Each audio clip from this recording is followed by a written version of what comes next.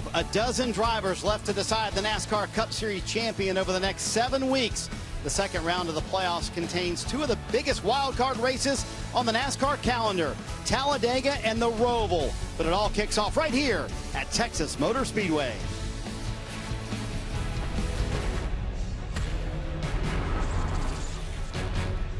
Welcome to Countdown to Green, presented by Sonic from a toasty warm Texas Motor Speedway as the road to the championship four in Phoenix makes the next stop in the Lone Star State.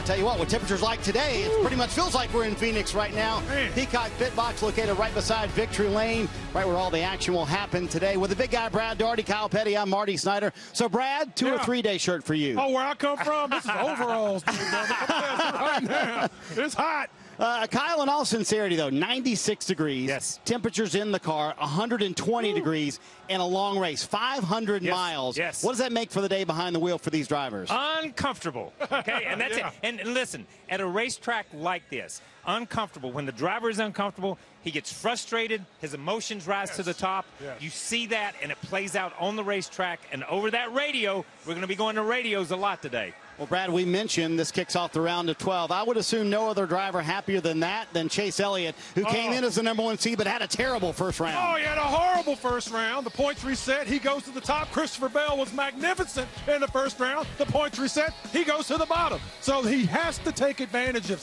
Chase Elliott's team has to bear down, eliminate the mistakes, focus, take advantage of this opportunity that he earned during the regular season to be in this position. That reset nice for that oh, nine team. Not so nice as you yes. mentioned for Christopher Bell. No. So, Kyle, I don't know why everybody's worried about this round. I mean, everybody in the garage area, you know, it's only the Roval, yeah. Talladega, oh. and Texas. You know, it seems pretty simple, right? Texas, a racetrack. It does seem simple because Texas is a racetrack with two totally separate ends, high speed, low grip.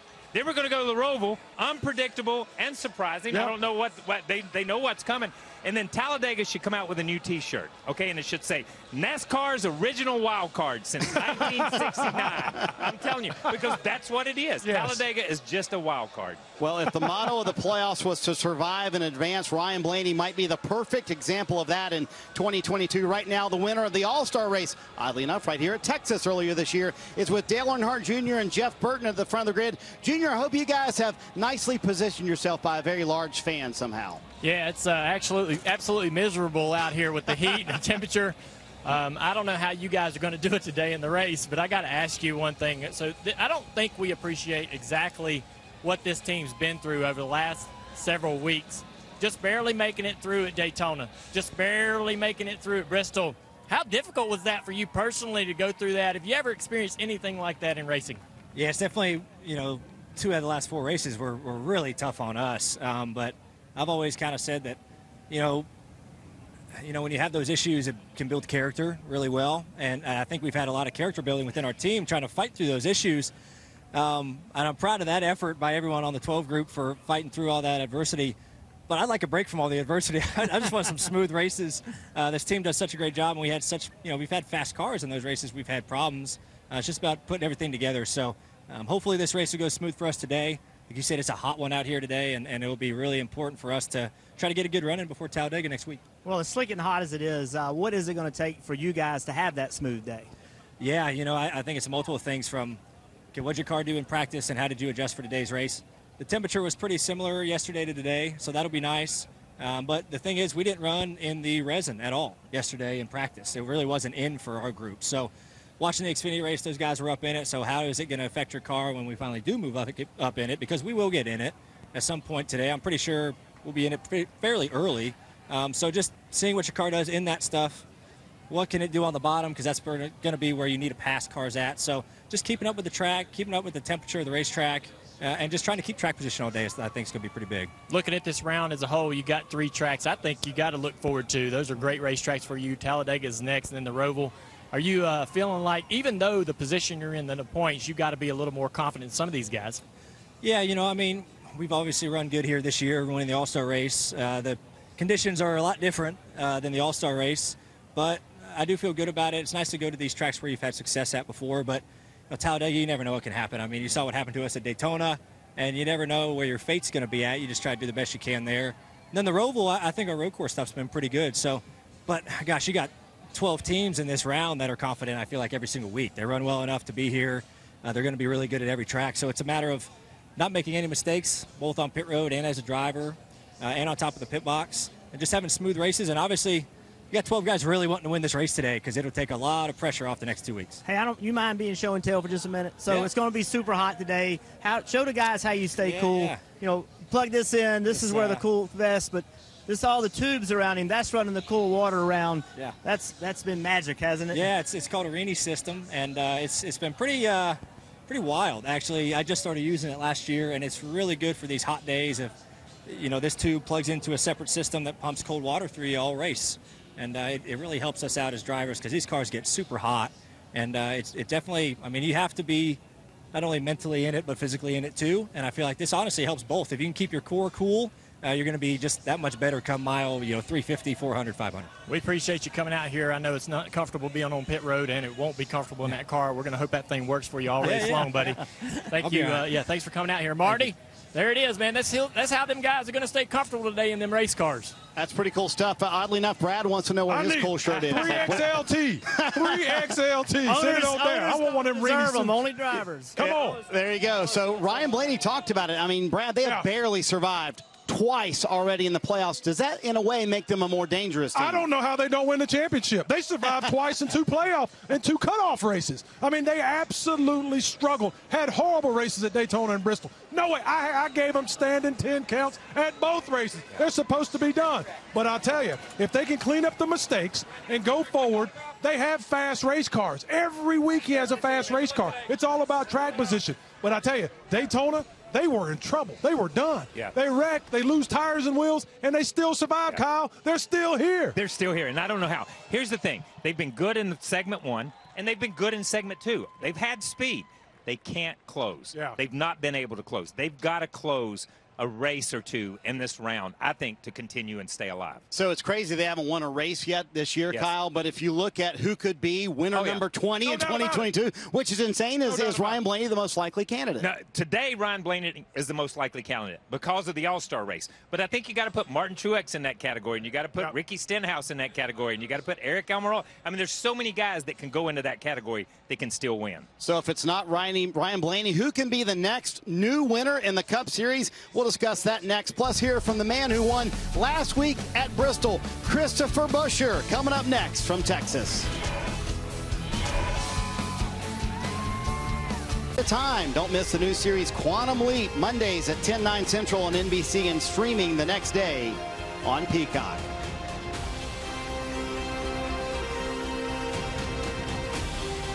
The Martin Truex Jr. Foundation is running their third annual Honor a Cancer Hero campaign today. Above the door of each cup car is the name of someone who's either lost their battle with cancer or also some inspiring stories of those who have survived. So far this year, the campaign has raised over $100,000. To learn more, go to martintruexjrfoundation.org. Martin Truex Jr. and his partner Sherry Pollex always doing good for the community. Today, Truex starts 15th. Right now, he's with Kim Coon. Yeah, Martin, you and Sherry have done so much for the cancer community, especially here this afternoon. What's your hope when fans see the names on these cars of these cancer heroes and hear their stories? Well, I think it's just um, you know it's inspiring to hear the stories of all the all these people, uh, women, children, you know, moms, dads, you name it. Just to hear their stories of what they've been through and their perseverance and their fight, how strong they are, and um, just really, really thankful to NASCAR, the foundation there, and um, all the drivers, all the teams for for participating in this. Uh, it's a great way to just uh, pay tribute to some special people. And uh, you know, really cool that that uh, an anonymous person uh, bought Sherry's name and put it on Austin Dillon's car. So we'll uh, we'll be pulling for the three car as well today. But just a big day for our foundation and a big day for those heroes. And Sherry will be driving the pace car. She'll have a, a relatively smooth lap. You maybe not so much. We were talking before we went on air, and just a lot of unknowns. So, did you learn anything in practice yesterday that can help you through these 500 miles? Well, we learned what we needed to work on. Um, whether or not we were able to, to correct our issues, I'm not sure. So, um, kind of just go out there in a, in a, in a wait and see approach. And, um, you know, this is going to be a really tough race, I think. Long race, really hot, uh, really slick track. How much is the, is the sticky stuff going to come into play? How much is the groove going to move around? You know, how, how big is track position going to be? So many question marks. Um, it's going to be a slick one too. So uh, our car was a handful yesterday. We'll see if we made the right adjustments. Uh, hopefully, go towards the front. Marty, Martin, and Sherry giving everyone a reason to cheer for every single one of these cars out here on track today. Such a cool cause. You know, Martin Truex Jr., a non playoff driver. So far, yeah. the non playoff drivers undefeated in the playoffs. Can they continue the roll? Let's go on the clock and chat about that. Brad, let's uh, talk about Martin Truex Jr. We just heard from. Yeah, and Toyota in general has been uh, the last six, seven, eight weeks. They've just been building so much momentum. Now they're coming off of a couple of engine issues, specifically with Kyle Busch last weekend. Before that, so I'm hoping they fix that. If so, Martin Truex is a absolute shot to win this race. He's good at these long distance races. He doesn't fall out of the seat. He takes the heat well. Yep. Race cars fast. He can win it. All right, I go with Brad K of RFK. Okay, I'm a two-time runner-up here at Texas. Uh, but and, and listen, coming off of that first win as an owner last week at Bristol with Chris Buescher, I think he can win anywhere, anytime as we play out because RFK has found speed. I think today he's going to upset somebody. Yeah, and one of those cars who's been fast, surprisingly, all season long has been Michael McDowell and his 34 team. For them, it's all about track position. If they can get track position at the end of the day, not have any mistakes on pit road, yes, they can win. No doubt about it. But they have to get that track position, which has been difficult for this team. Eric Almirola. Okay, I'm going to go to him. We, we, go to Talladega, another race in this round. He's a speedway guy, man. He is a guy that can win a race in this round. Now, he's a non-playoff driver, but that's what we're talking about, upsetting apple cart. He's been four of the top four top tens out of the last six races here at this place. Mm. So he can be strong here also. Interesting point. So all of those drivers will be winner number 20 on the season. Brad, do you see 20 winners I do year? not. I do not. Big boy's got to step up. It's Ooh. time. Mm. Yeah. Kyle, how about you? Listen, I see 20 winners, but I agree with Brad. Big boys have got to step up and put on their big boy pants at some point in time and take control of this playoffs. What a crazy season it's been. 19 different winners and now entering what many think is the toughest round of the playoffs. Let's head back to the front of the grid. Jeff, let's play a quick game. Which of the three tracks are you worried about in this round? A, Texas, B, Talladega, C, the Roval, or D, all the above? D, Marty, for sure. There's no question. You know, listen, I, I, this racetrack, we've talked to the drivers already, talked about how slick it is, so many unknowns. Leave here, go to Talladega.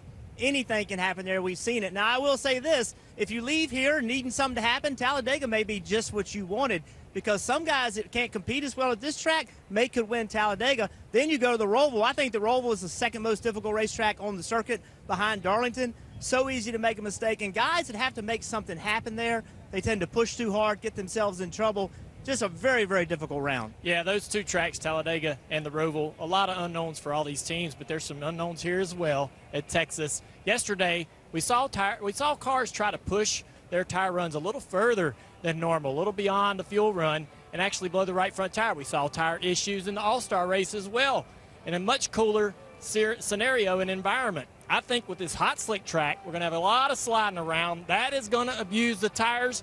Will the teams push it on air pressure, and will they also go beyond what the tire's capable of wear-wise and create a lot of problems? You know, we talked also a lot about how everybody can make it past the round. Let's talk about some of the guys that we think might not make it beyond this round, Jeff. You picked four guys, so let's see what they are. It's such a tough pick. This round is so difficult. A lot of these guys, I think, are really good race teams and good race car drivers, but somebody's got to make it. Ross Chastain, uh, I got Chastain and Suarez both not making it. I just feel like Trackhouse has lost a little bit. Chase Briscoe, man, he's been holding on by a thread. And I had to pick somebody that is going to be an upset not to make it. We got two champions not make this round. I think William Byron and that team, they're capable of going all the way to Homestead, but somebody's not going to make it. And kind of honestly, I kind of picked him out of a hat, to be honest with you, as the guy, the, the upset upset. I picked William to win the race today, so I obviously don't agree with that, Jeff, but I do agree with some of your picks in my four. Let's take a look at them here. I got Ross Chastain as well. I think that Ross is going to need that miracle at Dega. He's a super speedway racer. He knows how to do it.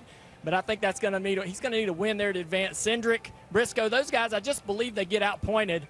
Daniel Suarez, he can go to the Roval and make it happen, but I believe that's the only way he gets in. I don't know if he gets enough points in this round to do it. So there's my four guys. It's going to be interesting to see who's right and who's wrong. I know a lot of people are going to disagree with that. We're going to listen a little bit more and learn about Ross when we come back here at Texas.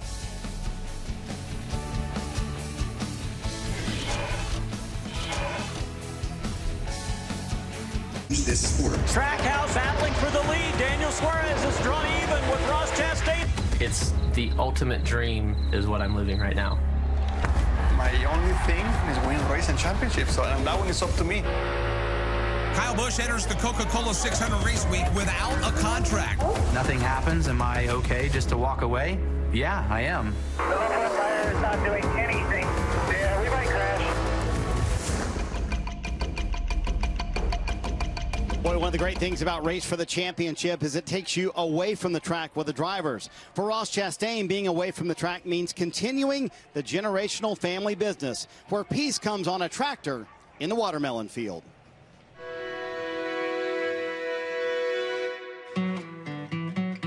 We can go to the field and you can get on a tractor and you can go all day and not see anybody. And when people think of Florida, they don't think of that. And for me, this is home. We're in Florida, which is agriculture. We've been in the farming business, of course, my whole life, or several generations back. Yeah, I realized when I got into racing, I wanted to be a race car driver. It was going to be a lot easier life than, than farming. He was always hard to put on a tractor because you had to keep slowing him down. He was, you know, a tractor set to go at a certain speed, and Ross was always in the next gear, going a little too fast. Whether it's running a motor grade or whatever, he wanted to get to the other end faster than the next guy. Ross Chastain is going to get his first NASCAR Cup Series win. I'm where I've always wanted to get to now. It's about staying, and that's what I wake up every day to do. Hell yeah, baby! So proud of you guys. The Watermelon Man gets to party here in a wild finish. Cracker Jacks look good. Yeah, so these are a new variety that we're doing this year. We did about 30 acres just to try them out. Our motto and our, our business name is JDI, and the, the thing is, you just do it. No matter what the job is, what it takes, what it takes to get the job done, you just do it. It's a Cinderella story for Trackhouse. The year they're having. Holy cow! They've got him as watermelon as tradition. My job is to promote watermelons through my racing. It's the most natural promotion that I can do. Like, this is me. Like, I am an eighth generation watermelon farmer and we're proud of it and I want to show you and I'm going to show you when I win. Boy, it's pretty easy to see where the work ethic comes from, but he said something interesting in that feature, Brad. He said, I'm still working to stay here in the Cup Series. Do you really feel like he feels like he needs to prove himself? Uh, I think that's the way he drives himself. I think sometimes with self depreciation, it almost gives you a little bit of something to hide behind as far as putting it out there. This is who I am. This is what I work through. And also think about this all these guys racing around him, how many of these guys Yeah. are farmers? How many of these guys ever worked at all? Uh-huh. So he. He's bringing a different mentality into this, Yeah. and he does. He feels like that, that he's not respected because of where he comes from and who he is, and he's trying to prove that that is just as good as anyone else. Yeah, and I like that he feels like he has to prove himself because we're in a sport. You got to prove yourself every Sunday. I don't care how good you are, how good you think you are. You've got to prove yourself. He digs. He reaches down. When he looks in the mirror, he may say certain words. When he looks in the mirror, he sees champion. Yeah. He sees champion. You can see that in his eyes. I- I'm telling you, he is in a good place right now with, with seven races to go here. Kyle Ross Chastain had an edge to him all year long, Yes. but he admitted he kind of tiptoed through the end of the regular season. He was afraid to wreck anyone else. Does he need to rediscover that aggressive side of his driving? No, he doesn't need to rediscover it. He knows where it's at. He just needs to get it out of the box. Uh, he- yeah, he didn't lose it. He did not lose it. I talked to him on the tarmac over at the, the airport when we landed. He is ready. I think he learned a lot in this first in the first round. I think he understands how you have to race rounds now. He's not been in that position. Right, right. Now he knows what he needs to do in this round and then the next round to make it to that final race in Phoenix. Yeah, he's got to get back to that. I mean, because I, I played for a legendary basketball coach in the NBA, Lenny Wilkens, and I went to practice one day as a rookie, and I was watching, and these guys were practicing so hard, and there wasn't a game for two weeks. And I asked him why. He says, because if you don't go hard all the time, you get hurt.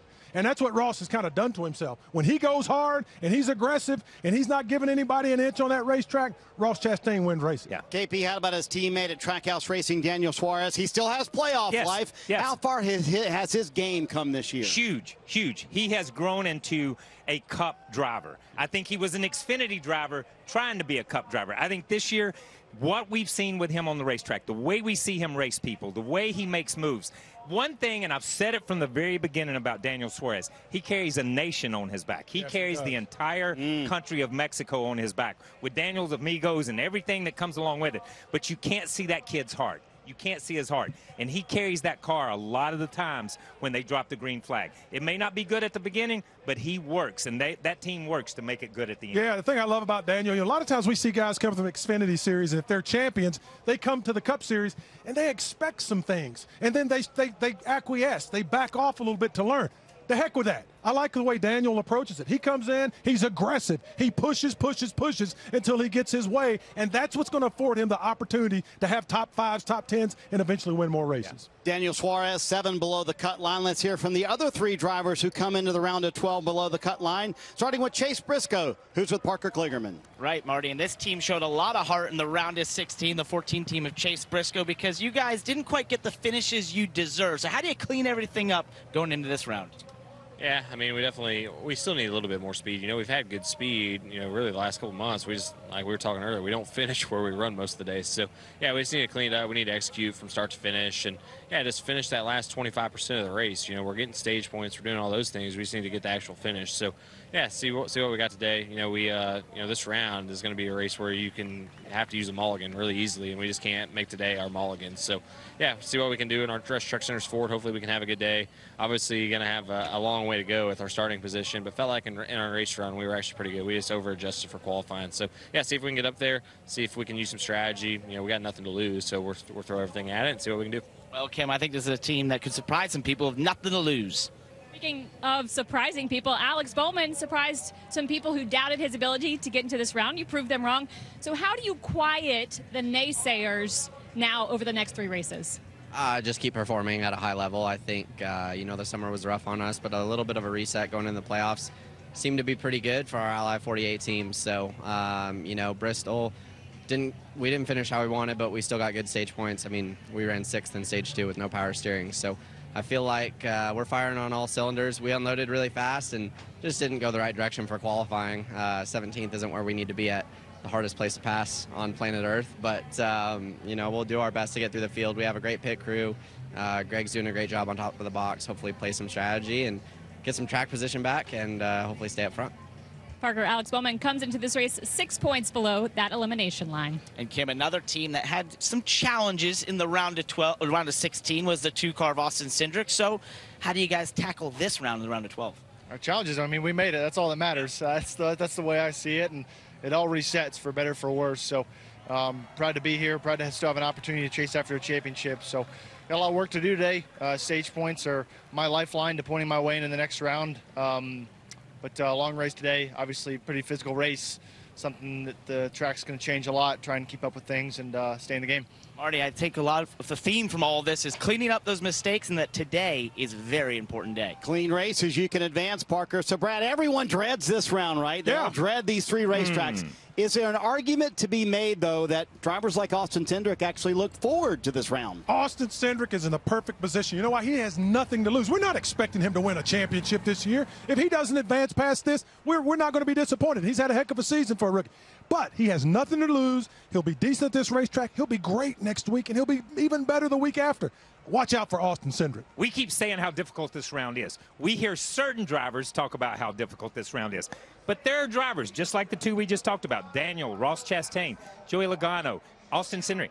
They see opportunity. Yes. They do not see adversity. They see opportunity. If you go in, Marty, and you don't like this round and I like it, I've already got you beat by a step. Yes, by a step. You might can catch up, but I've got you beat a little bit. Well, guys, one piece of news from the track this weekend. DJ Vanderley, an engineer for Stewart Haas Racing, was injured in a sprint car accident on the dirt track here at Texas Motor Speedway on Thursday night. Friday, he had surgery on several fractured vertebrae. Our thoughts are with DJ and his wife Jordan as we pray for a full recovery.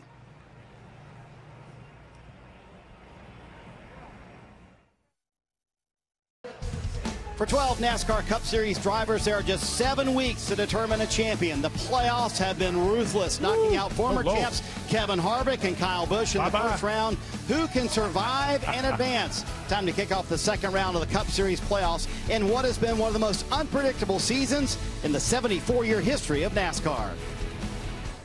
Holy cow. Austin Cindric screamed those words on the radio after he won the Daytona 500. Holy cow! And started this NASCAR season on a special journey. 19 different winners this year ties the most all time in NASCAR history. Just a year ago, Kyle Larson dominated, winning 10 times and a championship to boot.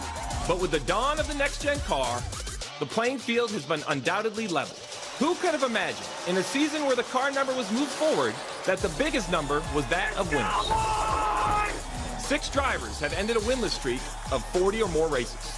Five drivers have won for the first time. Three straight playoff races have been won by non-playoff drivers. Two drivers have even won with the same car number. Let's go! Joey Logano recently said, what a crazy year. There's no better way to describe this season, and we still have seven more races to go. When Steve explains it like that, maybe it's not if, Hmm. but when there will be a 20th winner uh, this year. You never know, right? Right, So correct. Here's what's on the menu presented by Sonic. As we have mentioned, today's Texas race kicks off the round of 12. Next up, Talladega and then the Roval. Gee, I wonder why everybody's worried about this round, right? Baby. As uh, Steve talked about, 19 different winners, ties a record through 29 races. Do we hear 20? Coming up. Maybe seven races left in the season. And the round of 12 starts with Chase Briscoe, Alex Bowman, Daniel Suarez, and Austin Cindric below the cut line. Kyle, I know one driver who's happy there was a reset here in the round of 12, Chase Elliott. Yes, Chase Elliott once again is number one in our hearts, people. Uh, with the reset, he goes straight to the top. But look how close this is. 30,000 or 3,040, and he's only six. Uh, uh, uh, Cindric's only got six. So you look at it, it's 32 points when you start looking at things. That is incredible. That's one race of the bottom half finishing in stage points and the top half not. And now these guys are tied. It's incredibly close going into this round. Well, let's hear from the driver who is once again the number one seed, Chase, Chase Elliott with Kim Coon. Thanks, Marty. And Chase, they were just talking about reseated. You are at the top again of the board. I know that doesn't give you much comfort, but offer any kind of breathing room headed into this round? You hope so. You know, I, I think you always, regardless of, of where the points show that you are, you want to try to get off, uh, you know, with a good start at, at that first race. So, you know, this round is certainly going to be tough. Texas has uh, not been one of my uh, more favorable places to come visit. So, uh, with that being said, though, I, I felt like our Napa Chevy was pretty good yesterday in, in, uh, in qualifying. You know, sixth, about 20 spots better than I've been doing the past month on Saturday. So, take those small victories and, and hope that we can uh, turn a you know turn a good qualifying effort uh, and, a, and a good pit selection into a good run today is, is what we're hoping for. So we'll see. You know, want to get through today, and then obviously you know next week's going to be a toss up. So it'd be nice to get out of here with a win and uh, not uh, not have to worry about it. With as hot as it is today, how much will the track change? And I know you guys didn't really get in the resin yesterday. Expectations for that? Yeah, it's hot. That's for sure. It's cer- certainly warm. Uh, wish we were under the lights for the sake of all the people here watching, but yeah, it's. Uh, I don't know how much the track will change as far as the lane that we were running in yesterday, but I certainly think that uh, as the pace slows down, it's going to be more favorable to move around and potentially get up into the into the resin and, and try to find some pace somewhere else. Uh, and with the way these cars are in traffic, you know, you're always hunting some some fresh air. So I'm sure we're going to move around and hopefully. Hopefully our car suits both lanes well, and we can uh, yeah stay up front and just try to be around there at the end of 500 miles. Parker Chase rolls off in the sixth position. Well, Kim, it's so hot that Joey Logano and I have decided to stay here and sit down in the shade, smart between us. So, a lot of people throughout this garage said the 22 car is the fastest car from yesterday. Did it feel that way? That's good to hear. I actually think the AAA Mustang is pretty good, and uh, hopefully it stays that way. Obviously, it's pretty warm out today, and uh, track's going to change a lot from practice. Uh, the the resin wasn't quite in yet up top, uh, traction compound, and uh, obviously it came in during the Xfinity race, so that'll change some things a little bit. But uh, hey, we're starting up towards the front. We got a good pit stall. It's all about executing this first race of the second round here, and. and uh, it's to getting a minimum of 40 points. I think that's that's a good goal today. If we can win, that makes life way better. Uh, but if not, we got to maximize what we got to set ourselves up for the next two weeks. When you look at the last round, you and I were talking about this earlier today, it was chaos. Now we have Talladega and the Roval. I mean, how much importance does that put on today? A lot. it's the most important race so far in the playoffs to have a good run because uh, you just don't know what Talladega brings. And the Roval is not as much of a wild card, but it can be. We've seen some crazy things happen there before. So uh, this is the one that you, you can control the most of, and you need to maximize that the most. All Already keep your eye on this 22 car. He says it's fast. Yeah, a lot of people in the garage area agree with you, Parker. So Chase Elliott, Brad, Yeah. and Joey Logano get the rare chance to call a timeout, oh, take a reset after a rough first round. How do they get their momentum back? Hey, I've, I've never seen anything like this. I mean, I've been around a long time, and over the years, you've watched these race teams, these big race teams especially, utilize their resources to stay up front and race up there all day long. Well, thank goodness for NASCAR because this new car has reset that. It's no longer this guy's a great driver or this guy's a great driver, this is a great team. It is equal. It is actually leveled this playing field. But these massive teams, though, like Hendrick Motorsports, like Penske, they have to not make mistakes. They're making a lot of mm. common mistakes as a team that keeps them from winning races. They've got to clean that up. And if they don't, the Chris Bueschers and the Bubba Wallaces and those guys are going to beat them because they're just as good as race car Yes. drivers. I know it's going to hurt some feelings, but they are. They hey, Kyle, are you surprised the playoffs are now moving to the second round and no driver who we thought would step up in the playoffs Yes. has really stepped up and said, hey, this championship is mine. You got to go through me to get it. So a few years ago, we had the year of the big three. Yeah. Now we have the year of who's it going to be.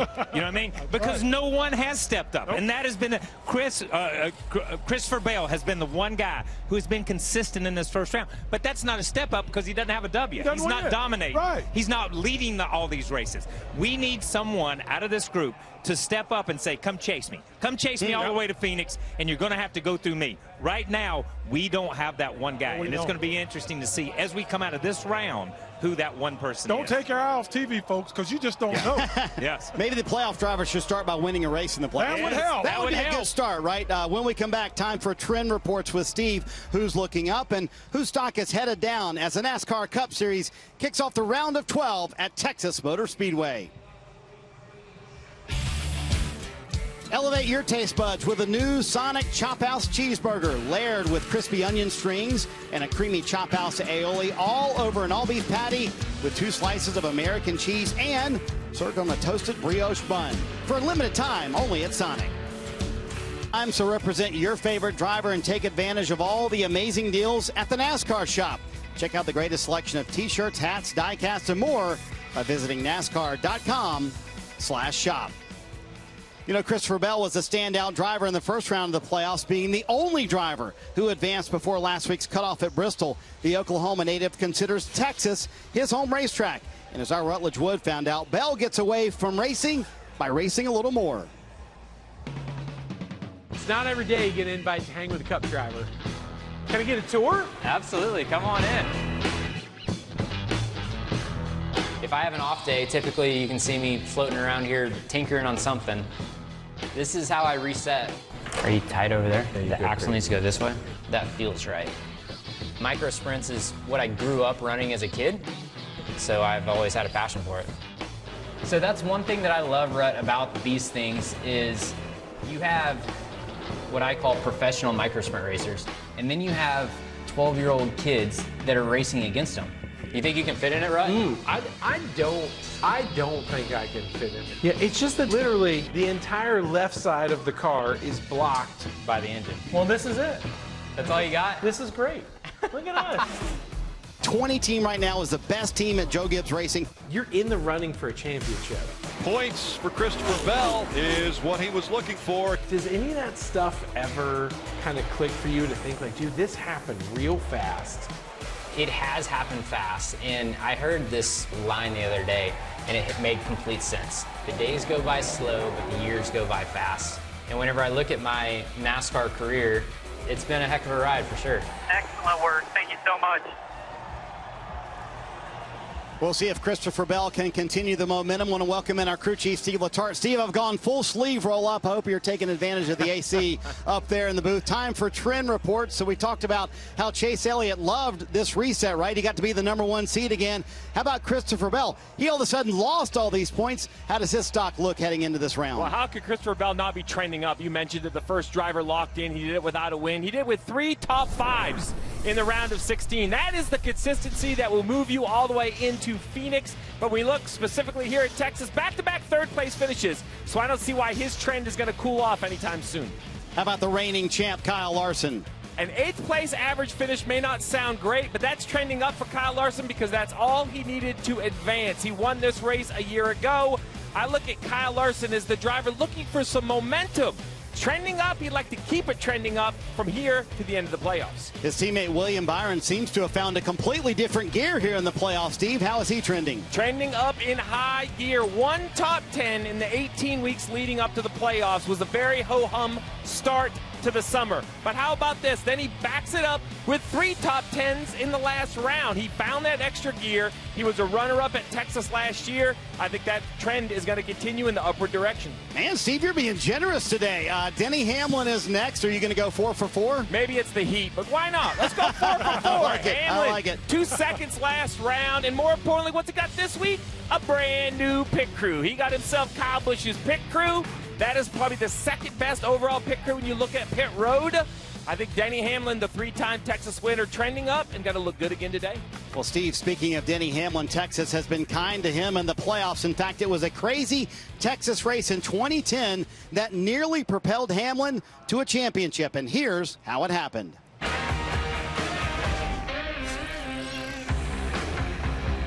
Happy race day, everybody. Ready to go here at Texas. This is a pretty pivotal race in this championship battle. Jimmie Johnson's pit crew just being a little bit suspect.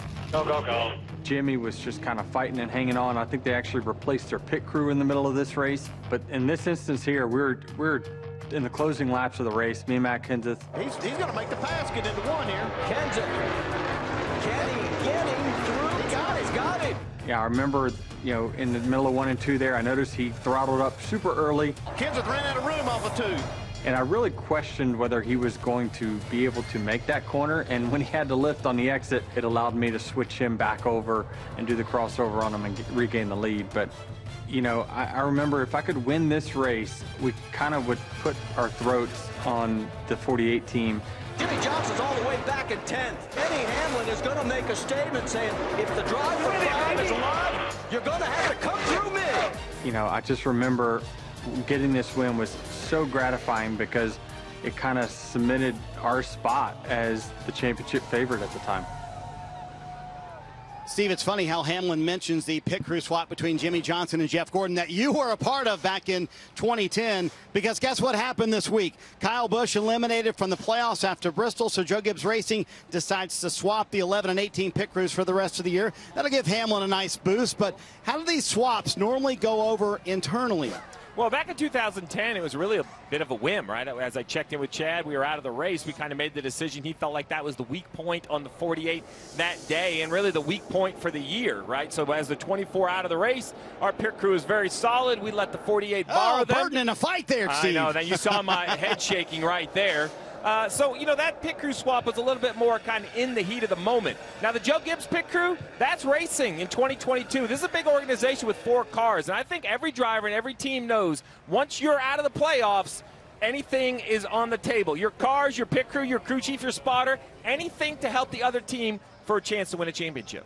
All right, Steve, these rounds are like mini seasons, right? Four more eliminated in three weeks. Who do you think will have a tough time making it to the round of eight? Well, it's tough to pick, especially after we saw Kyle Busch and Kevin Harvick go out. But I have all of Team Trackhouse. I know that's unfortunate, but Ross Chastain Daniels was a great second year for Trackhouse, but I'm not sure it continues. Chase Briscoe, I thought could move through because of the Roval. I just don't see the speed out of the 14. And then Alex Bowman, I don't know. I know he showed up in the first round, but it was a mm. long stretch over the summer. Hope he proves me wrong and does it again. It's hard to pick four, but these are my first four out. All right, Stevie, good stuff. We'll see you for the call of the race. When we come back, some heavy hitters eliminated in round one. Could one of those drivers still win a race this year? We're talking about Kevin Harvick and Kyle Busch next. Countdown to Green is brought to you by the all-new Sonic Chop House Cheeseburger. For a limited time, only at Sonic. Noah Gragson won the Xfinity Series race here at Texas yesterday, but also in town, uh, Cole Swindell, by the way, who played a concert here last night. Guess who was there? And the trophy was there, Kyle. And the greatest trophy in racing has just begun. that, that is a, an amazing trophy by Andy's Custard. Kyle wishes that was real ice cream right You now. got that right, right now. I'll take it. Uh, by the way, I wonder how much no, sleep Noah got last night. Not, Not much, much. I'm guessing. Not much. Had a good time. An hour for every Time 100 for- miles. Time for buy, sell, hold. Will this driver eliminated from the playoffs win one of the final seven races? Brad, we'll start with you and Kyle Busch. Well, you know, they gave him a Ragdy motor last week. This week they took his pit crew from him. We don't ever see Kyle Busch smile anyway. You think he's happy now? Let me tell you something. You daggone right this boy can win a race. He can win any race Yes. from here to the house. They better watch out for this. is a dangerous man. Yep, yep. Kyle, yep. how about My Kevin man. Harvick, who, by the way, blew up your championship bye, four? Bye, bye, bye, Listen, I buy Kevin Harvick when he goes to the grocery store. That's the way it is. that man has something to prove. He had something to prove rolling into the racetrack this morning, and there's seven more times he's going to roll into a racetrack before the end of the year and have something to prove to everybody. He wins before the end of the year. I'll take Tyler Reddick, and I have one word for you. Roval. Reddick has won two road courses this year. The Roval, a little bit like the Indy road course where he was dominant. I'm buying Tyler Reddick wins another one on the way out the door at RCR. I mean, come on, Brad. No No, shot ain't- he's there next year, right? No he shot he's ain't at no way. He got seven races left, and he's out the door at RCR. That's over. Gosh, man, you That's guys are over. brutal. Uh, okay, Brutal. guys. That's over. hope you're Keeping it real. Time for us to go on the record with our four who will not make the round of eight. I, I agree with what the guys have said. This is a tough round to pick. Brad, you're first up. It ain't tough. I got Cindric, Briscoe, Suarez, and Bowman unless one of them win today. Wow. That's pretty Wow. quick. Uh, I've got my four out. I picked Wednesday. Suarez, going Briscoe, Bowman, and Byron. After seeing how quick they are today, though, at Texas, I kind of wish I wouldn't have actually picked these four because I think Yeah. three of those four are going to be pretty good today here at Texas. Kyle, we saved you for last because this got you in trouble. I know this. It always ago. gets me. It got me in trouble the first round. I'm going to go Cindric, Briscoe. Blaney and oh, Hamlin. my and Hamlin. I'm leaving Hamlin. Trackhouse in. Trackhouse is going all the way to Look, the final four for me. the heat I'm is affecting it- you. Look, Blaney, he's got a penalty hanging over his head. Hamlin? He just barely made it into the playoffs, just barely made it out of round one. Hamlin, got to clean up those mistakes. We heard They got a Joey few. Logano They say, got a few. execute, execute, They got a execute. few. They got a They don't move forward if they don't execute, dude. Wow, Denny Hamlin just Wow. texted me. He wants to meet you in the garage, just Talking like about Dover a Willis? few I'm there. ago. What you Headed- talking There's air about, conditioning in the garage. I'm headed there. Just like Dover a few years ago. Kyle making friends. When we come back, time for our race winning predictions for Texas and the start of round two for the Cup Series playoffs. Countdown to Green is brought to you by the all new Sonic Chop House Cheeseburger for a limited time only at Sonic. Of 12 for the Cup Series playoffs on a 96 degree day. Steve, I, lo- I love what Steve Brad told Kyle yesterday. Hey, that heat's your problem. That ain't my problem. Oh, yeah. That's your problem in the car. Steve bailed out real quickly. Yeah, Them boys did. up there in the booth, man, they got it made. We, we want to be down here in the middle of the race fans and the racers. We getting That's after it, it, down here. They That's have the. AC worried about their hair. Seriously though, Kyle, I mean, I don't think drivers are used to this 96 degree No, heat. listen, This is going to no. be a factor today. Nobody's used to this night, this, this heat in these race cars under these conditions. Nobody. Brad, let's check the odds for the Texas race today. What we got here? What we got here? Who's the oh, favorite? Denny Hamlin. Plus 1,300, Kyle Busch.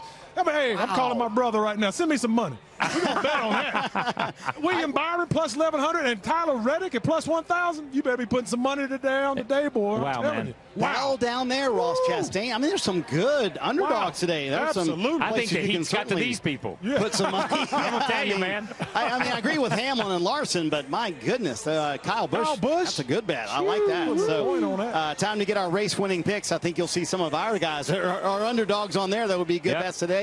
Uh, Dale Jr. goes with William Byron. Jeff goes Denny Hamlin, like that. Steve went with Joey Logano. Brad, who did you go with to Well, win today's I was going to go with Denny Hamlin until Kyle started talking that craziness. He might know something. I don't know. So I'm going to go with Tyler Reddick. That's my backup. I think Tyler Reddick will shock Yep, these Like boys that. today. Like that. As long as the tires hold together for Tyler Reddick, sir. I mean, they've shown certainly a lot of speed. Kyle, who did you wind up going with? I'm going today? with a guy that can get back-to-back wins. Brad K. Oh, wow. Back, last week he got a oh. win as an owner. This week he gets a win as a driver. Listen, these guys have found some speed. Yes, this they has been a good place for him. I'm going with Brad K. Got Mo. Roush Fenway Keselowski Racing. According to Kyle, going back to back. I agree with Steve. I'm going with Joey Logano. I think they have had a terrific run, and I think they find that momentum. Brad, remember we were talking Yeah. about where do they find it again? Came into the playoffs with all this momentum. I think they find it today at a racetrack where they can get to victory lane, no doubt about it. And and so speaking of the tires, we just mentioned, Brad, you were going through the garage area Yeah. early.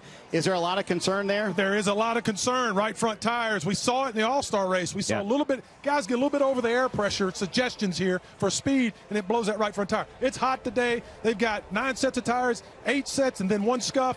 It is going to be a long day. They're going to have to manage those tires and watch for tire issues we get throughout the day. Yeah, it's hot today. It's going to be slick. The resin strip is coming in. We heard Joey talk about it. He Yeah. felt like it had come in. So many factors are going to play in the abuse this tire takes today. And I think that heat certainly makes it Oh, worse, yes, it does. doesn't it? And. I, I think it's No. even a little bit warmer than the engineers Yes. planned for and the crew chiefs planned for today. Warmer than I planned for. It's hot. you don't, and you don't use a lot of brake, but it is hot. So that bead gets hot. It's going to get hot. Don't- Th- and that's only going to add to the chaos of Yes, this sir. round. I with love Talladega sure. and the Roval coming I up. So love it. certainly a lot to look forward to here from the Texas Motor Speedway today. Time for today's pre-race ceremonies on a warm afternoon here in the Lone Star State.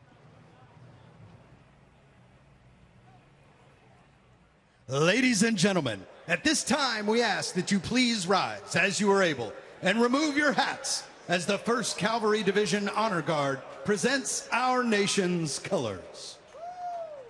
Please remain standing as Brett Schisler from Texas Alliance Raceway Ministries offers our invocation.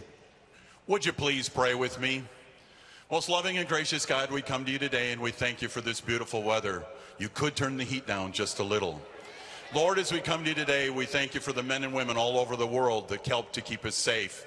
And Lord, we ask today for that same safety for all the drivers, all the crews, all of the safety workers, and for our world. And Lord, finally, as we come to you today, there are so many that hurt and so many that need your healing. You know all about each and every one of them, but we ask you today to be with them, to heal them, and to be with them every step of their way. In the strong and beautiful name of your Son, Jesus Christ, we come here this afternoon and we pray. Amen. Here to perform our national anthem, please welcome 1st Cavalry Division Band.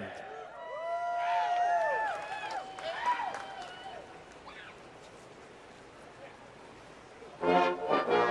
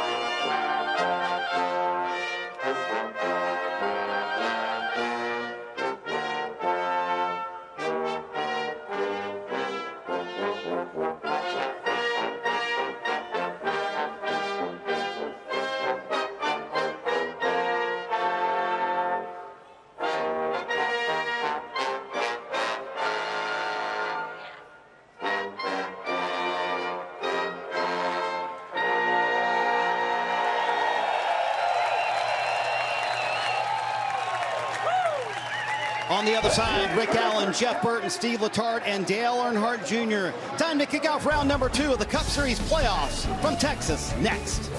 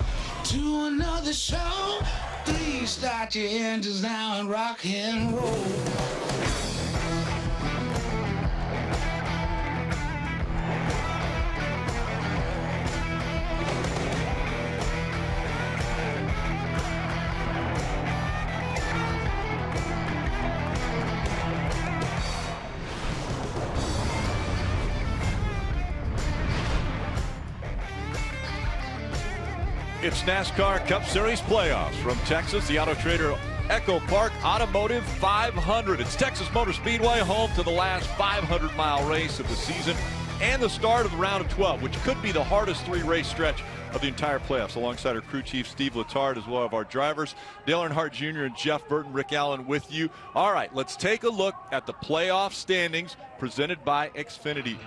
Four have been eliminated. Wreck was 16 drivers. Now it's down to 12. And you see so tightly compressed. Four names already in red. Everybody has been reset, plus their playoff points. Four drivers, Jeff, will be eliminated at the end of this round. Yeah, and who's going to take control of this playoff? So far, no playoff driver has found a way to win a race. You win a race and you're into the next round. Who is going to be the guy that finds a way to get tough and start winning these races? Get tough. Well, today's going to be tough. It's hot out there and it's slick. This track is going to push the tires and the drivers to the limit today. Rick, stage points. We don't talk about them enough. You want to score points? Not just the end of the race, the end of each stage. Points are awarded for the top 10. That could be the difference between the end of your playoff hopes or continuing on. So much pressure, and as Junior mentioned, hot. It's the hottest Texas race ever, and we're experiencing it at the start of the round of 12. It's time to get the engines fired. Let's go trackside for the command. And now, here to say the most famous words in motorsports, please welcome stars of the movie Top Gun Maverick, Jay Ellis and Lewis Pullman.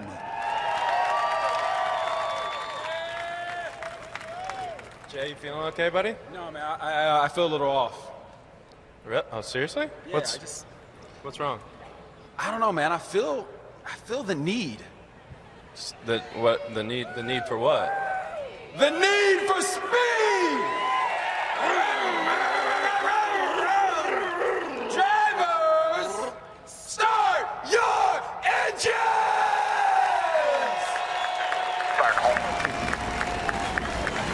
Take it fired up you're ready. Well done. The co-grand marshals, stars of Top Gun Maverick, Lewis Pullman, a.k.a. Bob, Jay Ellis, call sign Payback, and of course the honorary starter, Danny Ramirez, is going to be with us, his call sign Fanboy. NASCAR on USA is brought to you by Credit One Bank, a credit card company, Coca-Cola, and by Ford. Built Ford proud. Everyone knows what it takes to win. Certainly, the foundation is hard work. You must perform at a really high level with a lot of stress and focus being put on you. We need to stay grounded, stay in the moment. When preparation meets opportunity, that's when it kind of comes together. A championship's always been the goal.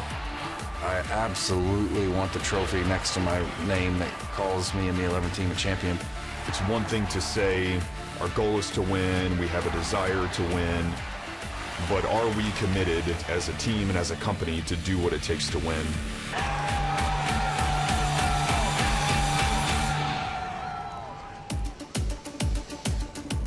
What will you do to get to victory lane in this, the second round of the playoffs? And that would solidify a spot in the next round. Take a look at the starting grid, the guy up front here, Brad Keselowski, hasn't won yet this year. There's already been 19 different winners. That's a record. Could we see 20? Another driver back there, Michael McDowell, could visit victory lane. Yeah, we look back.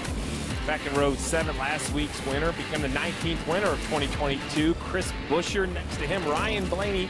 The last time we were in Texas was the All-Star race. Ryan Blaney was the winner. Trying to repeat that. How about Truex? 700 laps led at Texas, never been to victory lane. Stenhouse Jr. and Bell making up row 11. Harvick eliminated from the playoffs after the last round. Row 15, the birthday boy Corey LaJoie turns 31 today. He'll start next to Chase Briscoe. Starting next to Chase Briscoe, as you mentioned. Let's see if we can dial him up. We're going to ride along with him on the Northern Tool and Equipment on board. But Junior, see if we can get him on the radio. Chase Briscoe, Dale Jr. and the boys in the booth. You got us? I got you, boys. Man, I know you'd like to qualify better, but always kind of like starting in the back. Got all them cars to pass. How you going to do it today? Yeah, I, I agree with you. I think it gives us a great opportunity to, to pass a lot of cars and kind of do some different strategy stuff. But yeah, I mean, it's definitely a tough racetrack to pass. You know, I felt like our car was actually pretty good in race runs. We just kind of overdusted for qualifying. So the groove's going to be a lot wider than it was yesterday for us. So be able to move around. It's going to be hot and slick. Guys are going to be struggling. So I think we should be good. Our racetrack center's forward. Just got to uh, you know, execute all day. It's going to be the name of the game. Just not, you know, eliminating yourself in this first race with the next two races coming up. So that's what we're trying to do today. Well, we know it's hot and miserable, probably the hottest race ever at Texas, and it'll be about 140, 150 degrees inside the car. But tell the fans why you why you prefer that. Yeah, I mean, for a race car driver, I think it's a lot more fun for a lot. I mean, for me for sure, but I think a lot of us would agree. The hotter it is, the slicker it is, you're slipping and sliding around. You feel like as a race car driver, you make more of a difference. So, yeah, I mean, I think it's better than being 40 degrees. I mean, it's obviously unfortunate for the fans sitting in the stands baking, but it's pretty awesome to see how many guys and girls are going to go endure that today for a race. But yeah, I think for me, the more slipping and sliding around we're doing reminds me a lot of dirt racing. So I've always enjoyed that part of it, and hopefully we can move around a little bit and try to find some speed. All right, bud, we'll be pulling for you. Thanks for talking to us today. I appreciate it, guys. Have a good one. Let's hear a little bit more about some playoff drivers. We'll go to pit road. Kim Coon has a little more on the five car. That's right. Kyle Larson won this race last year, but only made 36 laps in the All Star race here earlier this season before a DNF crash. So I asked crew chief Cliff Daniels if he thinks that's a setback not having more notes on this car this year at this track, and he told me no. He said the temperature is so much hotter, the gear stack is different, it's a different tire, a longer race. He doesn't feel like the All Star race gave anyone much information or an advantage, so it's almost like being at this track for the first time this season. Kyle was a little bit too loose in practice than he wanted to be, but the team says they feel like they made the right adjustments, Parker, for the race. Well, Kim, it may be hot, 140 degree track temp, but a team that's bringing the heat is this 22 car of Joe Logano. There was an organizational test this past week in NASCAR for the Cup Series. Tuesday and Wednesday, the fastest team, Team Penske. Then they unloaded that 22 car here yesterday in practice. They said it was the fastest they'd unloaded at a 1.5 mile track all year. Then he narrowly missed down the pole, starts on the front row. Can they take that speed and use it over 500 miles, Marty, and get in victory lane? Boy, Parker, the points coming into the round of 12 are so tight. In fact, Ross Chastain is just plus 11 above the cut line. Talking to his crew chief, Phil Surgen, this morning, he told me, I think this round intimidates everybody, and they feel like, especially here at Texas, they have to make something happen. In his meeting with Chastain Tuesday, he said, I think the exact opposite. If we have a smooth, simple round, no Hail Marys, don't force anything, we'll be fine, and we'll advance to the round of eight. Thanks, Marty. All right, Steve, let's break down this race. Give us the numbers. Well, we've said it a few times 500 miles. The last 500 mile test of the season. Previously, it was the Southern 500, 334 laps. Three stages, all very lengthy. 105 laps for both the first and the second stage. The final stage, 124 laps. The fuel window, somewhere in the mid 60s, is what we expect. Teams have about eight sets of tires on pit road. Uh, you lose grip. You know the track still is pretty porous. You lose a little bit of tip, uh, you know, grip with those Goodyear tires, but it is going to be a grind in this heat to run this distance. We have the Coca-Cola pace car cam leading the field. That'll give us a unique view of this field.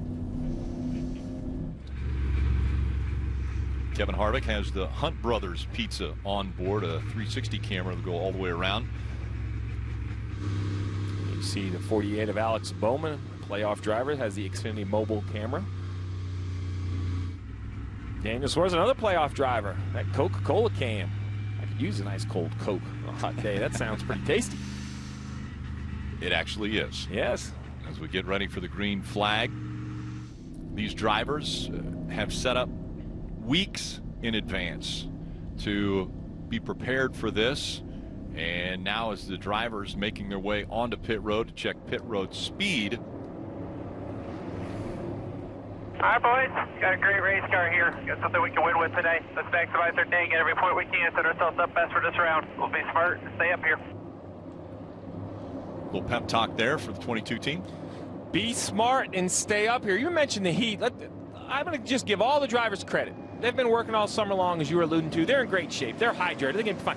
I don't think the physical test, like they'll be able to physically drive the car. It's how it wears on you mentally, right? As it takes more energy and effort and you're uncomfortable and it does it distract you, right? Does it force you into a mental mistake? That's really the question I have. Uh, you know, these guys are so good. And engines. We've seen engine right. failures more this year than I remember in recent history. That 500 mile challenge, and now in hot conditions, everything under the hood will be hotter. Uh, you know, it's going to be test man and machine. Let's check back in on pit road with Kim.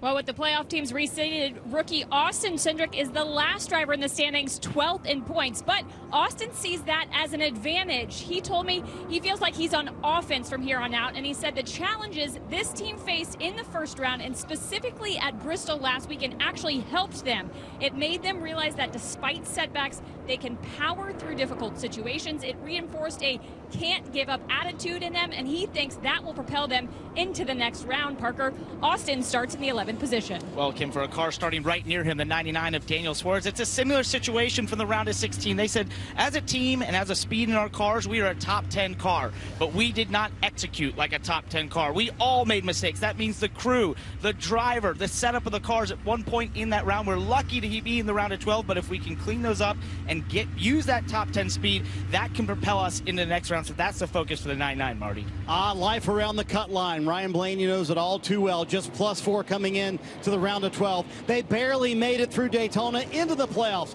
Barely made it through Bristol to the round of 12, but here they are. In fact, Blaney said earlier today, I always say adversity builds character.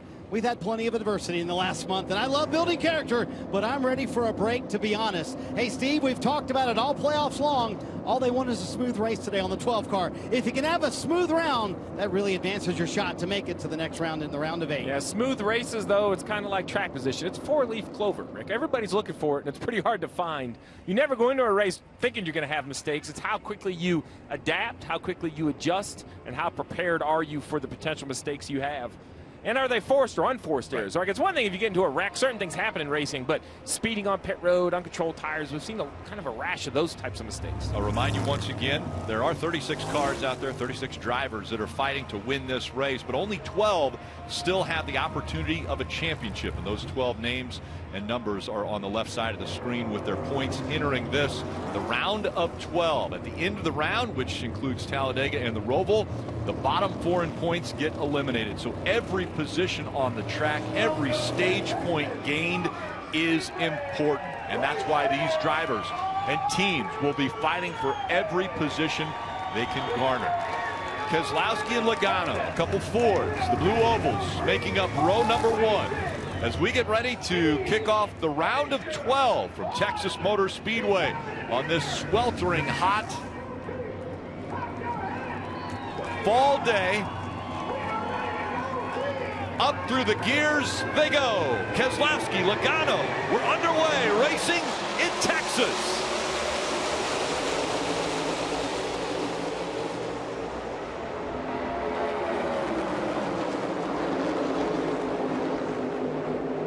Still side by side up front. Logano really wide here. Brad Keselowski trying to get away from the side draft. Now he's going to try to go back up there and slow the 22 down. Remember, this is the first time these cars have been on the racetrack in traffic. It was a race yesterday.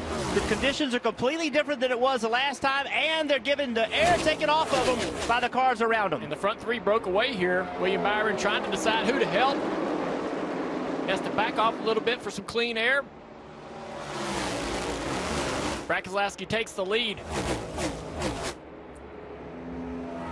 It's Keselowski, Logano, William Byron, Michael McDowell, and Denny Hamlin all in the top five. Reddick, Elliott, Suarez, Dillon Larson, and Cindric down there, all playoff drivers. Right now, everybody right around the bottom of the racetrack. Only seeing a few cars running that middle groove because they're kind of forced to be there too wide. You don't trust that middle groove right now. It's yeah. dirty up there. You're afraid of it. Yeah, when you go up there, it takes you a few laps to really understand just how hard you can push the car. So the first couple of corners there won't be that quick. But eventually, somebody figures it out. Then you watch everybody migrate up into the find that speed as well. Suarez trying to battle here on the outside. Oh, Dillon. Dillon fighting back. See what Suarez does down here in turn one and two as he's learned a little bit about this outside groove. Still not quite enough speed there, and they did not treat that outside groove. They've been putting resin on, resin on the racetrack. They have not added any overnight. We saw that wear away a little bit in yesterday's Xfinity race. Watch Daniel Suarez. What he's trying to do is just find as much clean air as he can following Austin Dillon. Austin Dillon had a good car yesterday in practice. So what Suarez wants to do, and he will eventually be able to do, as this track wears in is move up and be actually on the outside of that three car to get clean air. But right now, the track's just not allowing him to do it. We heard Suarez way out of the gas in one and two, but through three and four, still almost all the way through wide open. As hot as it is today, they won't be quite wide open, but to your point, Rick, there's a lot more throttle down in three and four.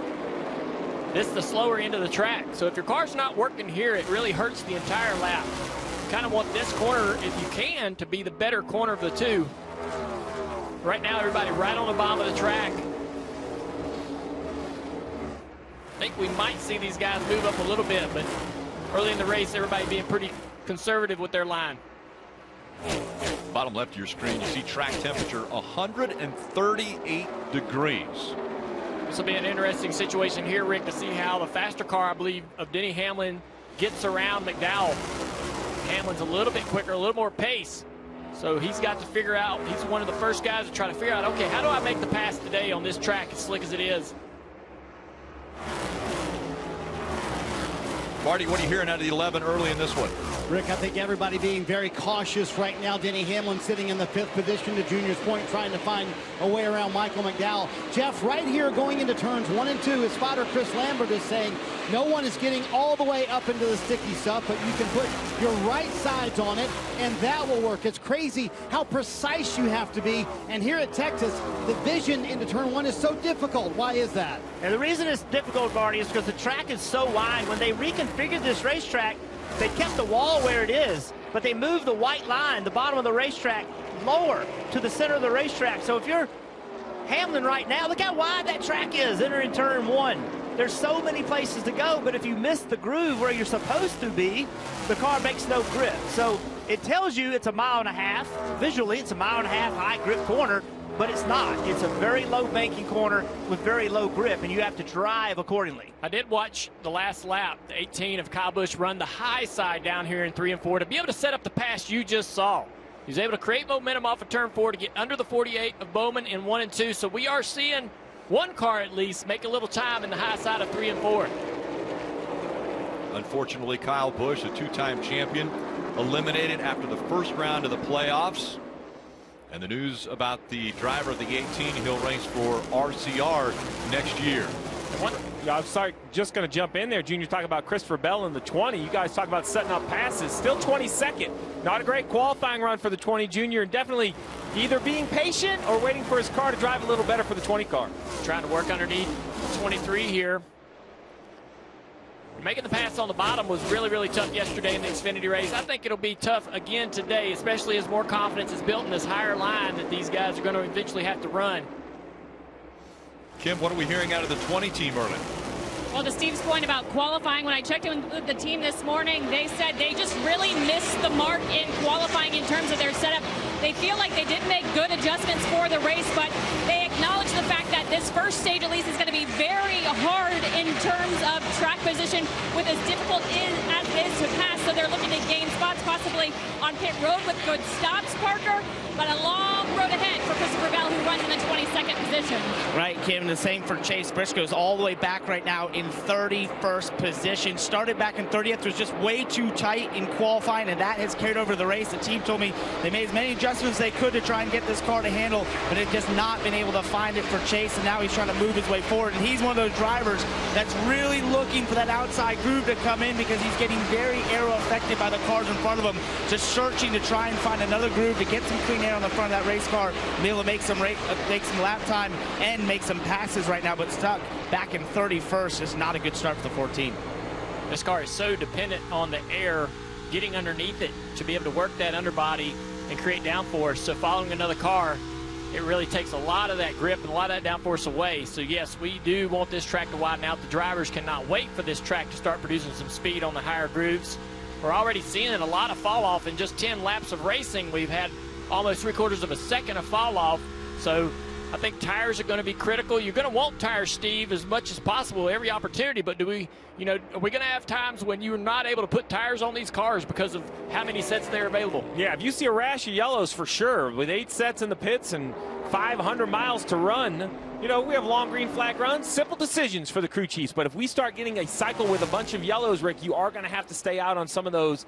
Do you pick the right one will be the all important decision. Brad Keselowski out in front. The pageantry now behind us and racing here at the track. It was Danny Ramirez, call sign Fanboy, gave us the green flag to get this one underway. Cup Series races from inside the cockpit of any car they choose. Visit NASCAR.com slash drive or download the NASCAR mobile app. Flying around this racetrack, want to take a look at the Xfinity fastest lap. Brad Keselowski has posted it. It was the second lap run at 29.217 seconds. Now his last lap was 30.12, so a little bit of fall off happening early in this race. Let's get a few updates. We start with Parker. Well, Rick, I'm not surprised to see that fastest lap from Brad Keselowski because as I listen to the field and all these drivers fighting handling conditions, one car is really happy with their car, saying the balance is pretty good, and that is the number six of Brad Keselowski, your pole sitter and current leader, now having led 21 laps. The team has been instructing him about other drivers using that higher lane, but telling him it's not worth it this time. There's nothing to gain there, Kim. Michael McDowell qualified in the fifth position and is currently running in the fourth. And when I found him this morning to give him a good job on that qualifying effort, he said he finally feels like he's showing people what he's got.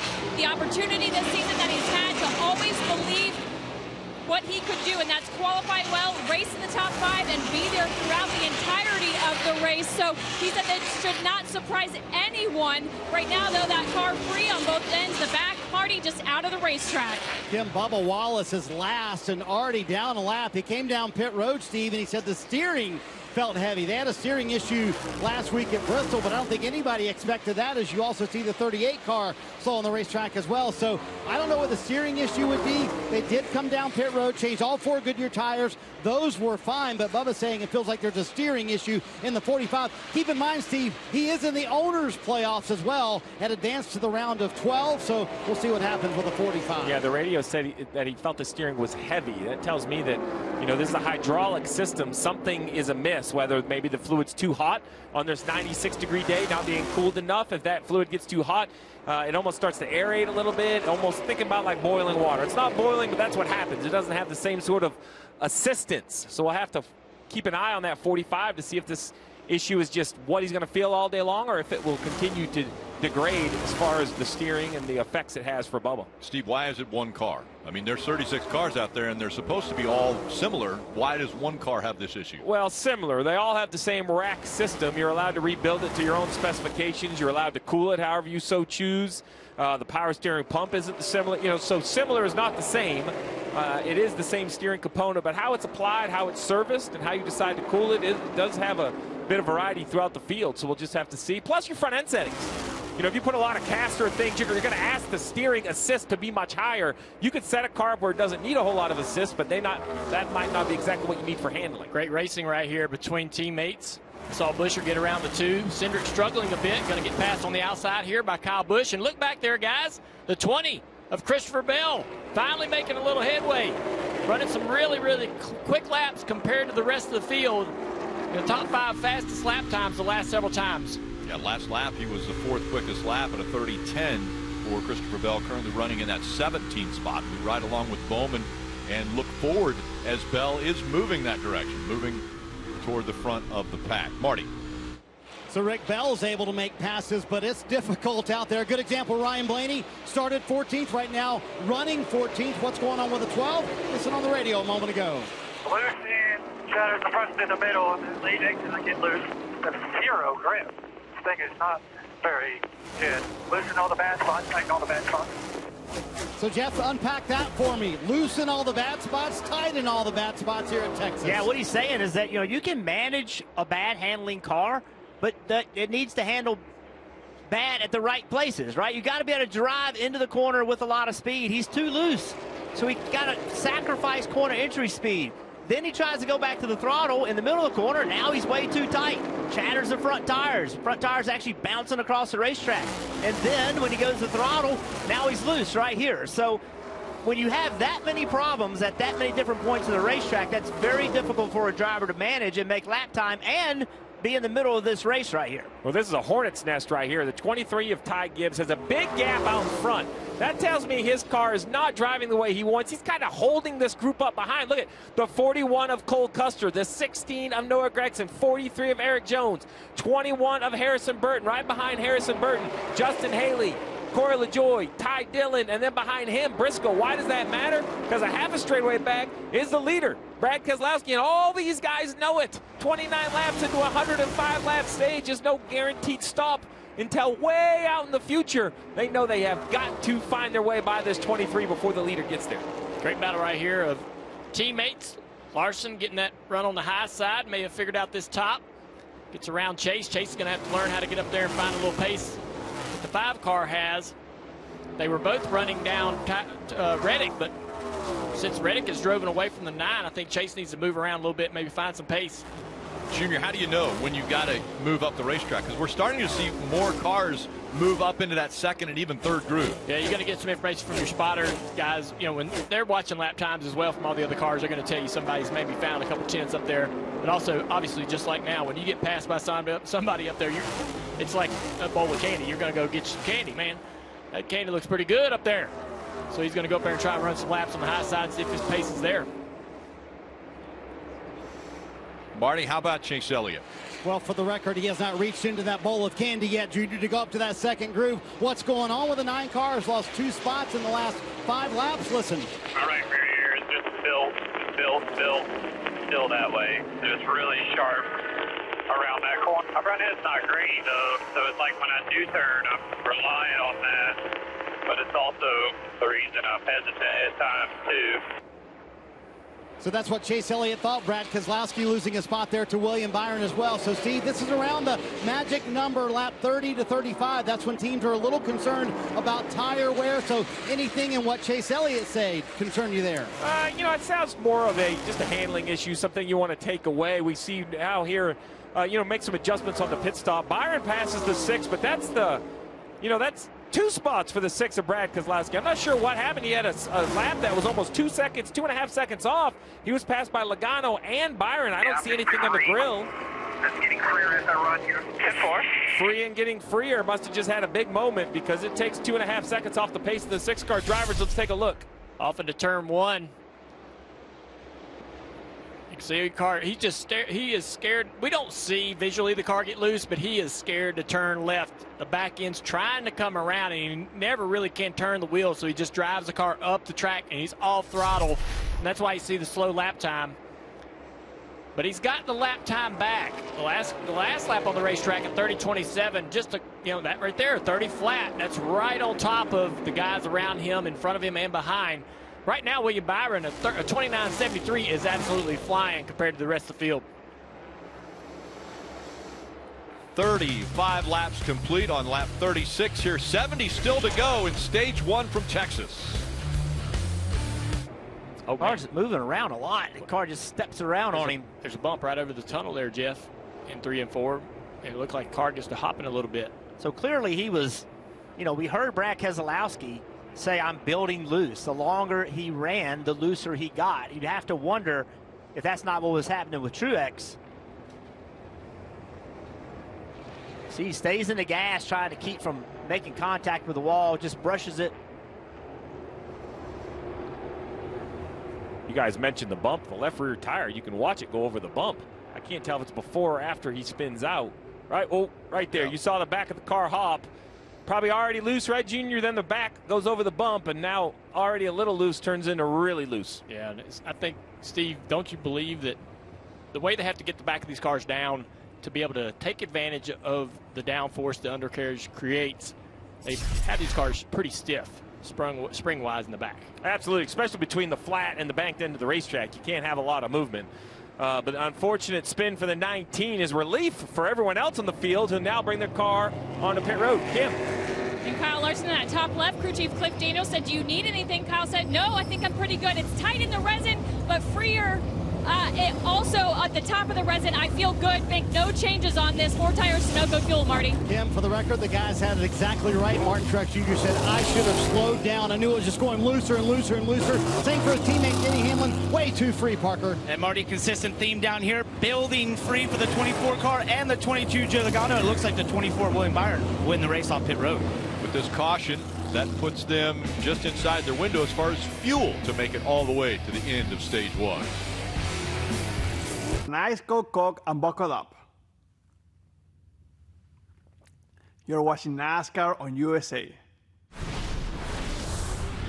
All smiles for Daniel Suarez as he got his first career win earlier this year at Sonoma to put him into the playoffs. Aerial coverage brought to you by Geico as we look down at that Texas sized pool here just outside of turn two at Texas Motor Speedway. Brad Keselowski coming back to pit road had a speeding penalty. So all that track position that he had gained and the pole position that he had won, lost all of that. So basically, this is just, just trying to continue to call a good race for this six car, right? They know that they're going to be very close on fuel, so Matt McCall brings them down, down, back down pit road. You have to start at the back anyway. Give them a splash of fuel with 62 to go. We expect everyone to be able to make it, but it's going to be right on their number. So in case you do the math wrong or just don't exactly know what kind of mileage you're going to get. A couple little strategy calls. We saw the race off pit road. Kevin Harvick took two tires. Uh, it was a good move for the two or for the four car. He moved all the way up, and now the he was 19th, right? He came off pit road, and he's, now he's going to restart inside the top 10. We'll see how those two tires hold up. You see on the left side, everybody that took four versus him, and for the 18, a lot was made about pit crew swap between Denny Hamlin and Kyle Busch. Well, the old Denny Hamlin crew on the 18, they wanted to prove a point. They were about a half a second faster than the 11 crew. Did a nice job for Kyle Busch. Yeah, there's some people working to say, hey, let's not move us around so much. But it ended up happening for the better. We'll see if it works out for Denny Hamlin. Field approaching the Geico restart zone as we get back underway. 61 laps to go in stage one.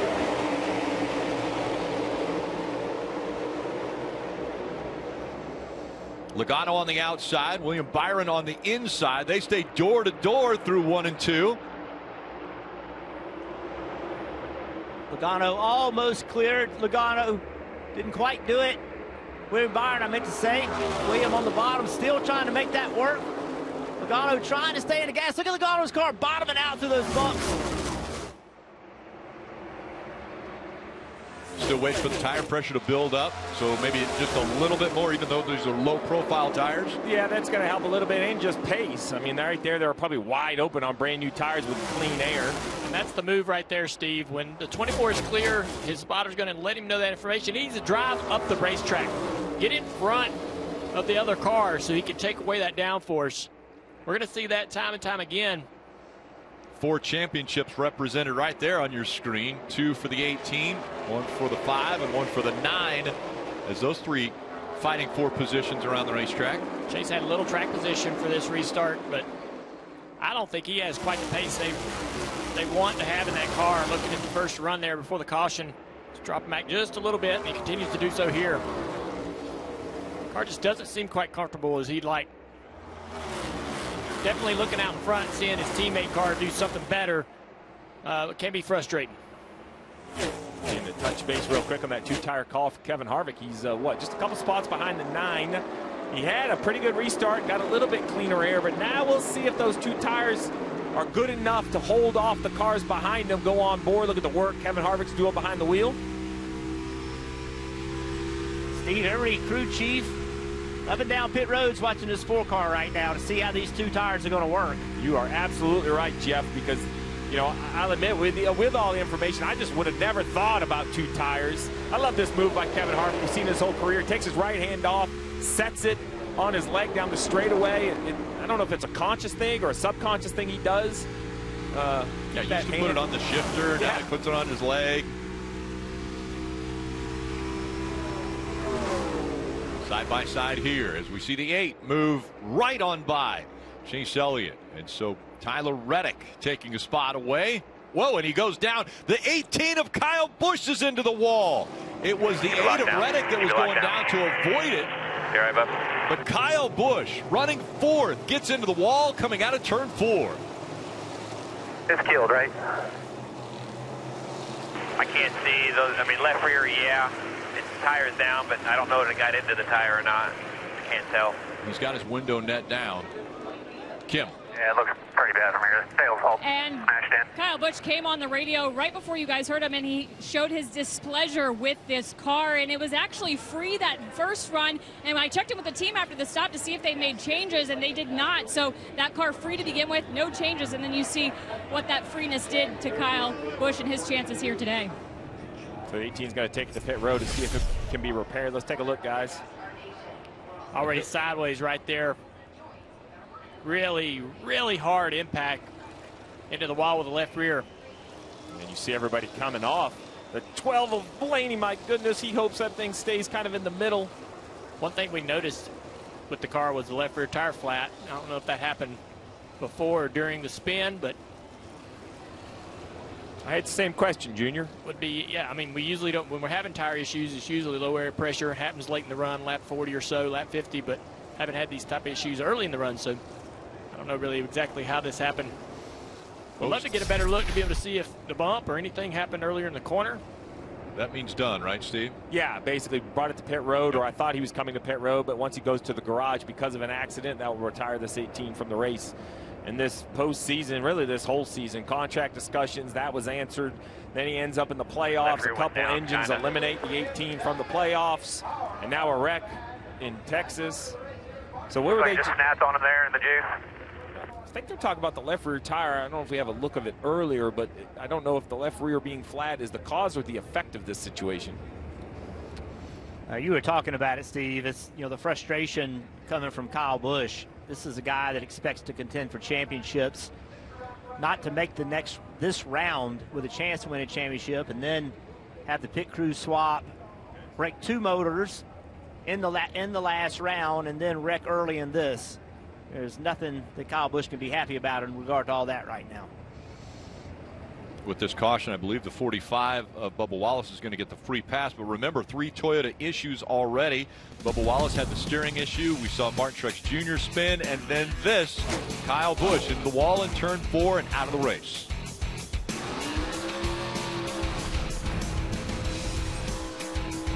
Or on USA is brought to you by Liberty Mutual Insurance. Only pay for what you need. Toyota. Let's go places. And by Northern Tool and Equipment. Start solving your projects today at northerntool.com. We're made for this.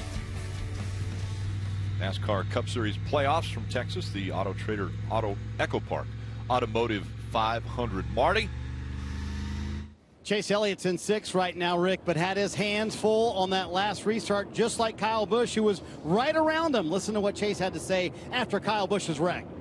The back of the car is so damn sketchy with three and four. I mean, I, I mean, exactly what happened to the 18 is why I had to bail off the top. Not alone. The 11s complain about the bumps down here pretty bad also. To Eddie D'Hondt's point, Denny Hamlin, Kyle Busch's teammate, said, man, the bumps are just so sketchy through there, Jeff. 141 track temperature right now, Jeff. So are the drivers kind of managing these runs maybe and just backing it down a little bit just to keep their car under them?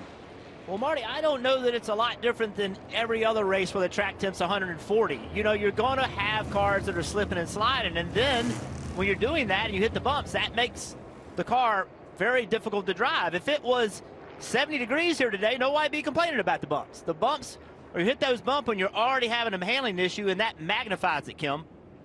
Yeah, we saw Austin Cindric, a playoff contender, one of the few cars to calm down during that caution. And Austin was reporting a really bad vibration. The team said everything was tight. Austin said it was not impacting the balance as much as it did in Nashville. It says the car was doing funky things. So just as insurance brought him down, changed four tires. So it's easy to say back it down and survive, Rick, and tell the guy in front of you goes fast. You know, Right, this is the by ba- you. we talk about a 500 mile test. That's really the, the the truth, right? As a crew chief, I'm trying to give my driver information to understand. You know where we stack up. Am I looking for you to be 10% more conservative or not? But we definitely need to try to finish to score points. Byron on the inside, Logano on the outside once again for the restart. Now, 51 laps remaining. 51 until we get to the end of stage one. Christopher Bell making it three wide into one. Harvick in the middle. C. Bell made it work.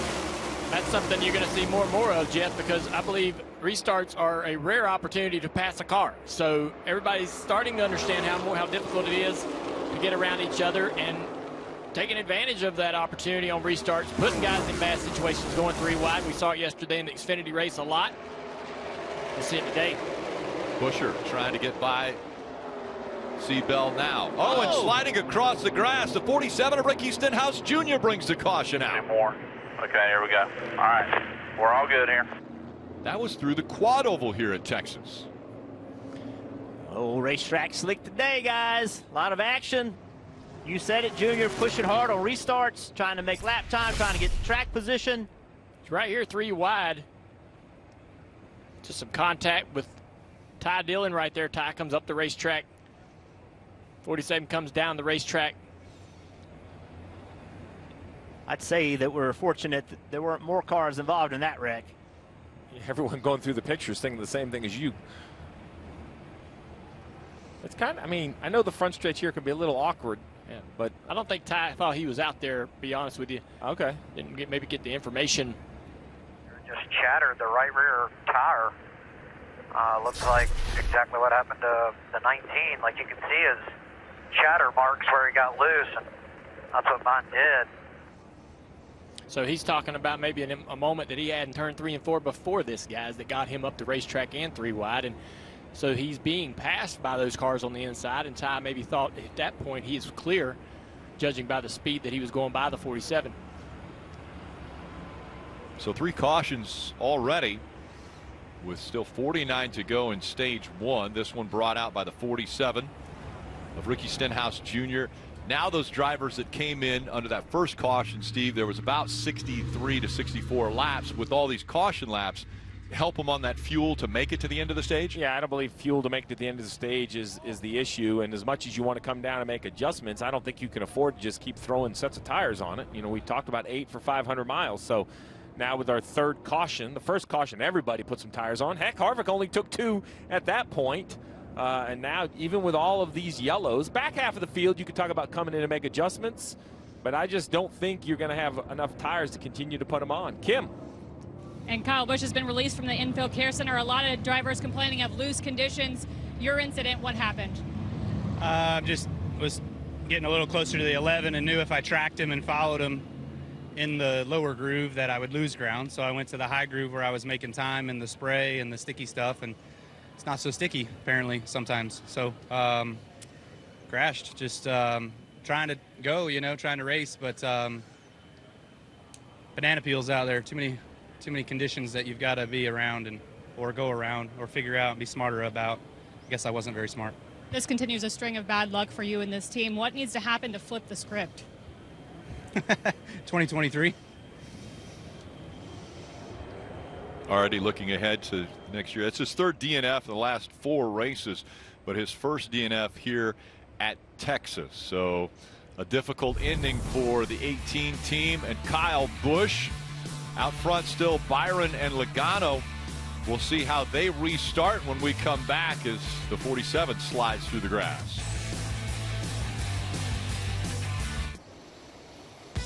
Elevate your performance in the totally reimagined 2023 Toyota Sequoia. It's ready to take on any adventure from the campground to the racetrack. Visit NASCAR.com slash Toyota Playoffs to enter for your chance to win one. Parker. Well, Rick, we talk about how hot it is on track for these drivers, 140 degree track temps, but how about the pit crews who have to sit here in these Nomex fire suits ready at a moment's notice to jump over the wall if a car has a tire issue or comes down pit road for a green flag stop? So how do they stay cool? They sit there with these fans blowing on them as you see Joey Logano's crew right here getting some cooling refreshment from those fans right now, but still hot and they have to stay in those suits this whole time. Steve, you've been a crew member. That's a really tough thing to do and stay mentally in it. It is. It's the toughest thing, right? We're expecting to see seven or eight pit stops. So, I mean, look, 97 degrees, trying to stay in the shade, stay in the cool, stay hydrated. Hottest Texas race ever. As we get ready for the restart, again, William Byron on the inside, Logano on the outside. Logano with a really good launch right here. A nose ahead of William Byron.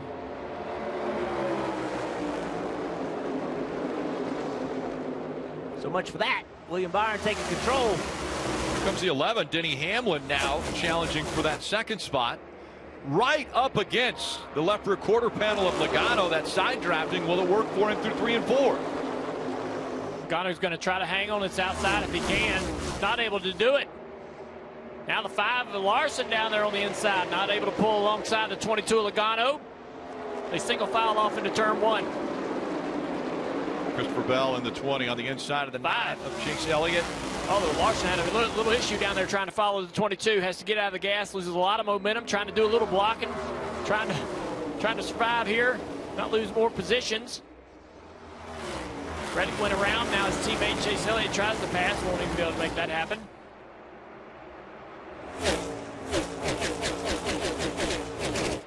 Man, it's got to be so frustrating for these guys the dirty air is really affecting these cars. You see them having to try to go in different lanes. And you got to guess getting into the corner, where's the guy in front of you going to go? You got to anticipate that move before you can make your move. See the five of Larson went to the bottom. Didn't know where Reddick was going. Reddick goes down to the bottom. Larson loses a couple car lengths. Reddick now to the inside of Logano.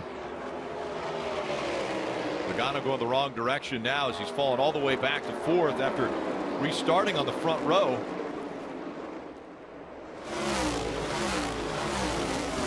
Hard to make this pass on the inside, Rick. Side draft a little bit down the back straightaway. Try to slingshot off into the corner. Going to clear this 22 right here. Looks like those guys are struggling in that higher line, especially on the on the newer tire. I think as we age this tire, get further into the run, maybe they will gravitate back to the top like we saw in run number one. Here comes Larson trying to do the same move. Gets to the inside of the 22 of Logano, and Larson trying to take that fourth spot away. Parker. As we see Joe Logano start to drop back here on this short run. You saw how good he was on the first long run. He actually took the lead on that run.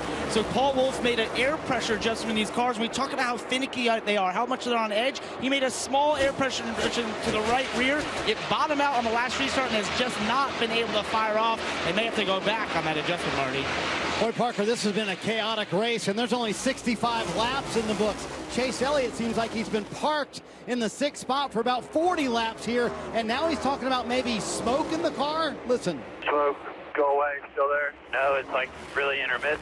Like every now and again, I'll just you know, kind of out of the corner of my eye, I'll see it's like a little bit of haze being sucked out the right by the window net, but I can't see anything. I don't really smell anything weird.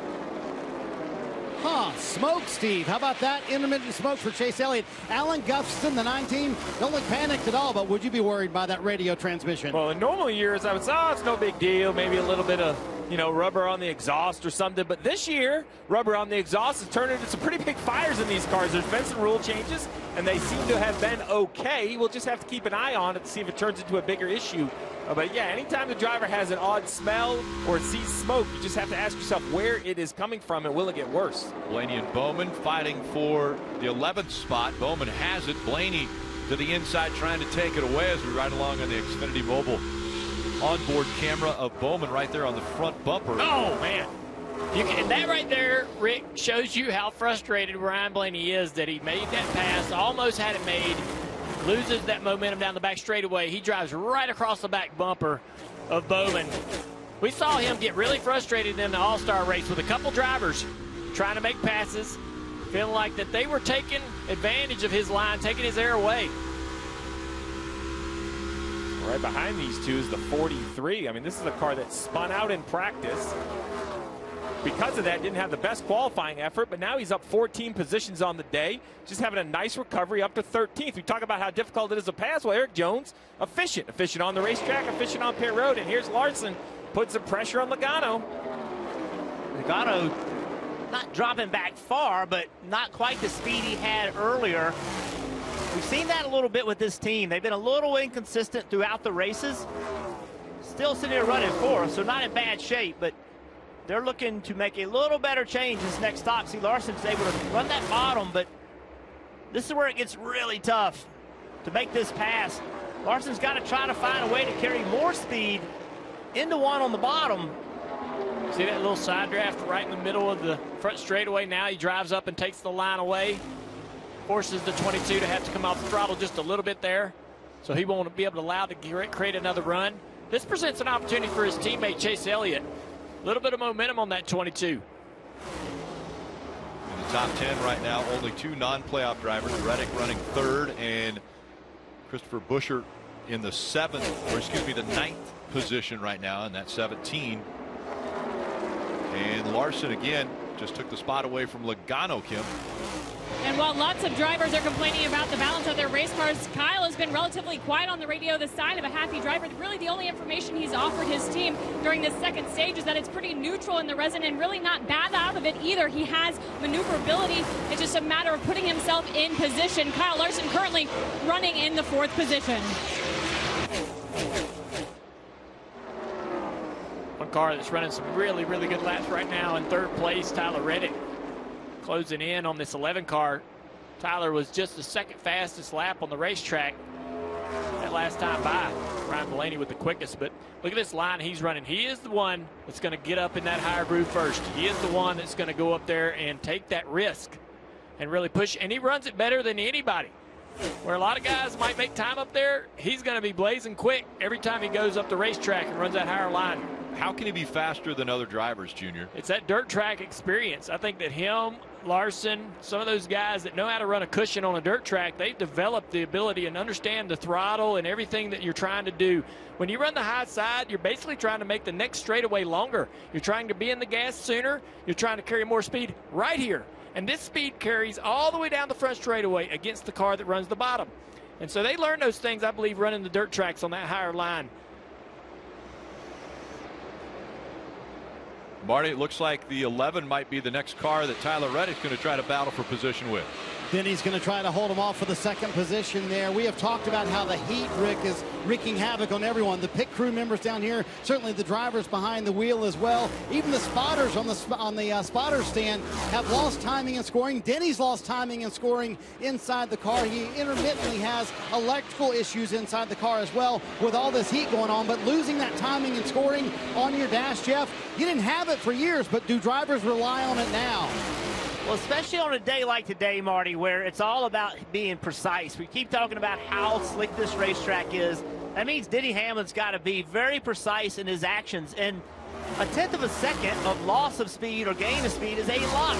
So to be able to compare one lap to the next, you need that timing to know if you did it well that lap. The thing did you that you tried, did it work? Did it not work? Not having that time and scoring can be a disadvantage. And look right here, Denny sees the eight car catching. Denny says, you know what, I'm going to try that line. Now the eight car has to move. He has to go run somewhere else or try to run the bottom if it's possible.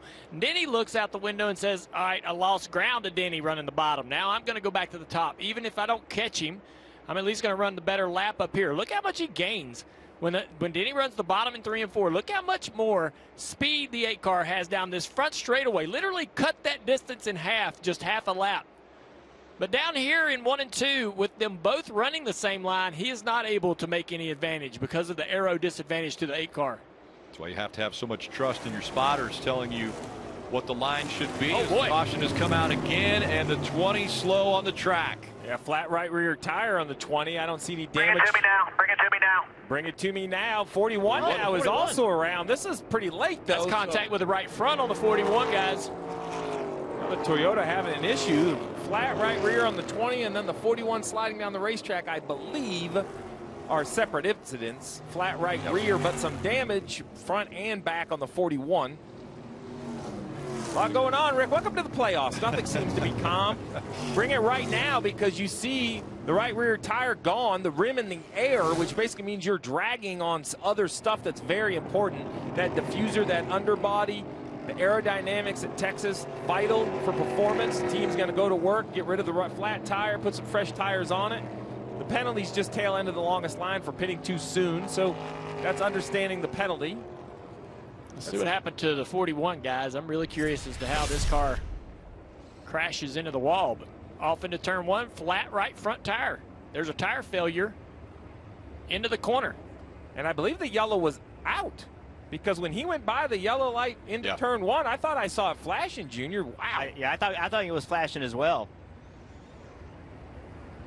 And this was because of the caution, or I think the caution was out possible for this one. Hey, it's possible that maybe there's some debris from the 20 car that he may have run over. We won't speculate that both tires just failed because of low air or what have you, but NASCAR threw a caution. Well, to your Like point, for, Junior, uh, they were both going into turn one, right, Jeff? So the Yeah. 20 gets a flat going into one for whatever reason.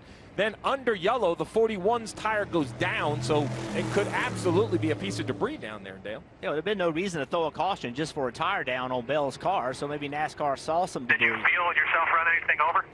No, I did not. He was hoping. He was hoping. He said yes. Kim. Yeah, you just heard Christopher say he doesn't think he ran over anything, but when I talked to crew chief Adam Stevens this morning, tire failures is something they had highlighted on their list of concerns after what they saw in the All-Star race. And he said, granted, this is a different tire, but we really didn't do any long runs during practice, so we don't know what these tires are going to do over long green flag runs, which is what we've seen here today. I, the, the tires this year, even not having a car to worry about, they're giving me a headache because there are tracks, Dale and Jeff, that we've had this in-depth conversation about how worried we are about tires. Pocono comes to mind, no issues. And then coming back, I'm like, well, they had issues here, but you know, tires changed and we haven't seen it. And now we're seeing flats. Last week at Bristol, you know, I'm having a hard time putting my finger on what tracks we should worry about, what tracks we shouldn't. So for that reason, I guess I'm going to be worried to every track we go to that that you can abuse them. I want to say that it's two weeks in a row that's been a big break for Bell. Two flat tires, two cautions has saved this race team uh, a lot of issues. He stays on the lead lap with everything that's went on in this pit pit cycle. And I think we're going to have a split decision here. I don't know where it will come, but somebody in this field is going to decide this is where we're going to come get some tires. 26 to go in the stage. Try to do something to gain some track position and make some very important adjustments. Yeah, it was Blaney. He came to pit road from the 11th spot. Marty. And you also saw Kevin Harvick coming behind him. Junior said a moment ago, you can see how frustrated Ryan Blaney is. You can hear it as well on the radio. He said, this thing is undrivable. I am so loose. Parker? Same for Chase Briscoe, just way too tight in his car. Also just complained that he cannot get clean air to the front. He just can't get the thing to turn in traffic. A big problem for him. Four tires for Chase Briscoe. So again, the 12 was 11th when he came onto pit road. So split decision, as you mentioned, Steve. And the 41, tire going down and up the racetrack he goes and into the wall. Last fall's number one show, La Brea returns, and the mystery goes even deeper. La Brea premieres Tuesday, 9, 8 Central on NBC and streaming next day on Peacock. Tom Cruise stars in the biggest movie of the year. Watch Top Gun Maverick on digital now. I'll admit I've watched it three times already. Once on a plane, which was ironic, but then uh, I've watched it in the theater, and I've also watched it at home. I got a rule. I don't watch movies that have planes potentially crashing while I'm on a plane. You don't watch movies hardly ever. Junior keeps telling you to watch all these I'm not a movie big guy. time movies. My attention to uh, a race can keep it, but a movie, not a chance. Oh, Parker. Well, Rick, I watched Top Gun on a plane as well, so we got that going for us. But hey, speaking of Joe Logano in the 22 car, we talked about how they've made a small air pressure adjustment, and he fell back to the fifth position. Well, he came on the radio and said, I can't run the top, and Paul Wolfe reminded him, I only took a half pound of air pressure out of the right rear. It's just those tiny adjustments that took that car from the lead to fifth, Kim. And on the Christopher Bell machine, after that tire failure, a little more clarity. Christopher got on the radio and told his team, I felt it vibrate on the front stretch and then it blew out in the dog leg. So maybe an alarm going off for other teams if their driver's reporting a little vibration. All right, crew chief. Whatever you think is acceptable on tire pressure, I'd go about a half a pound higher than that. That's usually uh, uh, the best case scenario. We'll see how Denny Hamlin does on the outside of row one against William Byron.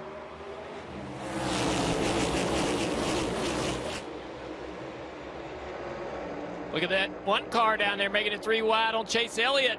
Logano on the outside. How's this going to work out? Chastain being aggressive here on restarts. That's what you're going to have to do. Still not sorted out down here in the turn three. Logano stays in the gas, as does the nine of Chase Elliott, and the one of Ross Chastain can't complete the pass. Larson looking to the inside of Reddick in the eight. Reddick was about the fastest car on the track before that yellow.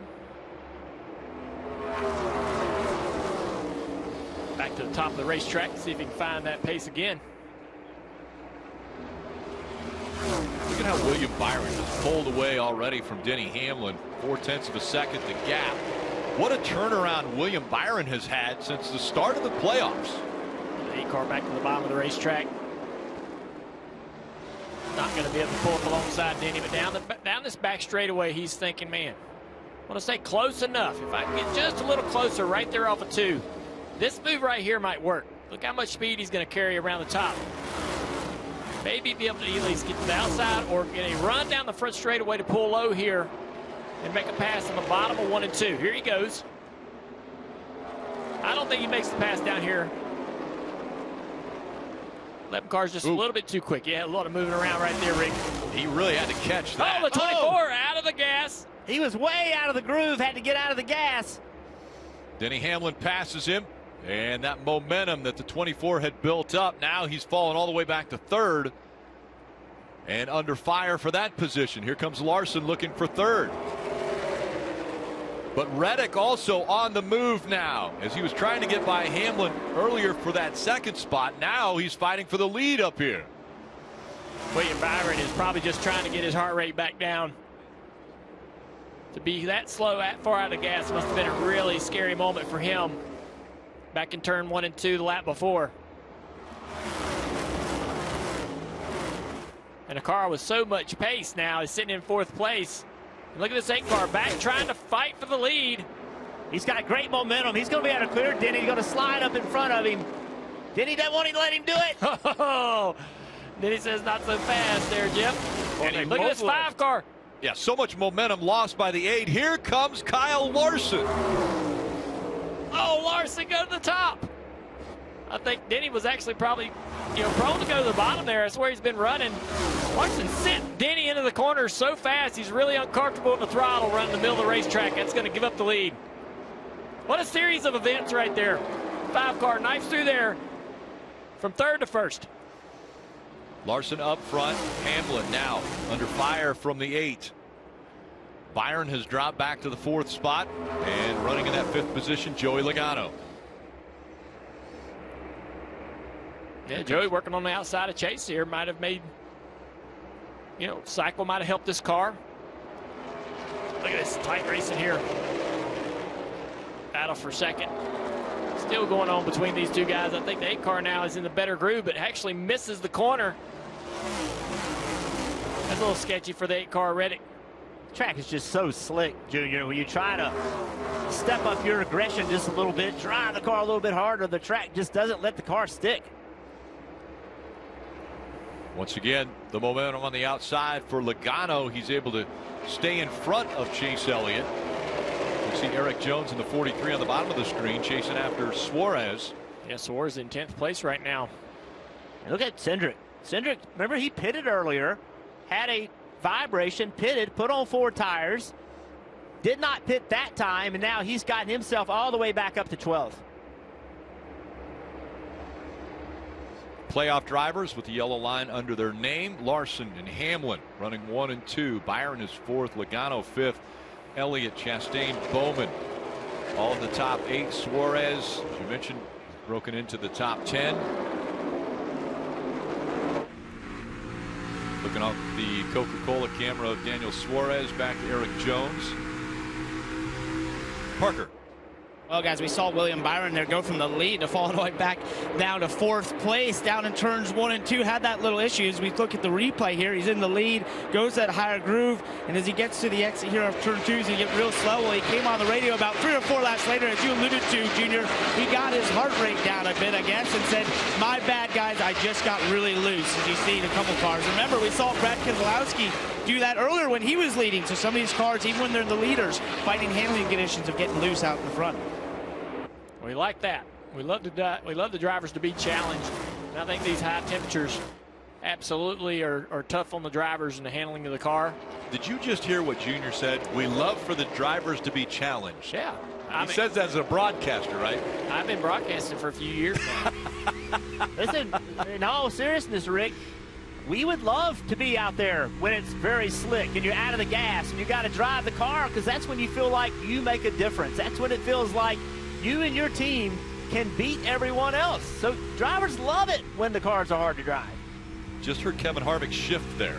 Yeah, I think if he doesn't, it's going to be at the other end of the racetrack. Let's ride on board here for a half a lap or so at least and see in traffic if he goes down here and downshifts into turn one. This will be the end of the racetrack. It's a slower corner. There you go. Downshift into fourth. Picks up the gas right away. Probably in the mid 8,000s. You're going to be looking for fifth gear, 82, 83. There you go. About 8,400. Reaches down, puts it in high gear, runs high gear at this end. It's so much fun watching how different he drives both ends of the racetrack. You know, we talk about how slick it is. Well, the corner he's approaching now is the slickest. Listen when he gets out of the gas. He's way out of the gas. Still not back in it. Still not back in it. Just now starting to go back to some throttle. Down in three. Listen to how far he can drive down in the corner before he has to leave the gas. Oh, the 48 car's crashing into the wall. Bowman. Alex Hard. Bowman. And you see the right side damage for Bowman. Okay, Road, hang on a sec here. And it happens in three uh, and four. I can't drive the rest of it. On the razor's edge, these drivers, and maybe just stepped over that edge for Alex Bowman. He was running in the eighth position. Come on, nobody else coming, coming to you guys. Watch right here. Car just comes around very fast. You have to imagine there had to have been a tire issue as the right rear tire is down right there. But the way that car come around so quickly here, we're riding low. I don't know if it's the bump. It looked like the bump upset the car. But, man, turn three and four, one way or another, it's been difficult on these cars. I think the bumps are upsetting the cars and the guys are wrecking, but I also think the tire issues are being created through these bumps. Series of bumps through three and four. I couldn't tell if it was a tire or the spin first, even on the onboard. Kim. And just checked in with the team after listening to the radio, hearing no feedback from Alex in terms of tire or any issue with a tire losing it. So the team told me they just think that it got too loose, snapped out from under him. That's the report they're giving me currently on the 48. As the repairs continue, remember 10 minutes. So with six minutes most of the year, they're allowed 10 minutes now in the damaged vehicle policy to try to make repairs. They're going to go under the hood and look at the suspension. Steve, in years past, there wouldn't even be a consideration looking at this car. It would have been destroyed. This car hits the wall and less gets damaged, although this may be the end of their day. It would have been no question with last year's car. Yeah, I mean, the durability is definitely there. You wonder if it's too durable, right? Should a guy be out of the race after contact like that? Now with seven to go, stage points or no stage points? The decision is here. Reddick turns left, brings Chase Elliott on pit road. A wave of cars stay out, and that's purely because we have seven laps until the points are paid at the end of stage one. Larson Hamlin stay out. Byron Logano, Chastain, Suarez, and Cindric, all playoff drivers staying out. Marty. What a debate, Rick, for these playoff teams. Chase Elliott coming down pit road. Alan Gustafson making that call saying, hey, we might be buried in traffic here, but I think this is the right call for late in the race. Tight race off pit road. Ryan Blaney saying the car still really struggling with the front tires chattering, Parker. And Chase Briscoe also coming down pit road was not able to make any headway in that last run. You see that adjustment in the left rear. They've been constantly adjusting on this race car, just trying to find any sort of speed and have not been able to even break into the top 20 yet. Five cautions already have come out here at Texas Motor Speedway. The first race of the round of 12. Playoff drivers involved. Alex Bowman backs it into the wall in turns three and four. In your app store, you can download and start a free trial. Work continuing on the 48 car of Alex Bowman. You see just under four and a half minutes as they're getting ready to close the hood. And Steve, that clock would reset if they hit the minimum speed for a lap here at Texas. Yeah, it's about a mid 32 second lap today. at speed is a 30-second lap, so we're going to see what kind of repair they have. Uh, the key is how they want to go out, because if they go out here with three laps to go, they're only going to get three consecutive laps to make it. We'll see how NASCAR kind of officiates that. I think they have more than enough time. It's just a question of how are the repairs? I mean, we can't tell by the damage. You see the damage from the hood. So important, too, for Alex Bowman and this team in the playoffs. Marty.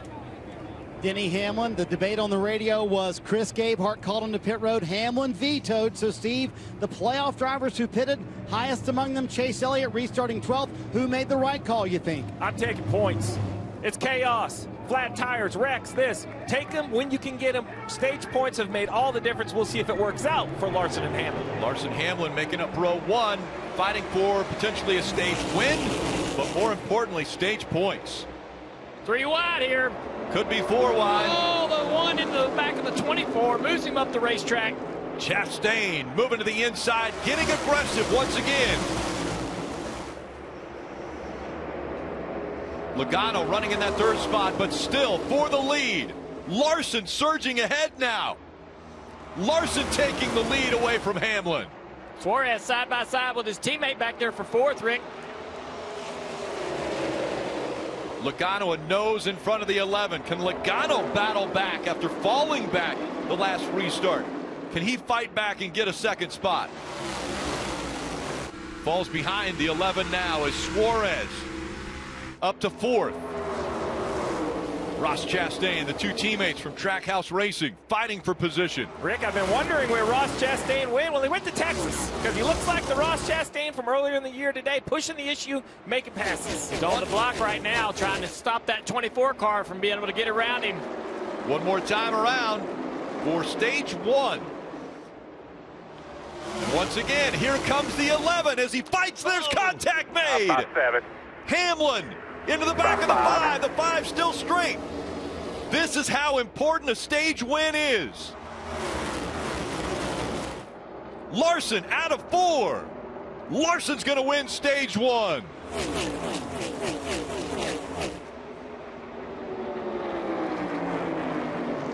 Little contact right here. Denny's like, I didn't appreciate it. Just letting you know. He just came on the radio. Junior said, tell him I'm not lifting on the next one. Yeah, I think Denny Denny probably earned that right right there. Uh, that was, I don't know how they didn't wreck off of turn two. Smoke coming off of both cars. Let's take a look at it. Denny up the racetrack into the back of the left rear.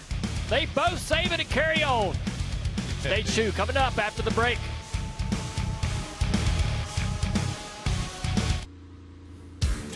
The next generation of Wi-Fi is here with supercharged speeds faster than a gig. Unbeatable internet made to do anything so you can do anything. Xfinity, proud premier partner of NASCAR. All right, everybody, take a breath. That was the end of stage one. Yeah. Yeah, listen, survival, 500 miles. Alex, that was about 150 of them. Alex Bowman, eight laps down, uh, but he is still on the DVP, which means he has to somehow reset. So he can't really come to pit road. He only has a minute left on his clock as the cars are making their way onto pit road. Kim. And with the varying strategies, crew chief Cliff Daniels told Kyle, what are you going to need in traffic? Because that's where we're going to be. Kyle said, I just need to be a little bit freer. They made an air pressure adjustment, four tires, Sunoco fuel, Marty. Denny Hamlin's veto vote won them nine stage points. He said the migration much better. I need a little bit more than what we did last time. And he reminded his pit crew that came over from Kyle Busch Parker. It's all about track position. Help us out. No doubt. Joey Logano there went back on that adjustment that took him out of the racetrack for the 9-9 of Daniel Suarez. They wanted to just give him a little bit more front grip and not tighten him up as he will come out last of the cars that came on pit road. See a six position change for Keselowski. A two tire stop is what we're seeing there of the cars that came to pit road. Well, welcome back to Texas and what just felt like stage seven of the race today because that first stage was absolutely incredible. Yeah. Look at these stage points. We heard Steve say those guys yesterday gained Steve's stage points, right. still had trouble at the end, but the stage points were the most important thing. Yeah, that was absolutely smart. I mean, yesterday we were watching it, and Steve was like, no, let's you know come down pit road, go for the win. That was smart by Denny Hamlin. Kyle Larson obviously going to win the stage, but Denny was smart to stay out, get all the points you can get. We just finished the first stage, and we're seeing massive attrition, so that does, that's not going away. So you want to put yourself in good position. But I like what I see from Ross Chastain. He's back, Yes. being aggressive, sticking his nose into the pile. That's not good for everyone else racing around him, but I like what I'm seeing from him. Listen, it's hot and slick. We know Denny got some points, but we heard him say, now we're going to be buried. What's it look like in this stage, guys? And we've seen and heard you guys, you analysts, all say, where has Ross Chastain been? After the wins that we saw at COTA, Talladega, it seemed almost like there was a different Ross. Well, I think we're seeing that Ross that started the season off, that got those two wins, showing up here at Texas. He's been aggressive, and he's going to need to be aggressive where he's at now, starting outside the top 20. You see on the last pit a variety of pit stops. A little bit of a head scratcher on the 47, though. He was last on pit road at lap 57. Field going through the Geico restart zone as we get underway with stage two. Again, some different faces and names up front here as it's three wide. Harrison Burton in the 21 falling back just a bit. For the lead up front, Stenhouse Jr. and Michael McDowell.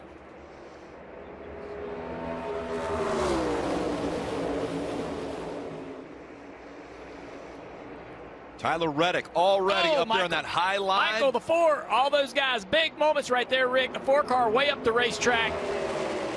Michael got really sideways. It's becoming a common theme in turn four, it seems like today. There's a there's a bump over the tunnel, then there's another bump about the three quarter mark of the turn.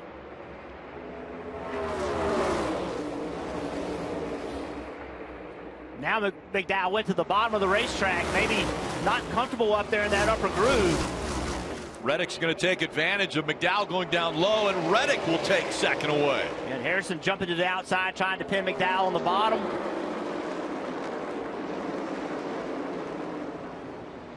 You know, you think Reddick's going to run this 47 and Stenhouse down quickly. Just a little housekeeping on that 48. Multiple laps down, but did meet minimum speed, so no longer on the clock. But eight laps behind the leaders. Just trying to score some points, stay out on the racetrack. Wondering if it'll be an attrition race like we saw a week ago at Bristol. Also, two cars that we've had issues. Truex in the top 10 after a spin. Christopher Bell as well into the top 10 after a flat right rear tire. Both those cars seemed uh, undamaged by those two issues and back up to speed here and competing. And pretty interesting. Um, the four of Harvick, he's all the way back to 15th. McDowell back to 6th. The 21 of Harrison, they're all on the same strategy on tires. The other guys seem to be having trouble. The 21 is working pretty well. Four cars going to go up the racetrack right here. See that loose moment right there late in the corner? Saw that as well from the McDowell car just in front of him. And that little twitch right there was massive inside the car. He felt like he probably almost wrecked it. Marty, what you got on this eight? Well, a moment ago, challenging and stalking for the lead, but Tyler Reddick's going to come to pit road right here. Said he has a vibration. He rode it out for about half a lap, and he said, nope, this is not going to work. It's getting way worse. So Tyler Reddick, who worked and pitted early there, Steve, to get that track position, now going to give all of that up. And really, no one's one lap down. That was Randall Burnett's point. Let's play it smart here. Yeah, without with, with really no one being one lap down, as you put him in the free pass position, we'll have to just see him. And the tires look okay, so I'm going to assume it was a wheel, but we'll have to have Marty double check after they take the wheels. Oh, the jack brakes on the left side. That always makes it a little bit tougher, so a long stop on the eight. We mentioned at the beginning of the show these playoff drivers with such a difficult round you don't want to start in a hole you don't want to have an issue here at Texas and have to fight out of it when you go to Talladega or you go to the Roval to end this round as we see now the 21 stalking Only one, one that lap down right 47. Only one, one lap down. Just be smart. I think that's the radio to the eight. The concern for the eight is this 47 of Ricky Stenhouse Jr. was last on pit road at lap 57. Uh, so he's got to be within maybe 10 or 15 laps of coming to pit road. I would assume for fuel, maybe they can get a little bit bigger fuel tank than we think, Kim. Is there a strategy call here in the 47? Well, they're non-playoff drivers, so they can kind of throw strategy out the door and try different things. There were a couple different things they wanted to accomplish being out front. Seeing what that car would do in clean air, which they're seeing that right now. Two, the number of cautions we're seeing so far in this race. They thought they would likely get one early in stage two, be able to take advantage of that stop. In addition to the number of stops we've seen, also a cause for concern in terms of the tire allotment. So this gives them an additional set of tires depending on how the cautions fall. Yeah, so if they have to come to pit road, the, it wouldn't hurt as bad as if you can get to the stage end from that pit stop. I'm not sure if they could quite connect that. That would be very impressive, but I see what they're doing. Sometimes you just need some morale boost. Leading laps, 21 running second. Like, you can only ride around for so long, you know, mired back in the pack without proving to yourself you belong near the front. Now the, the challenge is to get around this 47. I think that all the cars right there in the in the screen behind him are quicker, but how do they get around? Bottom of the racetrack here for the 21 of Harrison Burton. He's going to pull up alongside, possibly not quite able to get there. Great battles back here in the back of the pack here. Bell and Austin Dillon battling eighth position.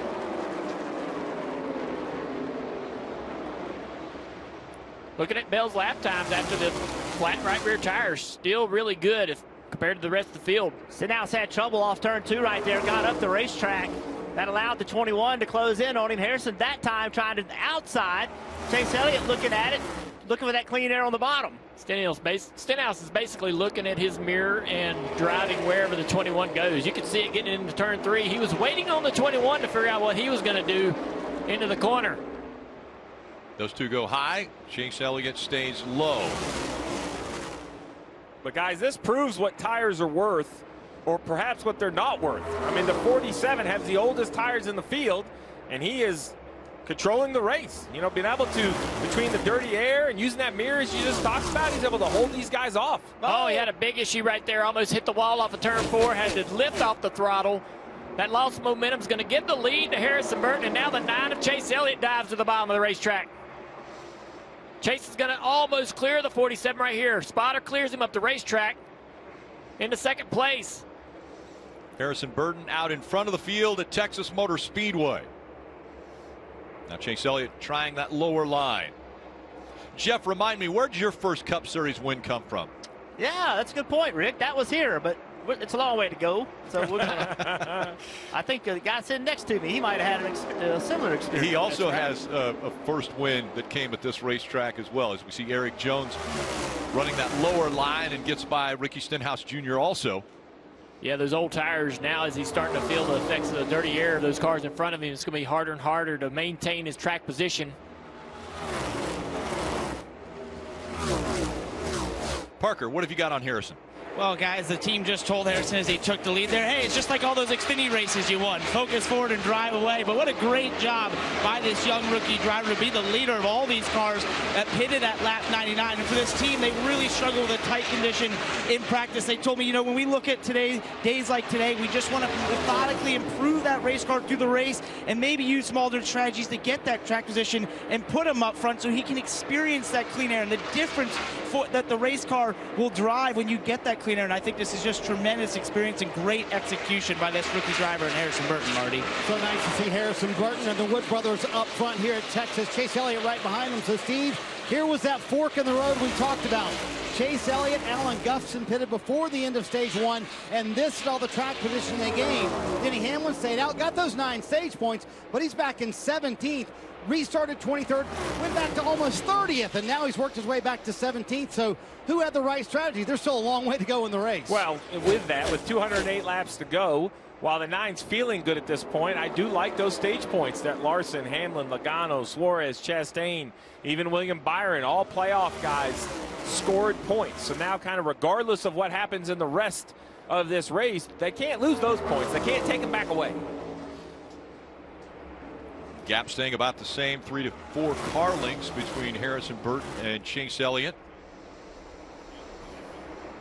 Other playoff drivers that are inside the top 10 Christopher Bell, Ryan Blaney running seventh and eighth, and Larson in the 10th position. But it's Erik Jones, Martin Truex Jr., Ricky Stenhouse Jr., Bubba Wallace, all inside the top 10 non playoff drivers, as well as Noah Gragson, who won this race yesterday in the Xfinity Series. But it's Harrison Burton out front at Texas. For the first time, NASCAR fans can view every lap of NASCAR Cup Series races from inside the cockpit of any car they choose. Live in-car camera streams for the entire field are available for free as part of NASCAR Drive. Visit NASCAR.com slash drive or you can download the NASCAR mobile app. I want to take a look at the Toyota driver update as we see Martin Truex Jr. Pretty incredible what he's been able to do after backing that car into the wall. Any other year, that'd be the end of the race. Not a car driving back up into the top five. Interesting how drivers that have had issues today have made their way up into the top 10. You got the 19, he spun, he's running fourth. The 47 spun, he's running fifth. Steering issue for the 45, he's sixth. And the 20 had a flat tire, he's now running seventh. It's a little bit slow. Oh, we got another spin. Another one. Christopher Bell. Yeah. Just mentioned a flat tire in the right rear down for Christopher Bell. We backed it in. Same exact area of the racetrack as the 48. Possibly a different issue, though, as this car's had a flat right rear tire earlier today. So damage to the right front. Yeah, right rear is down. Right Hit rear. right rear corner. It's pushed forward. I don't know about the left side. It's coming to you at the line now. Let's take a look. 30 green flag laps. The bump. Doesn't that look like a bump to you, not a right rear tire issue? I don't know. I couldn't. When, I'd like to get another shot. and See that again. We can see the right rear is down right there, but it's made contact. But we'll get another shot of that. Stop it. Uh, so hard to tell. Yeah. But we know how loose some cars are.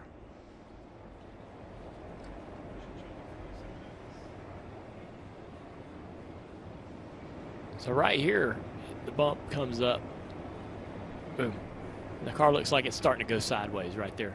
I think with the low profile tire, how twitchy and edgy these cars are, once it's going to break traction like that, it's really, really difficult for them to save it.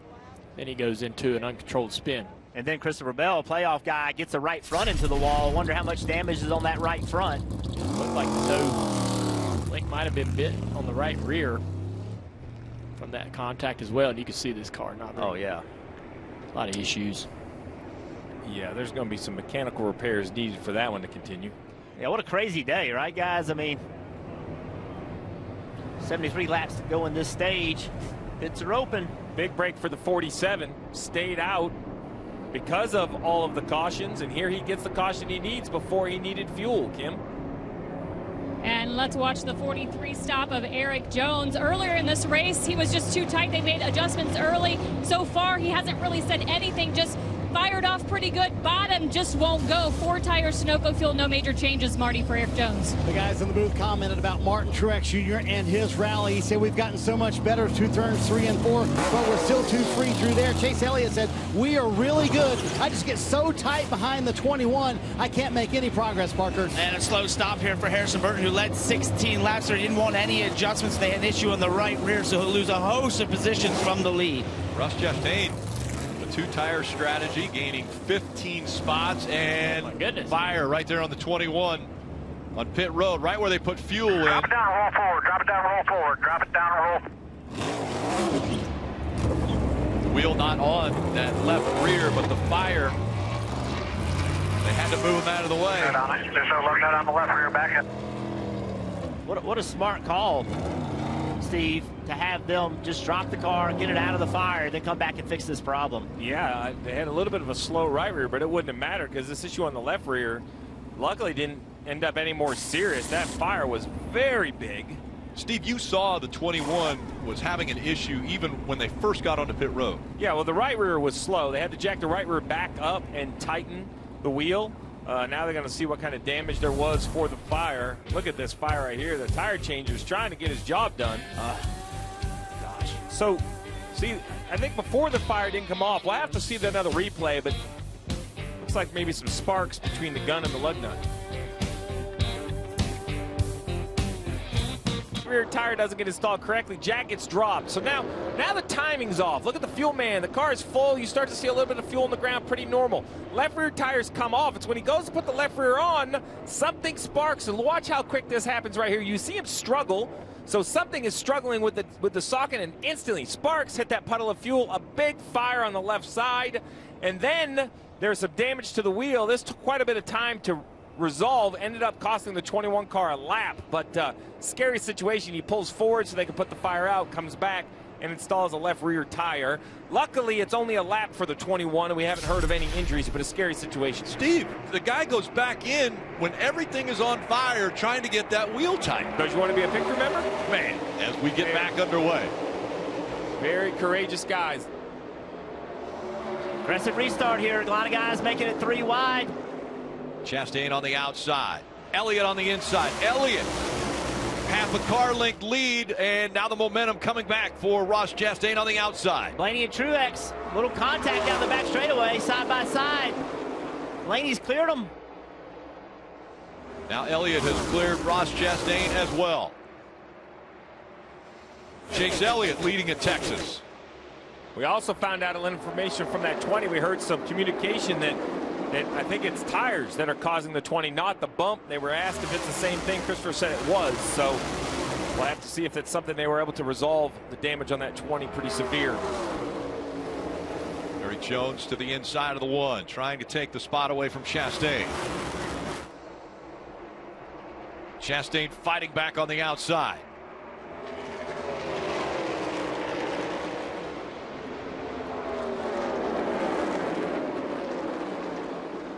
67 laps to go in stage two. Well, Blaney right there has been complaining about his car. Well, I'm going to tell you, he trusted it right there. He drove it into one, throttled up to get on the outside of Erik Jones. Tons of confidence in his car to make that kind of move. Bubba Wallace into the picture right there in the 45 car. Closing in on Erik. Erik to the top of the racetrack. Bubba's going to try to offset just a little bit to the left, drive to the bottom of the corner. Erik way up the track trying to get a huge run off of turn two. He does. He's got to close in on the back of this 12 car.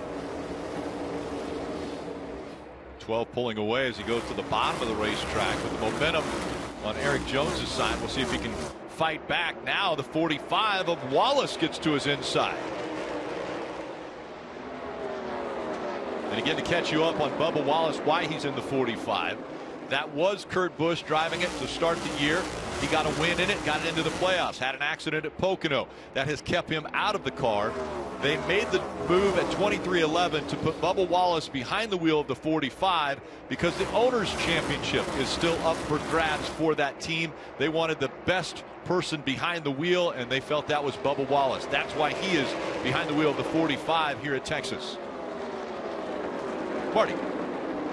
You see that win at Kansas for Bubba Wallace a few weeks ago. That advanced them in the owners' playoffs, as you mentioned, Rick, to the round of 12. Martin Truex Jr. trying to get by him right here. But what a rally for this 45 team. The steering issue very early in the race. They got their back on the lead lap. They got their lap back. And then since then, Bubba's been flying. So we've seen the speed out of the Toyotas before. Using a little pit strategy as well. Bubba Wallace now in the top five. Two Toyotas fighting for position as Martin Truex Jr. looks to the inside.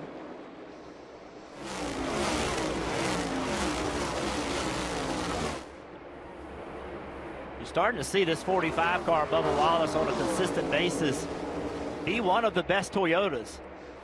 That's that's what you want to do. You want to be the guy that your manufacturer can lean on, can trust to go out and make lap time. This 45 team, they've been able to do that recently.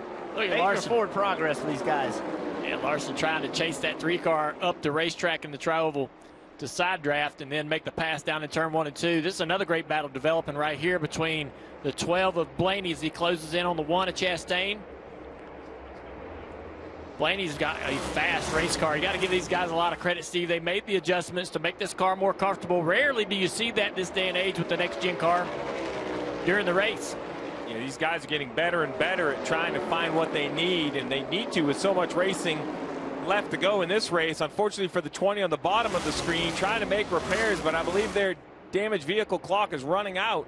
So the 20 of Christopher Bell, such a great got nine seconds, guys. first Just get it where we round. can load it. There you go. Just get it where we can load, it. Such a great first round for Christopher Bell. Now has vanished. The second round has started off on the wrong foot. He's going to finish 34th on the day. Yeah, Christopher Bell came in four points above the cut line. And now Christopher Bell, after his issues, already 24 points below the cut line. And right now that's Suarez who's in that eighth spot. Marty. Rick, remember how we talked about Ryan Blaney very unhappy with his car? That is no longer the case. Jonathan Hassler, a couple of good adjustments. Blaney saying it's still chattering the tires in the middle of the corner. And Hassler told me earlier this morning, this is a racetrack where Blaney just has the feel, knows what he wants, and that's what they've given him here this afternoon. In front of him, Ross Chastain. Steve, I would love to say it's quickly turning into a track position race.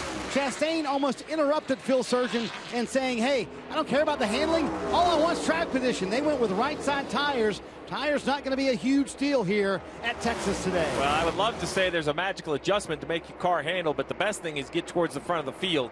Uh, it just gives you more options. It's also a little bit calmer. While you think the hardest racing would be for the lead, it seems like sometimes the hardest racing is back there in the middle of the pack. Everyone is frustrated. Everyone's patience are short. You mentioned it, Dale, about Blaney earlier, how frustrated he was when he couldn't make a pass. Right here in third, going for second, I think he's going to be a little more patient. Everything is right in front of him. Uh, plus, liking his car a whole lot better. Well, I don't know. This guy right here, he's a good friend of mine, but he, I think he's got the shortest fuse out there in that 12 car. It doesn't take much to get him lit up. And I think sometimes that really works for him. And they're running down Chase. Chase ain't really going nowhere right out in front of these two guys as they try to battle for second. Once they sort this out, they're right there with the nine car. Looks like Chase the last couple of laps is struggling just a little bit with his car. All three were on pit road at lap 138. As a matter of fact, the entire top 19 or 20 came to pit road on lap 138.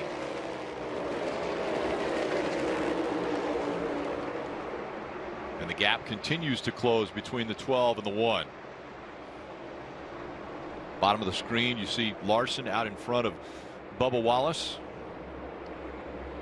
Parker. Well, guys, we talk about the importance of track position in these races. I don't think there's any more visible example of that than that 22 car of Joe Logano. Remember, started on the front row, led 14 laps so far in this race, had a bit of a issue there where they made an adjustment and fell back on a restart. And through the cycles here and all the pit strategy, he now finds himself in 17th place and just unable to make much headway. They have speed in that race car. He feels like toward the, towards the long run, it sort of comes his way. But right now, just not able to make much headway and even losing position here to Austin Cindric, his teammate. So we talk about that importance, but you see it here where you take a car that qualified on the front row, could lead laps, put it back outside the top 15, and right now he's falling back. Another thing we have going on is this pit stop and restart was right outside the fuel window. So I think some pit stops that look longer than others, perhaps, is how much fuel the crew chiefs wanted to put on board, and even the pace on the racetrack. There may be drivers that are trying to extend this fuel run. Look at Chase Elliott. He's kind of backing up to the one. Now, maybe it's mishandling. I don't know this, but it might be Chase and Alan trying to run these last 54 laps, or excuse me, I guess 52 laps of this stage. Uh, you know, to try to get all the way to the finish. 54 to go in this stage. They can run 65. This would be like a 69 lap run. So you got to find four laps somewhere, right? You got to find that six miles. I think it's possible to save that much fuel, but you're going to have to do it for the majority of the run. That may be what we're seeing on some of these cars. Yeah, when you look on the racetrack, opti- optically, the whole field, the whole top 10 there is in the same corner. I think at this point in the run, we would see these cars are spread out a little bit more, but it looks like everybody's sort of trying to get some track position, but also trying to save a little fuel and trying to stretch this run, like you say, Steve. It's interesting to me because I thought for a minute there that Chase might be struggling, dropping back to the one car, but now he's trying to control this distance between first and second. Chase Elliott's out front on the hottest day that they have ever raced in the Cup Series at Texas. It got even hotter for the 21 team in that fire. Sunday Night Football on NBC and Peacock. Deebo Samuel and the 49ers are going to visit Russell Wilson, the Broncos. Coverage begins with Football Night in America at 7 p.m. Eastern.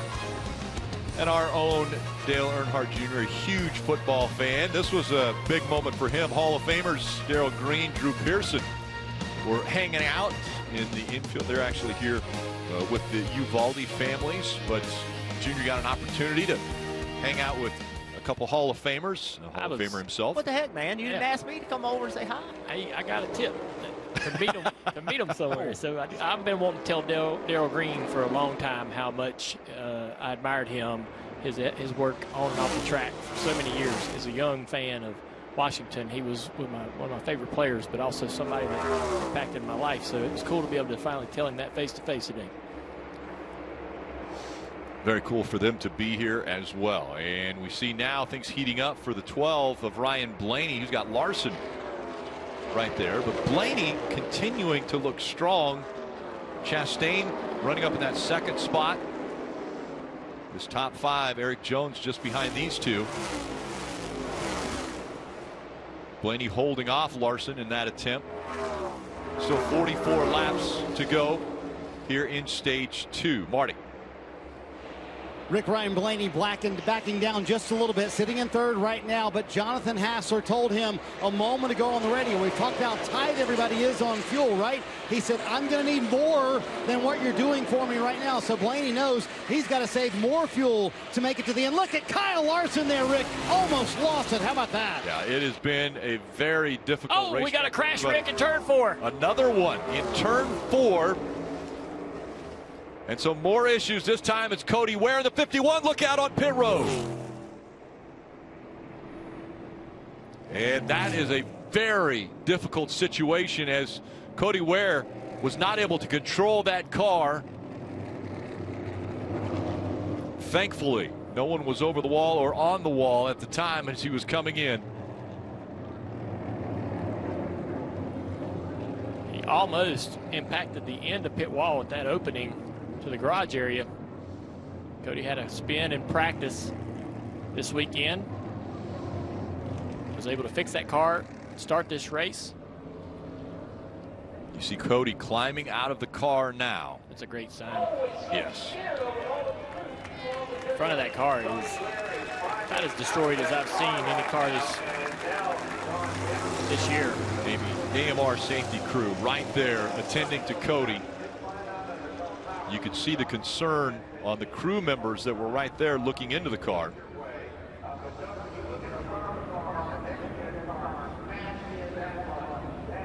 He's had some hard impacts this year. And the front end of that car. So much damage. Junior, you saw it. But that car shortened up quite a bit.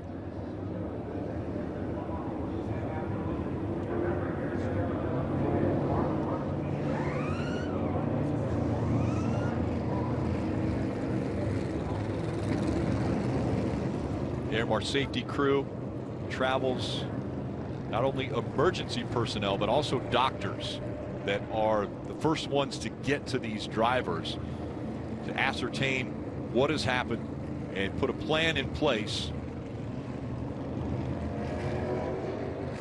A lot of training goes into that AM, AMR team to understand exactly, specifically, what drivers need from medical care, what they're exposed to, get to them as quickly as they can.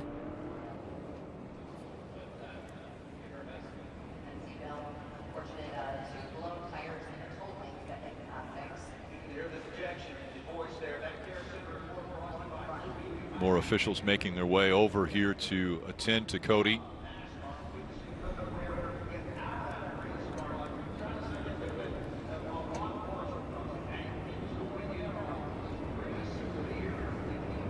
Very scary crash.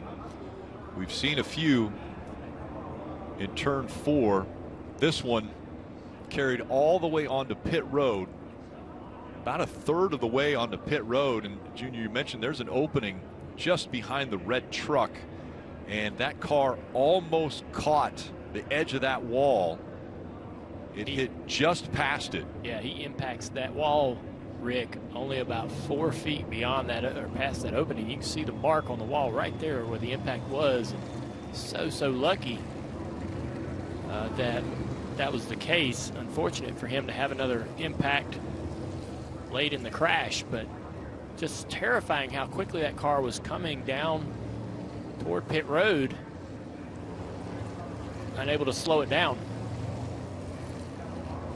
Officials continuing to attend to Cody Ware. He is out of the car behind the wall. Uh, we'll be right back.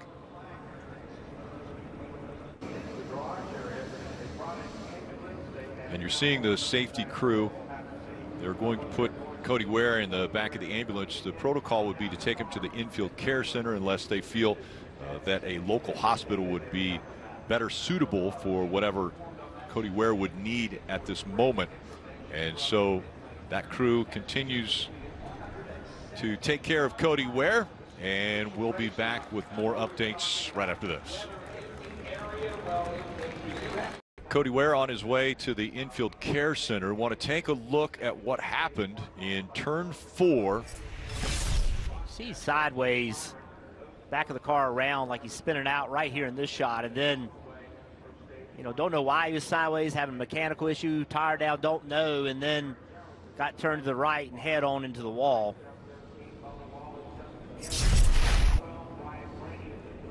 Carried a lot of speed onto pit road. And NASCAR has just told us that he is headed to the infield care center. So that's where the AMR safety crew is taking him.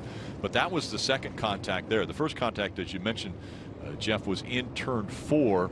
Uh, but then he came back onto pit road, impacted that inside pit wall. And then the car came to rest there in front of the 78 team as the field continuing around and we get ready for the restart. So it's a tough decision right here. I believe all these cars can stretch this fuel tank now with the yellow all the way to the end of this stage. That would be a great strategy and probably get you the best finish in stage two. But with 161 laps to go in the race, if you kind of pit here, uh, you could probably do the whole thing on only two more stops. So the question is, how quickly do you start looking to the finish of the race instead of the finish of this stage? I think that's going to be the decision for these crew chiefs. You know, Chase Elliott, Chastain, Blaney, Larson, they have this all-important track position, and I'm sure if they stayed out, they could probably keep it through the end of the stage and score some more points. But if cars do come to pit road, as you see the crews all warming up and sitting in this 100-degree heat, you're getting stretched out, ready to go, time to jump into action. You know, the cars that pit here might kind of flip you. You might lose some strategy because you're going to need a lot of fuel at the end of this stage if you don't pit now. So it may be a split decision. It may be very popular. Let's see what everybody does. Chase Elliott's going to stay out, as will Ryan Blaney. But others like Ross Chastain, Kyle Larson, they have made the left turn onto pit road. Kim. And it sounded like they used a code word on the five car of Kyle Larson. Grayson, it sounded like. We'll watch what they do. But Kyle said when he gets closer to the front, he gets just a little bit loose, so he could be snugged up just a little bit. He's going to go in the jack. So that was a two tire call, that code, Marty. Ross Chastain pits from the second position. Interesting because Chase Elliott, as you saw, the leader, stayed out. Denny Hamlin also coming down pit road. Both crew chiefs, to your point, Steve, said if we pit here, we do not have to wait so long under the last end of the stage. So they're really making this decision, Parker, based on two stops down the road. Ty Dillon, a fuel only stop, gained 10 spots. Larson and Chastain swapping positions on pit road. Cup Series playoffs on USA, the Auto Trader Echo Park Automotive 500 and Kim, five on pit road.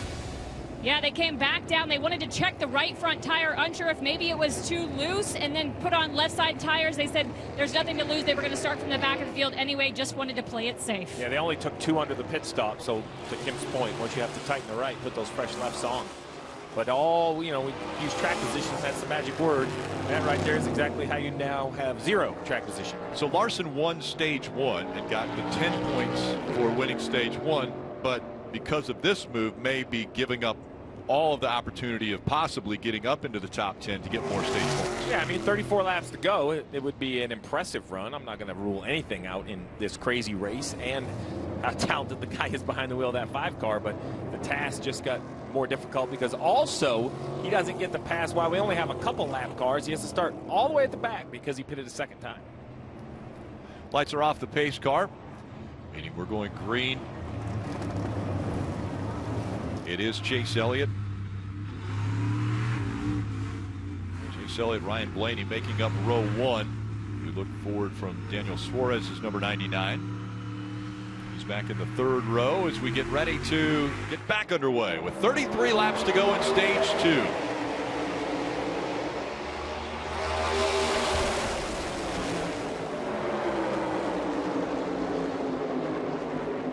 A little bit higher run there. 43 of Erik Jones running in the third spot. A little side drafting for the lead. Here comes Chase Elliott trying to make the pass on Ryan Blaney. Take it, take it, take it. Spotter Eddie D'Hondt letting him know, take it.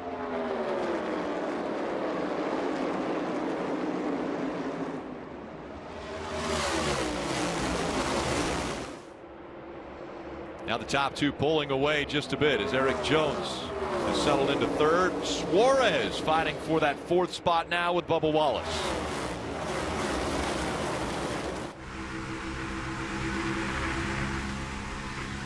Oh, almost, Contact. Yeah. Boy, Suarez looked like he got a little bit loose there on the inside. Way up the racetrack is the 45 of Bubba Wallace. Has to get out of the gas. Suarez completes the pass.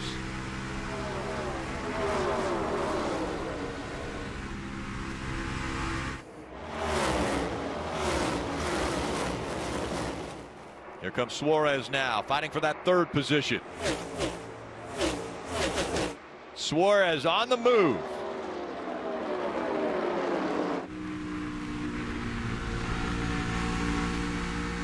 Likes his car right now. Able to make some good passes right there. Feeling good. Two tires for Suarez. Parker, what do you have on those guys? Well, Jeff, I just think this 99 team has masterfully played out this race of all these different strategies. He was able to get to fourth in stage one. And Travis Mack told me, you know, this team was a top 10 team in round 16, but they just made tons of mistakes. They didn't execute at a high level. And this race, to me, is the race they've been looking for. They've executed such a high level as we got the 45 out of the groove and slow, guys. Out of the groove is slow and then pulls down off the pace into traffic. They're going by him on both sides. I couldn't tell if it's just a handling issue. I don't see a tire down, and he looks like he's working his way back up to speed. Let's take a look here in the middle of one and two, guys, what exactly happened. Goes off in the corner right there, right behind the one car, turns sideways. Great save, to be honest with you. Absolutely. That could have been the end of the day for the 45. So he'll wait for the heart rate to come down, give it a couple laps. Now he's in a very, very bad aero situation with this traffic, but we'll try to regroup, try not to lose too many positions here. Back there with Kyle Larson, we saw Larson just trying to get by him as Ross Chastain and Erik Jones continue to fight for real estate. And Jeff Burton picked Trackhouse to miss the first to miss this round to be cut. They're saying not so fast. Daniel ran fifth in the All-Star race. Both of them showing a lot of speed here. I think that Ross might have actually won the All-Star race had he not crashed out early.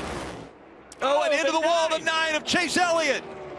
Out of yeah, turn right four, here. Chase Elliott into the wall. You see the fire coming out the right side. And he comes right back in front of the Fire on the right side here.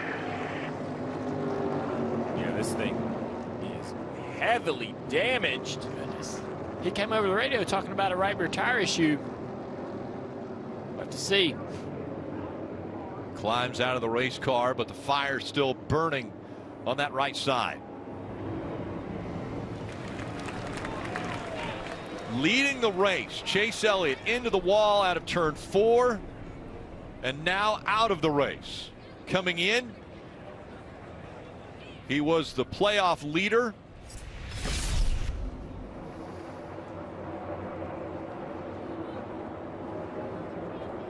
Oh. Looks like something broke. I mean, eh, he had a moment where he got a little loose or either something on the car failed, like a right rear tire or something, but just a wiggle right there. There are a lot of a lot of bumps over there in that corner, and it's just really hard for us to tell 34 green flag laps on that set, right around the 30 to 40 lap window is when we are seeing some tires fail, when these teams try to push it with settings and, and air pressures and so forth. Another big hit. And this one by Chase Elliott. Another playoff driver. There's the right Bell, rear. Alex Bowman, Chase Elliott. I was going to say, Steve, he said over the radio he thought the right rear tire, or, mentioned the right rear tire or something, but when we see it, it looks like it's holding air. So Yeah, it's hard to tell down in the grass, to your point, but it's not off the wheel or anything like that. So I would agree with you, Junior. It looks like it's holding air in, in this location. Marty. And that's what I was looking at. He did indeed come on the radio and talk about the right rear, and it had been building. He had mentioned that a couple of times throughout the race today. So, Chase Elliott, think about their first round, Rick. I mean, Darlington, he got into the wall there. This is why you work so hard in the regular season. They stacked up all of those points. And here again, round 12, round of 12, first race, Chase Elliott's going to be out of it. To your point, Junior, you know, it's hard for us to analyze over those bumps exactly what's happening, but that is just how on edge these drivers are as well. I mean, you know, if they were locked down, we would say, well, absolutely something wrong with the car because we haven't seen a car wiggle, but it's been anything but that. We have seen so many great saves, just a handful of laps. It was Bubba Wallace into turn one. That was one of the best saves we've seen. Now it's the exit of turn four, and just the car goes up the track and real estate runs out of real estate and it's a big hit for this nine car. Remember he didn't score any stage points at all today. So this car is going to finish 32nd uh, on the grid. So when he falls to 32nd it's going to be a major major setback in the points. I know he came in as the, the leader with those 40 playoff points with the reset rick but this is not the start anyone's looking for. And, and Steve, on Countdown to Green, we all discussed about the next races. Talladega, the Roval, two exceptionally difficult races to get through. Not just run well, but to even get through. And now you got a guy like Chase Elliott, Christopher Bell, Bowman, all those guys, they now are challenged with those upcoming races. Their playoffs and opportunity to win a championship just got tougher. Yeah, and the other drivers that are still on the racetrack, you have to step on these guys while they're down. I mean, that's part of it, right? You can't you can't give points up now, right? Blaney, Suarez, Chastain running one, two, three. Byron in fifth. Cindric, a great recovery in ninth. You know, those playoff drivers, they want this to hurt for the nine. And the way that happens is the other playoff guys have to have great days. Well, one playoff driver who had a worse day is Christopher Bell. He finishes 34th in this race, and Kim's with him. And Christopher Bell out of the infield Care Center after what looked like two incidents with tires. What kind of feedback was the car giving you to indicate it was a tire failure? Uh, I would get a slight vibration just seconds before the tire went. Fortunately, the first time it happened on the straightaway, and I was able to get slowed down before turn one, and then the second one happened right in the middle of the corner. So, um, very disappointing weekend, and you know I was feeling optimistic whenever they dropped the green flag. Had a pretty poor Saturday, and then uh, felt like we had a lot of speed in our Rheem Camry to, you know, make a make a day out of it. And uh, unfortunately, tires didn't work our way. After the day you've had looking at Talladega and then the Roval, how does this change your decisions you make at those racetracks? Yeah, I mean, we were hoping to get out of here with a, a, a good points day and uh, be able to ride around at Talladega and just survive the race and collect, you know, our, our small amount of points there. But now uh, it looks like we're going to go there and try and race. That's the position that drivers are going to be in now, knowing that the bottom four in points get eliminated after the Roval. We see Erik Jones coming to pit road. And pit road was closed, so I'm not exactly sure why he was on pit road, but it had to be some sort of emergency service. He was running fourth, and we saw him change tires, Kim. Absolutely emergency service. Towards the end of that run, before the caution came out, Erik came on the radio and said, This thing is so hard to drive. It is wandering all over the place. Wondered if it was a loose wheel, but he said, Could not even happen that late in a run. After the caution came out, he again reiterated it wants to wreck itself under caution. Something is broke. There's no way this thing is right. So we'll need to check in with the team to figure out if they were able to diagnose what the issue was. Such a great recovery. Remember, this is a team that spun out in practice, started near the back, had driven up into the top five, running fourth. So great update by Kim. We'll have to just see if they have found whatever the issue is, and now we see a few cars also join on pit road, but what a heavily damaged nine for Chase Elliott going behind the wall. Yeah, he could lose one more point, by the way. He's currently being scored 31st. Once Bowman goes by him, he's nine laps down. He will take that spot away, and Elliott will finish 32nd. But a hard, hard hit by the former champion, Chase Elliott. See this Wednesday, 9 a.m. Eastern on NASCAR Radio Channel 90. It's NBC Sports on Sirius XM. You get to hang out with Pete Pistone and the Bagman. Yeah, it's going to be a lot of fun. We'll probably talk a little Texas, but a lot of Vegas. Bodega. It's going to be fun next week. Looking forward to that and take a look down at this mile and a half behemoth of Texas Motor Speedway aerial coverage brought to you by Geico. In the most recent out of this race, Chase Elliott standing by with Marty. Yeah, you had mentioned right before that chase the right rear, but was it the right rear tire or was it the bumps in three and four that maybe sent you around? Uh, no, the tire blew apart. Is why I, why I crashed. Okay. Because it looked like it was up in the in the replay to us, but so it was a tire. Yeah, something came apart. You know, I could hear it flapping in the right rear uh, in the fender well. So yeah, I don't I don't know, but uh, if it if it wasn't down, it was certainly coming apart. One, one of the two. So you guys have relied on points all year long, Chase. As it sits now, just plus six above the cut line. How do you now view Talladega and the Roval? Uh, well, it's not a not a great position to be in for sure, but you know it is what it is now. So we, uh, yeah, I hate it. You know, we are actually decent here for once, so that was that was nice while it lasted. But uh, yeah, we'll you know go to Talladega and and uh, you know try to survive over there, try to get a win next week, and and uh, go on down the road. As we come green, are you getting worried about tires for everybody else in the field too? Uh, I just hope nobody gets hurt, but outside that, I really don't care. Go. Chase Elliott, some firm words, but just now, plus six above the cut line as we go back green, Rick. Yeah, we see the racing continue. Great update by Chase. We were looking for a tire to be flat. If he heard it coming apart, then I have no doubt perhaps it's something on the tread, something we can't see as we see Truex go three wide on the 34 of McDowell and continue to push forward. And then you saw the car stop with all the fire. That was all just a result from the wreck. Big, heavy impact, obviously big damage in the right front, but glad to see Chase okay.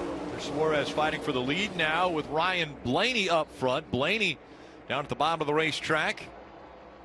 And Trackhouse Racing trying to flex their muscles here as they're in the top five. Chastain getting a push down the front straightaway. I think William Byron's a little frustrated with this one car. Up a little higher through one and two is Ross Chastain. Will that momentum carry him past the 99? He looks to the inside of Suarez. Yeah, I don't think Byron was intending to help, but it certainly gave him this opportunity to make the pass on his teammate. And a big run right now for Ross Chastain as he tries to reel in the 12. And we saw Suarez block the 24. Byron said he'd had enough of blocking today. Fights for that position, goes down into turn one and two and takes it away.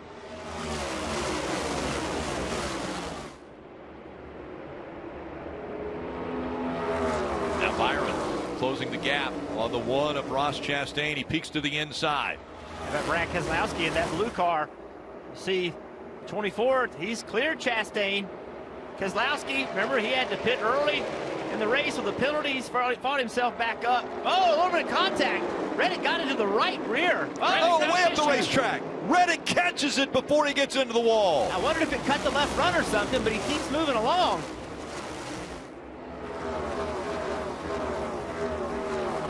It has been crazy what we have seen out of these drivers today.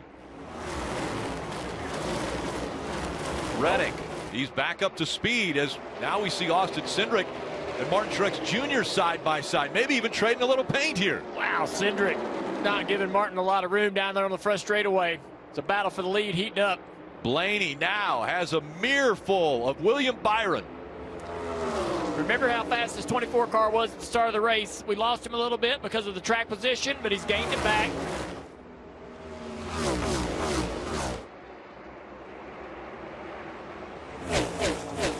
Oh, we got a spin on the front straightaway, Rick. 17 cars around. Chris Buescher this time spins and the caution comes out. That's number 10. Can't believe he just spun across the grass and rejoined the racetrack perfectly straight and didn't collect anyone. Very fortunate running in the 10th position. with 14 laps to go in stage two. And a lot of bumping and banging, no giving anymore. Everybody's taking. Gets loose right here on the outside of the 22 car, spins off of turn four, down into the grass. The grass kind of saves the tires here a little bit. So he'll be able to get around the racetrack and change those tires without a lot of damage. It's just amazing how how on edge everybody is today. I mean, we just what'd you say, Rick? Ten cautions? Ten cautions I mean, already. you know, it's a mile and a half racetrack, and it uh, you know it acts like it's Martinsville or something. I mean, it's just crazy how hard it is for these guys to get their cars to make grip. Parker. And Jeff, to add on to that, that edginess, then you deal dirty air, and that's exactly what Chris Buescher said on the radio. He said just dirty air there, meaning you know, you don't know exactly how that car's going to react when you're in that air. And the other thing too is more cautions lengthen the time of this race. This is around the time when the drivers are starting to realize how uncomfortable it is, how hot it is in them cars, how long. They're going to look at the scoreboard and go, "Are you kidding me? We're only 198 laps into this thing." That's when the temperatures temperatures rising in the helmet as well. The temp- those guys are going to start losing their cool, start getting impatient with each other. We ain't seen the last of the cautions, I don't believe. 137 laps still remaining from here in Texas. I wish you and I would have spoke more when we were racing. I'd have stayed away from you in the race. thankfully, the shadows cast across this front straightaway has put these fans in the shadows to cool them down a little bit. But I know them drivers aren't comfortable. Quite a few cars on pit road now. Kim. And Kyle Larson didn't have any stage points to gain there, so Cliff Daniels brought him in. It's going to be uh, four tires, should be the call. We'll see if they stick to that because they have taken two tires earlier. It is going to be four tires and fuel. Kyle, just a little bit free, Marty. Kim, we've talked about what a crazy day it's been. It's been an adventurous day for Tyler Reddick. 12 to go here in the stage. They did recover after that wheel they thought was loose. It was actually not loose, but he has not had a vibration issue since then. So pitting here, again, not in the playoffs. They can take a chance here. They'll stay out at the end of the stage. Remember, Rick, everybody just wanted to have a smooth day. And everything's been unpredictable. That's the craziness of the day. Ty Gibbs in the 23 coming off pit road. Again, the 17 was just in front of him, and the 17 was the reason for the caution after sliding out of turn four and through the grass. So now Ryan Blaney, who in the first stage didn't gain any playoff or stage points, up front looking to potentially win the stage, but he's got a very hungry William Byron right behind him. Byron was sixth in the first stage. 10 cautions, only had eight sets of tires. I mean, this is this is just makes what makes 500 mile racing so difficult. It's not just attrition, but you know all your decisions kind of get magnified. You see the current points, right? Bowman and Bell, who are out of the race down there. Chase Elliott only plus seven came in, all the way up at about you know he was 30 above the cut line, or even a little more than that. So this has been a big shift for really two Hendrick cars, 20 for sure, 14 hasn't had any issues. He just has not had a great day, currently running in the 24th position. And again, Blaney as the leader, as the top of the list. Today's race recap is built by Northern Tool and Equipment. Truex getting loose right here in the middle of three and four. Pounds the fence, but he's still running, guys, out there in the top 10. Kyle Busch gets loose, hits left side really hard, ended his day. Christopher Bell, right rear tire flat. He would have another one. Right around the same time, the 41 of Cole Custer had a flat tire as well, hit the wall. Alex Bowman. Feel like a tire went down on that car. He makes contact with the wall. He's still riding around, multiple laps down. Mentioned Bell's second flat tire. Here's a look at that. Contact has damaged that car. He's out of the race. Fire on pit road. Sparks from the gun causes the fire. Cody Ware with a massive impact to the turn four wall, head on in. Comes down pit road at a high rate of speed, makes contact with the inside wall. He gets out of the car, goes to the infield care center, and then Chase Elliott, most recent accident, thinks that he had a, a failure of some kind on that car. put him into the fence as well. Here's the 48 of Alex Bowman. Eight laps down, out there in 31st. And that repair work, Junior has gained him four points, right? I know he's eight laps down, but Bell, Ware, Elliott, Custer all had issues, and he's been able to pass them even at eight laps down. You mentioned the issues there, the playoff drivers uh, that have been involved in accidents, crashes. Marty. And just remember those four points Alex Bowman got. They're worth fighting for. There were a couple of drivers eliminated by single digits after the first round of the playoffs. Uh, Steve, I did check in with Alan Gustafson and did confirm it was a right rear tire for Chase Elliott that did have a failure. So it was the right rear indeed. Looked like it was up on our shot, but the right rear did fail on the nine car. Yeah, it's so unfortunate. Chase explained that in his interview. Dale mentioned it right during the wreck. It's just over the bumps, a lot going on. It's just hard for us to say, but it was very clear to Chase what he felt. Alan confirmed it. We appreciate the time from Alan. I know he's disappointed, but to stop and talk to you, Marty, to give the fans the information is good. Chase, a very popular driver. The fans want to know what happened, and it's unfortunate. He was having a good run. I mean, of all times, leading is when you never want that to happen. With those tire failures, think about this: the 12, the 3, and the 2, they all have 40 green flat laps in their tires, and 99 has 66 on his left side tires and 40 on the right. Back up through the gears they go. Now just nine laps remain in stage two. Oh, a lot of contact back there, guys checking up the back half of the field here. Tyler Reddick had to get way out of the gas. He's fallen way back as the 12 of Blaney surges ahead. Byron running second. Then it's the one of Ross Chastain. And his teammate Daniel Suarez behind him. But maybe not for long as Austin Dillon, a big run in the three, had to get out of the gas. Yeah, Brad Keselowski takes a spot from McDowell. Now he's fighting to take another one away from Austin Dillon. Going to move that six car into fifth place. Set on the pole here. Led early in the race. Lost some track position. Fighting back. RFK showing some strength. Look at this here. Yeah, I told you the tempers are going to flare. Byron has had enough of this one car. He's trying to side draft a little bit. Going to fight him hard on the outside here, Rick. Byron. Maybe tired of everyone taking positions away from him like we saw of Ryan Blaney at the All-Star race. He got very frustrated. He backs off right there.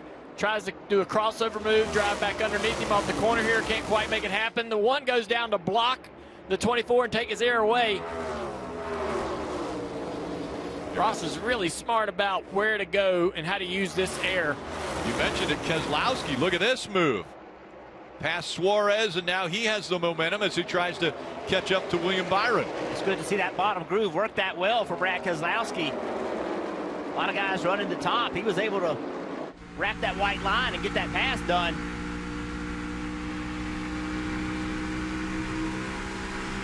Under six laps remain in stage two. Blaney has a seven tenth of a second lead. But will he be able to hang on to it? William Byron chasing after the one of Ross Chastain. Goes to third and second. Let's listen in on the 24 radio. When he cleared himself off four, it should have on the left. Yeah, it was good thinking. Both of them jokers are, uh, but it's all good. You worked around them. well, there you have it. And as you mentioned earlier, as you guys were saying, saying 129 laps still to go in this race, and it's a hot one.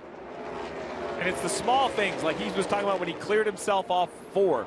To your point, Junior, right? There are a thousand moments through the course of this race that you can't even show them all, but other drivers have an opinion, like right there. What does McDowell think about what Cindric's doing? Logano's trying to get some spots. So many things add up to this frustration. Yeah, McDowell's going to be angry because he's going to lose a position because the two slides up the track in front of him. Cindric thinks he's he's not he's not even knowing that's going on behind him. He's just driving his race car. But he's ticked somebody off and didn't even know it. Cindric Logano fighting for that seventh position. Cindric has it.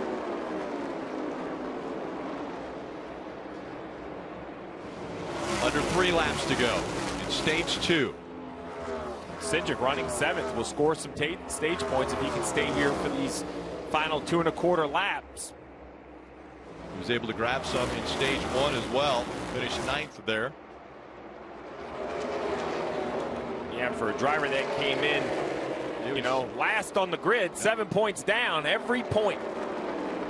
Well, just think about it right now. The nine car is three points to the good above the cut line. The two car is the one below the cut line at ninth, only three points back. So every every position he might be able to get right now, they're you know they might not be giving him that exact information, but he sure is racing like he knows it.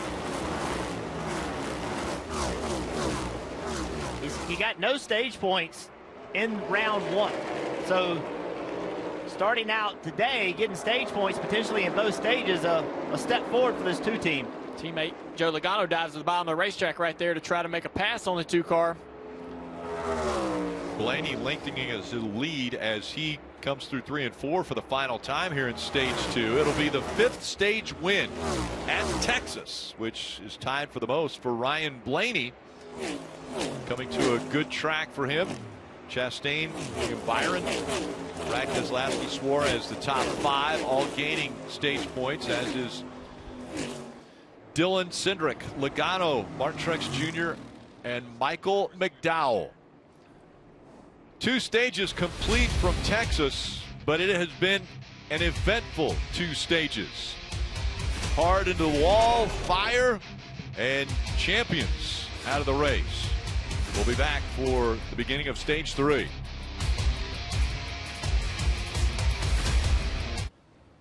Elevate your taste buds with the new Sonic Chop House cheeseburger, decadently layered with crispy onion strings, a creamy chop house aioli over an all beef patty, two slices of American cheese served on a toasted brioche bun. For a limited time at Sonic. You like a good aioli, don't you, Rick? I'm hungry. I know that I wasn't. It sounds I wasn't so until you just good. described that. My goodness. I know there's a couple guys that are probably hungry down on the Peacock pit box. We're gonna we're gonna check them out here in just a little bit. And That's because I just watched Brad go down. I think he's going to Sonic. He climbed off the box. Say as much as Nick ate last night, I can't imagine how he's hungry.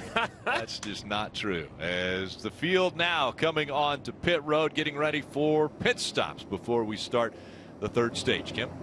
And stage points were on the checklist for the two of Austin Cindric. Stage points they got in both one and two, as you see him at the top left. They asked him, What do you need? He said, The car is good, man. Just give me fresh tires. They said again, Are you sure you don't need anything to make a turn? He said, No, it is good. Four fresh Goodyear tires and Sunoco fuel, Marty. So Ryan Blaney won the stage, but they're going to pay the price here by waiting on fuel. They have to put much more fuel in than everybody else. He said, I need a little bit more turn, but make a bigger adjustment than you think because I think the track is changing. Already, you see Ross Chastain gone. They needed very little fuel. He said the car was great, Parker. And William Byron, similar position, just a little too tight there, scoring the second most stage points here today. And Larson grabbing 10 spots, not changing tires. Two tire stop for Logano gains him six positions. All right, now those guys probably are still hungry, but let's go to the Peacock pit box with Brad and KP. Still starving, I will Let's say eat, that. let's eat. Uh, so, eh, Brad, Yeah. if you're in the playoffs and you're a playoff driver, you're going to have trouble today. Walk us Yeah. through some of these issues. Oh we- man, this has been shocking. Uh, the playoff guys have taken some dives today, and it started out immediately with Christopher Bell coming off. Everybody's having trouble, obviously coming off turn four. But we see Christopher go up. He has a tire go down, gets into the fence. A little few laps later, we look up Alex Bowman cruising along, tooling along, making good pace. All of a sudden, boom, he has a prior tire issue. Goes into the fence. We come back. Christopher Bell makes up some laps, makes up some spots. Again, into the fence. Those two guys have had a terrible day, even though Alex Bowman is still running. And then late, Chase Elliott, who's been terrible at Texas, leading the race, has a right rear tire issue. Tire goes down. He goes into the wall. Car catches on fire. Chase is going home. And who knows what's coming next? Yeah, and we talk about this all the time. We talk about these guys having to execute. And here's the stage points so far today. Look at Suarez. Ah. Look at Chastain. The big points winners this year, are, or today, are Trackhouse. Yeah, Trackhouse is doing a great job. Everybody said, where's Trackhouse at? Well, they're up front. They're doing a great job protecting, staying up front, track position, track position, track position. They have put themselves in a position that no matter what happens in this third stage, Yes. they have gained some points. It's been a great day for Trackhouse. Let's see who in this last in this last segment Yeah. can survive it. Rick? Yeah, KP and Brad, I don't want to bring up any kind of negatives, but if I remember correctly, almost everyone to a man said that Trackhouse Racing might be a part of their first four out of this round. And we're seeing a lot of points gained by, uh, and KP, can I take you off that list? Take me off that list, dude. I got him. I got him going. I got him going, baby. All right. so Remember. they Trackhouse Racing has shown up here at the beginning of the round of 12. Parker. Well, Rick, the 24 car, William Byron, has also showed up, but we've talked about how the heat can make you frustrated, how other people race you makes you frustrated. Well, how about when you're having radio issues? Well, that has been the case for William Byron throughout this race, so much so that they end up switching to Channel 2. That has not fixed it. His team let him know that multiple cars are having radio issues throughout the field. I'm hearing it across a couple cars here. They're just having a lot of interference. And for the 24, the situation is that he gets under green, the, the volume goes down for his radio, so he can't hear his spotter as well. We'll see how this plays out, Kim, as we get later in this race. Well, a different set of issues for leader Michael McDowell. He came on the radio and said, I'm not sure what to do. I no longer have fourth gear. I just tried it. It's gone. Crew Chief Blake Harris told him you're going to have to double shift from third to fifth. So, Steve, a little precarious situation for our leader. Well, two things. The double shift on the restart. So basically, he's going to say accelerate in second, pull back into third. And when you want to pull back into fourth, pull back twice. Skip right over fourth. That's going to hurt your acceleration. But remember earlier in the day, we were riding along with Kevin Harvick. We saw him using fourth gear in turns one and two. So I don't know how much McDowell has been using it. If he lost it, I would guess probably more than we think. So it might actually take a tool away from the driver that would help it probably drive a little better and accelerate off turn two. So let's watch this 34 in the restart, guys. It's going to be real interesting with no fourth gear. That's my concern. Does Tyler Reddick know this? Does Tyler Reddick there know that there's no fourth gear when McDowell takes off? That's information that the 34 spotter needs to be relaying to everyone. You don't want to give that information because you don't want to show weakness, but at the same time, you don't need to get wrecked on the front straightaway. Final stage of the race from Texas. This the first race of the round of 12. Erik Jones, Michael McDowell making up row one. Riding along the Hunt Brothers Pizza on board with Kevin Harvick. He's up here in the third row, and we're seeing the lights come back on the pace car, meaning NASCAR has added a lap. They'll go around again.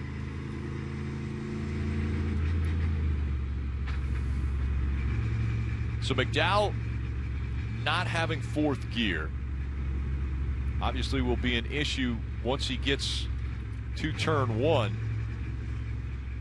Reddick behind him, Buescher behind Reddick.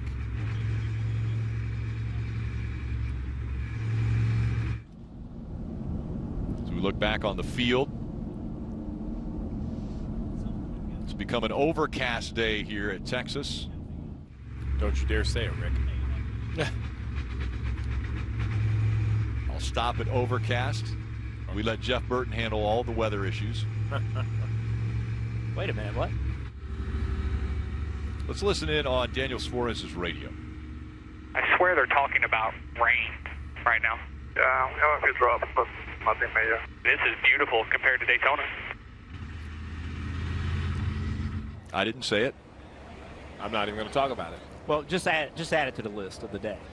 That's right. And you know, this what is, else? I mean, seriously, this is uh, this is something NASCAR has decided to do, and since Daytona, is hey, if there's weather in the immediate area, wait it out just a little bit, see where it's going. Don't wait until it starts raining on the track to throw the caution. So, with weather immediately here, NASCAR is just holding it, waiting to see what it's going to do. Yeah, lights still on the pace car. You saw a little bit of moisture there on the camera for Daniel Suarez. So we're going to take a look at the radar, and there is just looks like just a light cloud cover that's passing over the area right now. Think about this, guys. Junior talked about the length of the race and how drivers start getting heated as the race goes on. We all, if you think about it like this, five races would have already been over by now that we run this year. This race has gone so long with so many issues with still 117 laps to go.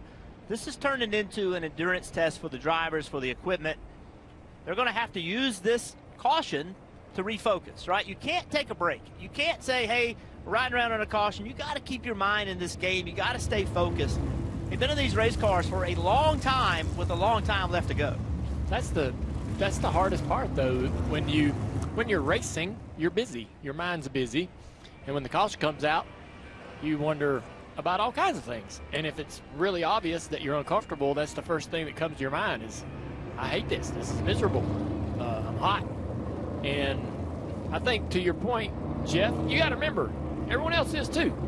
right? There's a lot of guys out there that aren't comfortable and aren't going to do well with this kind of condition. And so, you know, try to, uh, really good drivers, really great drivers use that to their advantage. They think, man, I'm, I'm tougher than they are. That's kind of what you have to remind yourself in these situations is, is you're not the only one out there feeling this way. And some of these, you know, some of these guys might end up, you know, not being mentally sharp at the very end of the race. Steve mentioned that at the very top of the show. This type of heat is going to take a toll on them, not so much physically, but really mentally from this moment on. See, Hamlin's got his hand out the window. Just just dumping air into that car. Although it's 95 degrees outside, it's a lot cooler than the air is inside of that car, Marty. That's a good point, Jeff. Denny Hamlin finished 11th in stage two. We talked about the pit crew swap, and they were one of those teams that was positioned, in essence, to do a short fill and gain a lot of track positions, but they had trouble on the left rear on the stop. Hamlin went from 11th all the way back to 26 to start stage three here. Long way to go, 116. But Steve, you do not want a bad stop here in stage three in a playoff race. Well, the problem is, is now everyone has seen that you know used Goodyear tires can keep that track position, so everybody's going to be clamoring for it. I think that's what the issue is. Not only is there only a short time, 116 laps left to go in the race, but everyone in front of this 11 knows that you know, you're not going to come in, put four tires on, and make some magic adjustment that's going to put your car in the front. You have to cycle it there with some great strategy calls. Green's pretty good now. I never would have thought we were going to get rain today. That's like the last thing I expected. Let's listen to what Joe Logano's guys are talking about. Where's the rain coming from? Barely, barely raining. I believe they call it cumulus clouds. I was ready for that smart answer where they come from. I thought that after I said it. Coleman Pressley providing com comedic relief today. Yep. And that's, you know, it's it's uh, things like that that can take the take the miserable conditions off the driver's mind. If you got a, a spotter or crew chief that's, that's, that's can crack a joke or keep you kind of positive, maybe tell you that your favorite football team had a great day or whatever, right? Um, I was always, a, being a Washington fan, I said, tell me if they won. If they didn't, don't say anything. So they didn't talk much. wow. not in the Steve, not in the 90s. Steve, on a serious note, yeah. you know, with this race being so long, now the track changing is becoming even more of an issue. So if we keeps going longer and longer, the track temp's going to start coming down. And so guys that had good handling cars earlier may not have them anymore. So this race, this length of this race is going to change the way the crew chiefs and the drivers have to approach it. Yeah, you're absolutely going to have to stay ahead on your adjustments. Like turn one and two is almost, well, at least turn one and halfway through the middle of the corner, totally in the shade. Uh, when, when I look on top of the big screen on the backstretch, the, the wind is definitely picking up. Looking at the flags, that's going to change how these cars are driving. There's some rain on the camera here.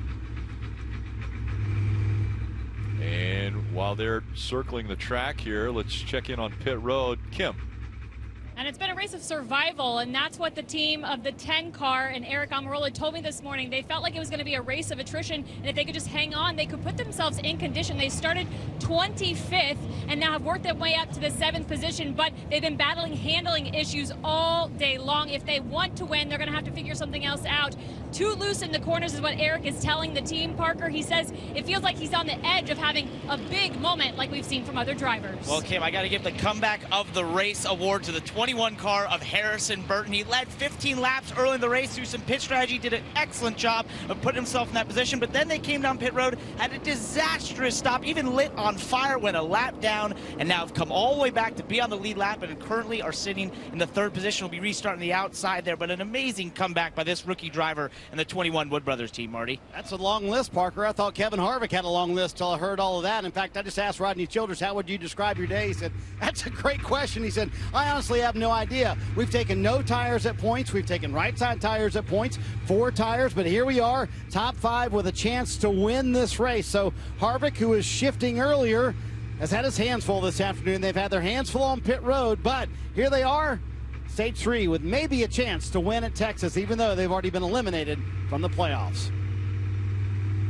And this is crazy because the well, we just saw Marty standing on pit road and the sun was shining on him. We see a little bit of rain here, but it's raining pretty hard around this racetrack. You see a rainbow off in the background. They're going to bring the cars onto pit road. They Yeah. think that right now it's safer to have them on pit road. They might even have to cover them. They had a shot of the cars rolling through one and two, and I couldn't believe how much it was raining from that perspective.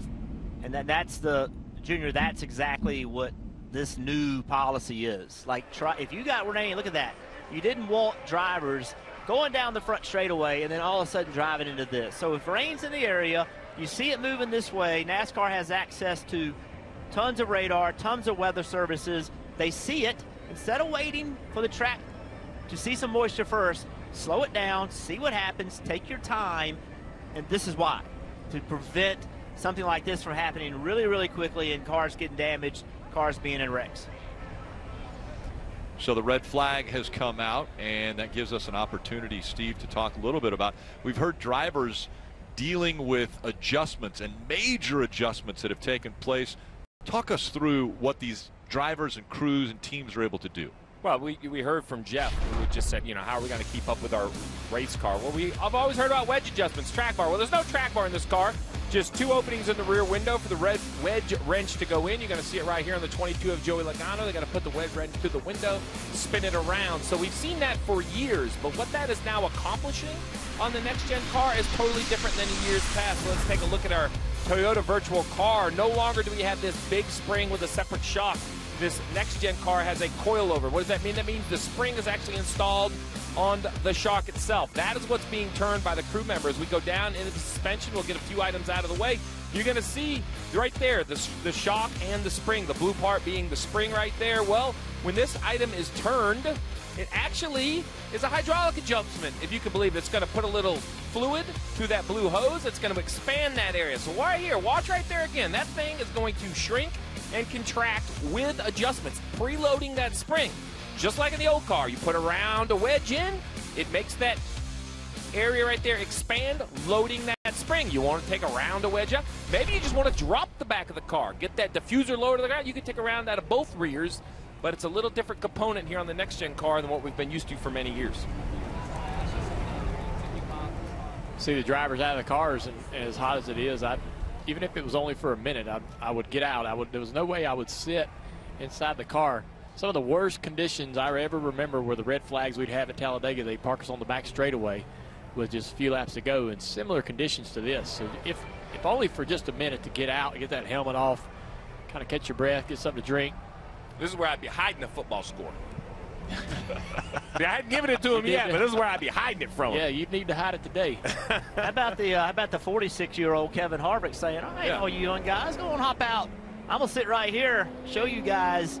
And some of that is exactly what that is. Like he he he probably wants to get out of there, but he's gonna sit in there and he's gonna make he's gonna make a point. He's That's- gonna say, "All right."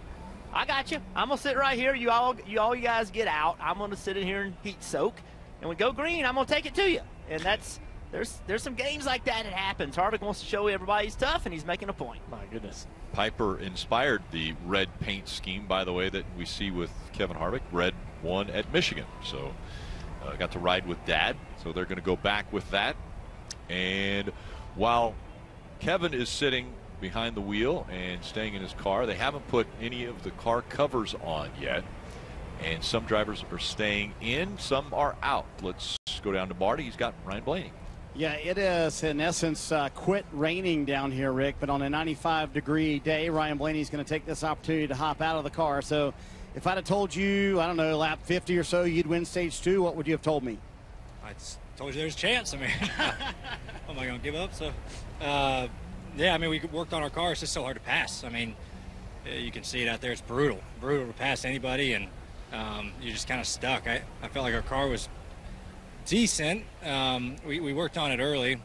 wasn't very good start of the day, but we worked on it. I was pretty good and just can't pass nobody. So, did a good job of kind of getting um, towards the front and, and held everybody off uh, on old tires for the stage win. Now we got to pick our way back through. But um, proud of the effort. Uh, appreciate Menards and Ford for doing what they do. It's uh, it's been a tough day, that's for sure. I think a lot of people been in the same boat, but um, keep going. We got over 100 laps left, so it'll be good. Which is the crazy part. So with the heat the way it is and with the difficulty in passing 1 to 10, how would you describe the, the challenge of the day behind the wheel? The heat actually hasn't been that bad. Um, not really. Uh, it's actually been a little bit better than I thought it was going to be. Um, the passing side of it is uh, probably the more frustrating part. All right, so let's talk about moving forward here. You mentioned, and Jonathan Hassler told you before you came down pit road, we're going to pay the penalty here. How tough will it be to get back from, uh, I think you restart 21st. How tough will it be to get back to the front? Yeah, it'll be hard. Um, you know, for sure. We've uh, you know, really worked really hard today to try to get our way to the front and, and use some pit strategy to do that. Um, so it'll be tough, but it's all about restarts, you know, trying to take advantage of kind of people's mistakes on restarts and get some spots here and there. So uh, that's that's the biggest thing. So hopefully we can get a couple of good restarts and keep moving forward. Is there concern, having seen other drivers have tire issues today, that that might be something you might have to deal with later? I won't think about that before we put it in my head. hopefully it's all right. All right, Ryan Blaney winning stage two. He'll restart 21st once we get going back green, Parker. Well, Marty, the highest running playoff driver right now in this race, as we sit here on a red flag, uh, is Chase Briscoe. Now, that is not really how most of the day has gone. I think at most of the time around 25th. What are you fighting inside this car? Uh, everything. It's, uh, I mean, we've been too loose, then we tighten it up, then we're way too tight. We're just such a, I mean, we're just teeter tottering back and forth. So we, we really struggled at the All Star race with the same thing. Uh, you know, we would make a change, then we were way, way too tight, then we'd make another change, it would be sideways. So down to the shred, we might go to the Home Depot over there, come, go get a kitchen sink, throw it at this thing. But I will say that last run, that whatever we had, we, we made a pretty big change, and it did get a lot better. So, yeah, we just have been really, really bad in dirty air, bad by ourselves. So, yeah, we, we definitely need some guys to keep eliminating themselves. But I do think this is the best our car's been. Now, we're nowhere near where we need to be still, but hopefully we'll be able to kind of maintain our track position here and see what we can do. So that's what we're trying to do. Well, guys, there's hope for the 14 yet. Ed Parker, there's also lightning in the area. It was within the eight mile mark with thunderheads and clouds like that. The rain, a little lightning. So we're on a 30 minute hold. We'll be right back to Texas. 90% of the parents out there, I don't think they, they will have done what my father did. ¿Tú qué opinas para el domingo? Es una cara larga, ¿eh?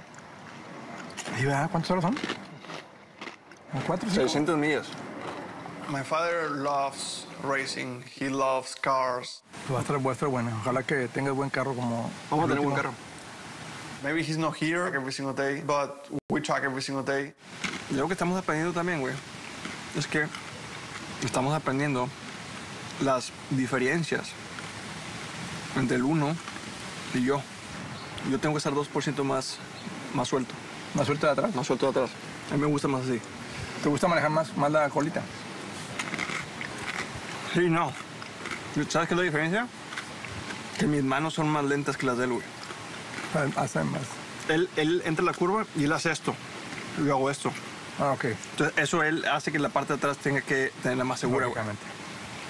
Es un, por eso es muy bueno que los dos, que los dos equipos no solamente trabajen juntos, pero que también los pilotos entiendan y sepan cuál es el estilo de cada quien, güey. Porque una, una, una cosa es traba- querer trabajar juntos y otra cosa es saber trabajar juntos. güey. Es muy diferente, güey.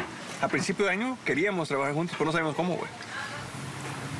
Yo creo que este, este fin de semana podemos, podemos darles un susto. A little behind the scenes look there, race for the championship. Uh, away from the track and what these drivers are doing. Right now, we're on a red flag delay because of lightning in the area. And so, Steve, here's a situation where we have seen about everything here at Texas. We've had fires, we've had tire failures, we've had guys that just couldn't handle the bumps. They're right on the edge. Ryan Blaney just mentioned, you know, he wasn't sure what was going to happen on lap 50, but never count him out. We can't count anybody out right now. Well, we started the first round with the Southern 500, one of the biggest challenges on, on the entire series by run, trying to run 500 miles at Darlington, a very historic racetrack that's fast and narrow, and we expect all kinds of trouble. Then we start this round with the 500 mile test here at Texas Motor Speedway, and why we did expect. You know, some coming and going, some good adjustments, good pit stops. I don't think anybody could predict quite the variety we have seen here today. And some of the biggest names, right? We saw Chase Elliott now out of Yeah. this race, Alex Bowman out of this race.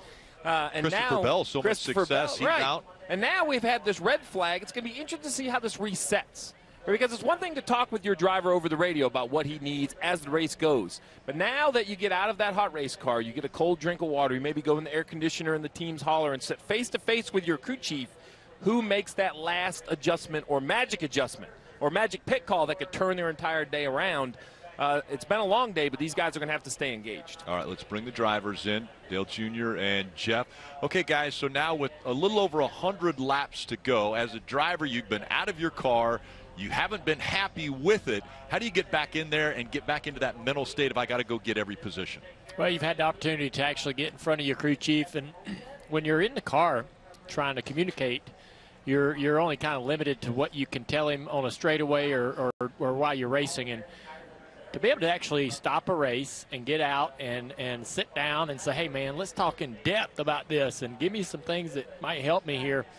Uh, I think it really, it kind of, if you're, if you're not feeling confident about your car or you're kind of beat down over how things are going in the race, it really is a reset for that mentally to where you've actually given your crew chief all the information you can. He's got to really great opportunity to try to make that car better. And that's your hope, right? You're going to get back in there and, man, all this, this brakes gave us a chance to get back in this thing. I mean, that's kind of where you go. I think the other opportunity is kind of the other way around. So now with all the data that the teams have, now a crew chief and a driver and engineers can sit down and, okay, driver, this is where we're getting beaten.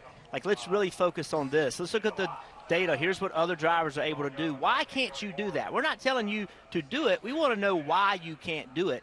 This is a conversation that we don't get to have as much as we used to. We used to have three hours of practice, three different practices. You would sit down, have conversations. Don't have that anymore. 20 minutes of practice. Now you got this break. So you take the 20 minutes from yesterday, you take the laps run today, and you just continually build on that using all the equipment, all the data that you have. Your teammates, this is what they're dealing with, this is how they're struggling, this is how they're doing well.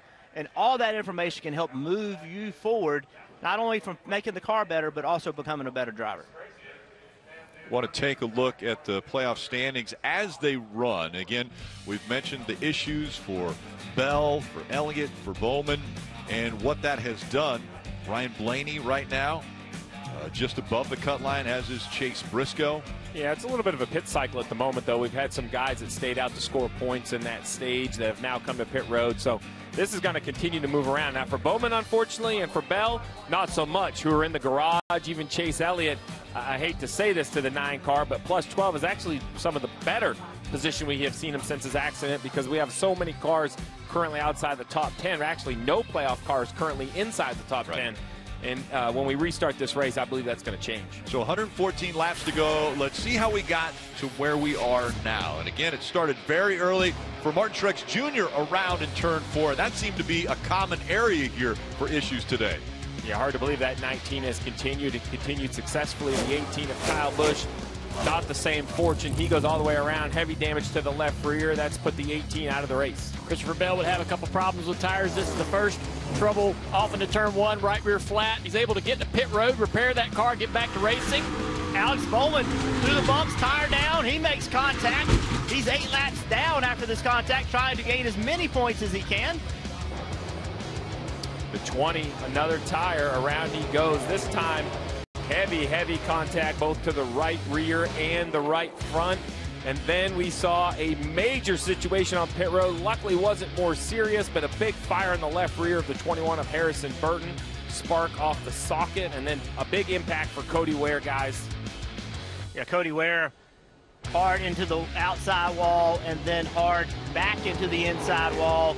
Transported to the infield care center, waiting for an update from Cody and his condition.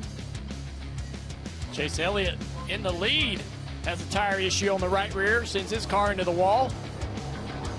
Comes down to the infield here on fire. Frustrated end of the day for the nine team.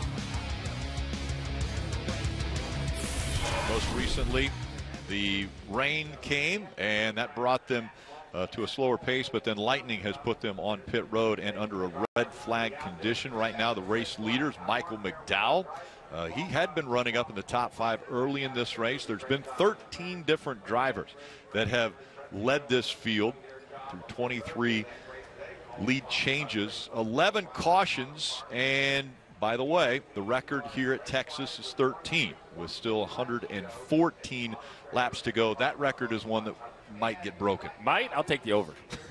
For sure. There's no way this race is just going to instantly run 114 com laps.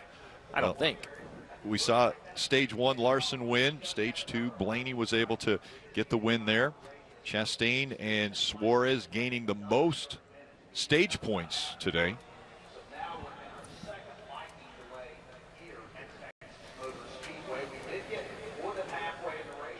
And already in the 2022 season, a record tying season of 19 different winners. Guess what? Look who's in front right now Michael McDowell.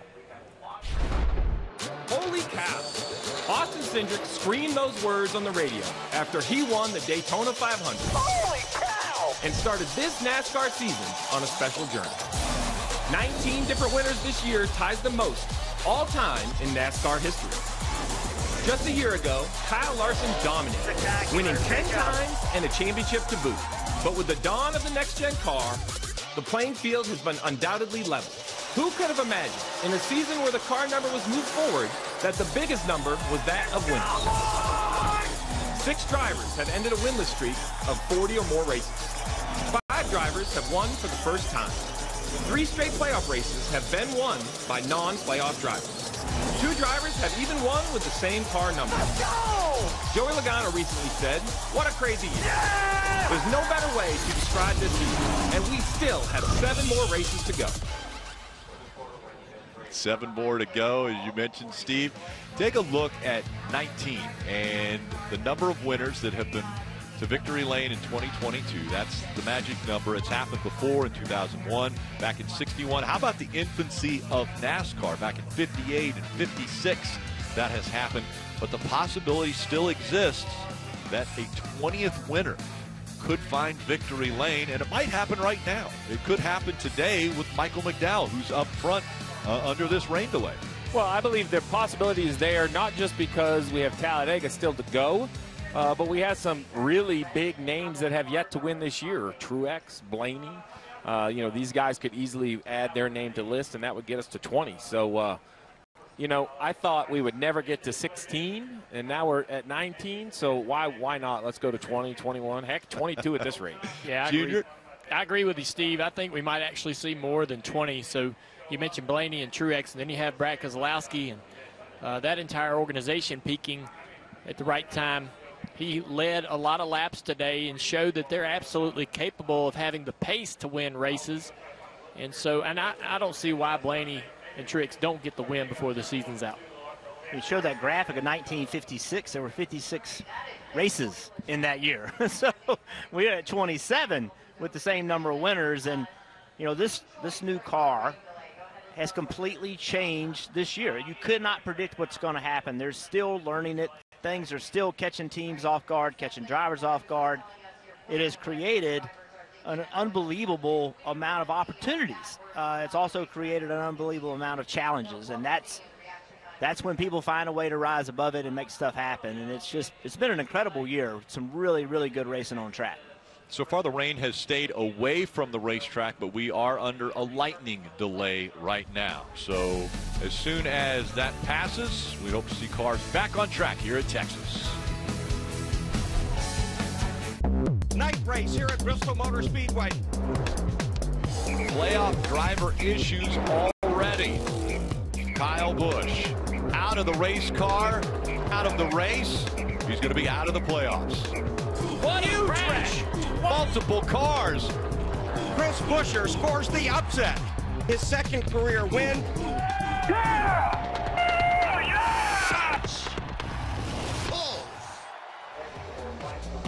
That was the last race at Bristol, and we had just talked about 19 different winners. It was Chris Buescher that was the 19th different winner. Right now under a red flag condition here for Lightning at Texas Motor Speedway. That gives us an opportunity to talk to Chris Buescher. He's with Parker. Right, Rick, most recent winner in the Cup Series until we go through all today. But you, uh, today it's been, I guess the best way to explain it, chaos. You've even spun out at one point, but now you're in fifth. Please take us through your day. Yeah, it's uh, it's been a roller coaster, no doubt about that. But our Fastenal Mustang has a lot of speed in it, so proud of everybody. Um, it's good to have some good momentum after last week as well, and it's been uh, been exciting today. We've gone through uh, through some highs and some lows, and um, lost it off the floor there. Went through through the infield, um, brought back some of those Charlotte memories. Fortunately, here we just got grass, so uh, back in it now. We got uh, got the car, no damage, so uh, we're sitting here and uh, we feel like it's a good spot when we go back racing, which I imagine we got plenty of time in the day to get her fired back up, so we're ready to go. So we're seeing, you know, a lot of drivers talk about it being very edgy and sort of sketchy at times. I mean, take us through that. Like, how on edge are you every lap? Yeah, pretty much. Uh, whatever everybody else said, that that's it. It's um, is right on edge all the time from a balance standpoint, and then from the the resin or PJ one, uh, just knowing how high you can go and uh, and how much you can you can get into the grip. Um, it's come in a lot better than the Xfinity race, but I'd say we're still chasing it and trying to figure out um, if you can get a little higher yet. Um, hard to pass, just dirty air. I'm really struggling with that, and once you lose that track position, it's really hard to make it back up any uh, any large amount of it. So, uh, guys are doing a good job from the top of the box, calling some good strategy here, and um, you know, with uh, see how the rest plays out. We got 115 to go or so. Something like that. Plenty of racing left yeah, yet. Uh, about five hours. Yeah, don't don't say that at this point. But uh, but yeah, another couple hours anyway, and we'll uh, we'll wrap this thing up and figure out if we can't uh, get back to the lead. So we've seen some tire issues amongst the field. I mean, have you been worried at any point? Have you had any vibrations at, that you sort of thought was a tire issue? Yeah, we had uh, a little bit earlier on. We had um, had had some vibrations that were getting a lot worse. Uh, we were right behind the 48 when he blew his tire, and um, that was our bad run. So I was definitely a little nervous at that point, and um, I won't say fortunately there's a caution, but the caution kind of let us regroup and come down pit road and look at it. I don't think that we can see anything wrong. Um, you know, we've had some uh, some of these races through the year where a lot of rubber's built up in the wheels and cause vibrations that give you a false sense, but it's not really the case here. So definitely feel like um, there's a good chance something wasn't going to be with us a whole lot longer, but we've been good since then, and uh, I think that we're we're uh, to a point now where we feel like we're in good shape. Uh, had that set of tires uh, cut apart and, and, looked at to make sure that everything's all right, and sounds like it is. Um, if it's not, they're not telling me. so we'll go back out there and uh, give it 100%. And if they uh, they hold up, then they will, and, uh, and if not, then it'd be unfortunate. So, is there any rhyme or reason for them? Do you think there's any high speeds through the corners, anything like that, running in the resin at all? Or is there anything you think could be affecting them? Man, Parker, you're asking the wrong person these to get these answers. So. I, I don't know. It is really fast. Uh, a lot of throttle time. Uh, the bumping, uh, kind of the middle groove of four is definitely putting a lot of load in the car. I think that's where we've seen a couple cars spin that weren't tire issues.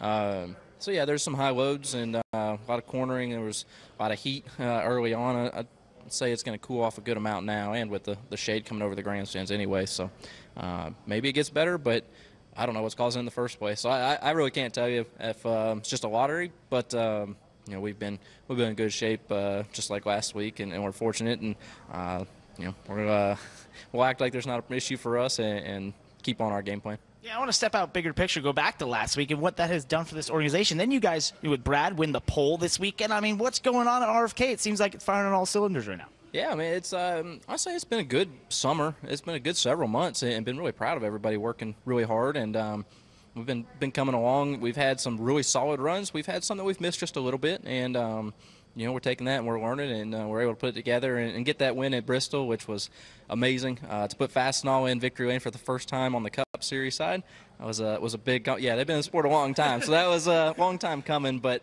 Uh, and then Brad with the pole yesterday was was awesome to see that speed carry right over to a completely different style of racetrack. And uh, and we both of course have speed today, so uh, we're just trying to fight for that track position and get there. But yeah, it's really neat that we have that um, that speed in, in us. Uh, we're getting the results out of it, and uh, we got some some more races to keep trying to upset these playoff wins and uh, and get after it. And tell me the feeling crossing the start finish line there, seeing the checkered flag. Your first win wasn't quite that way. How different was this one? Yeah, we got to do all the right things here. I uh, got to go under the start finish line, got to do the uh, victory celebration on the front stretch with the team. We got to uh, go to the real victory lane. We didn't even get to go to the, the neat victory lane at Pocono back in the day. So this one was uh, was really special. Meant a lot to uh, to me. Bristol was my favorite racetrack, so I definitely wanted it there. A little bit worse than anywhere else, and. Um, uh, I guess on top of that, we went across the, the line. I'm like, nah, maybe maybe one more lap for safety. I was, like, I want to make sure we're good here. But uh, shut her dad out of the back, and um, just uh, awesome for, for RFK to uh, to have two cars there that had speed to pull the win off. Uh, just shows that they were making great progress. Everybody's working really hard and, and getting us in the right direction. And uh, like I said, I, I, we've got more wins in us this year, and, and we're going to be be ready to hit the ground running for 24 as well. So, um, yeah, I, I, think that I, happy with where we're we're getting to, and um, you know, we're ready to ready to keep after it and see what we can get tonight. Well, guys, I think somebody summed that one up as a huge milestone win for Chris Buescher and RFK last week. And interesting, he mentioned being the spoiler uh, for the playoff drivers. And in that first round, there were really three spoilers for the Drivers' Championship because you had Erik Jones get a win. Then you had Bubba Wallace get a win, which was uh, good for the Owners' Championship, which the 45's running for. But then it was Chris Buescher who gets the win uh, last week. And so really kind of surprising, too. I think it surprised all of us how good RFK has come from the start of the season until what we saw at Bristol, and even the pole winning run for Brad Keselowski here yesterday. Yeah, every column in the stats department, they've continued to improve. You can see them right there, whether it's, uh, I mean, the win is great, and that's the ultimate goal, but, but you know, it's everything else I think that's really showing what they have. The top fives are improving, the top tens are improving, the laps led, the speed, as Chris alluded to there, you know, Brad coming here and, and winning a pole. Um, and just when you watch these races, you look out the window, you know, they're a little bit more on the offensive. They're not just cycling up there at certain styles of racetracks. It's starting to become consistent. That's really what we saw Trackhouse at the beginning of the year.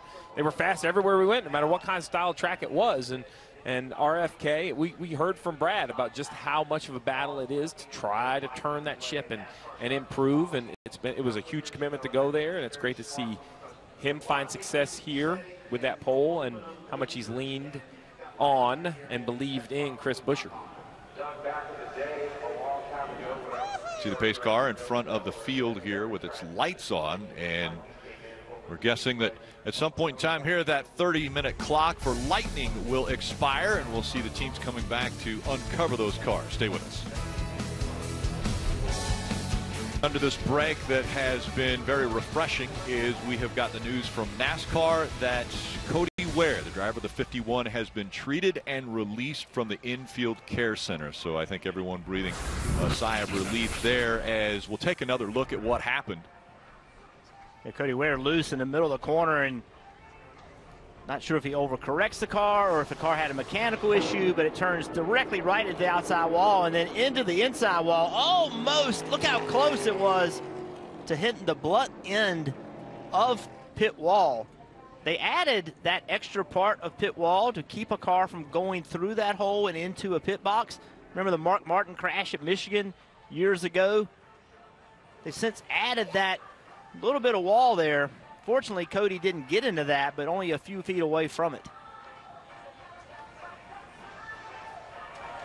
And again, great news. Uh, anytime you hear uh, they have been uh, checked and released from the infield care center, uh, that's a great thing. But obviously, uh, a very big hit there for Cody Ware. Michael McDowell, the driver that is currently out in front of this field, even though the cars are all covered still uh, has to feel pretty good about the day that he has put together. And let's hear from him. He's with Parker. Right, Rick. He's the leader of the uh, Weather's So Bad We Probably Can't Go Back Racing Club. But I want to talk about the situation you're in with the shifting or shifter. You said you don't have fourth gear right now? No, let's go back to the weather. There, oh, yeah, yeah, yeah. There is a 0% chance that we go back racing. I'm 100% confident of it.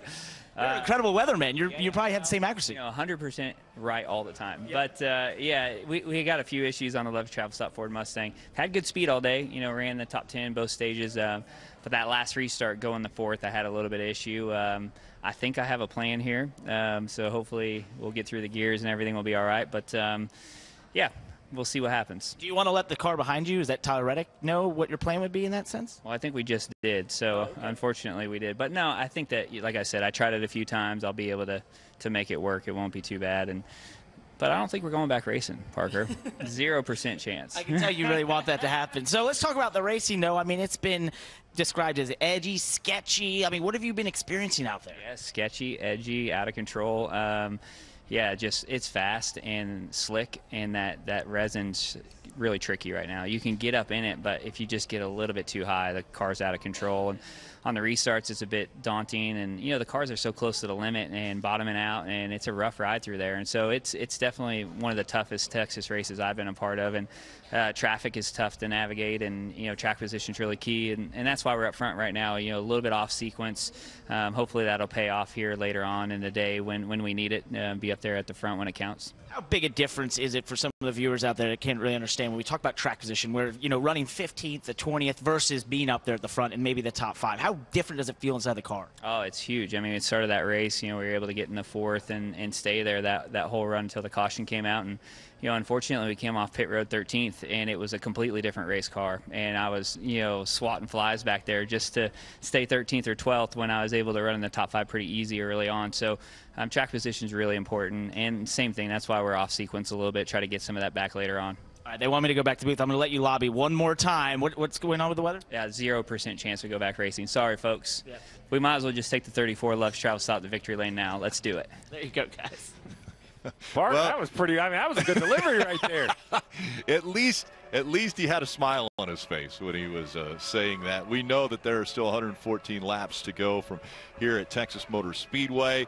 Uh, again, the clouds passing through. The reason that the cars are covered up and we are under this red flag condition is because of lightning. Well, I, so I know he was, you know, a little tongue in cheek saying, "Hey, let's go to victory lane," but that would be we talk about 20th winners. That's a car, much like the 17 that has improved steadily all year long. Blake Harris gone on top of the pit box for Michael McDowell in that 34 car, and he's having a career year. He's showing up not just in the super speedways, not just in the road courses, but everywhere we go. This 34 car has gone from you know top 30s to top 25s, top 20s, top 15s, top 10s, and here they are leading here today. So it would perhaps weather would be his best case at the moment because he's sitting in the lead. But you know he has had the speed at times where he can go up and win a race. Let's go back down into the garage area and Marty. How about the pole sitter today? Brad Keselowski led 31 laps early on, had a tire issue. How would you describe the racing today, Brad? It's been a day.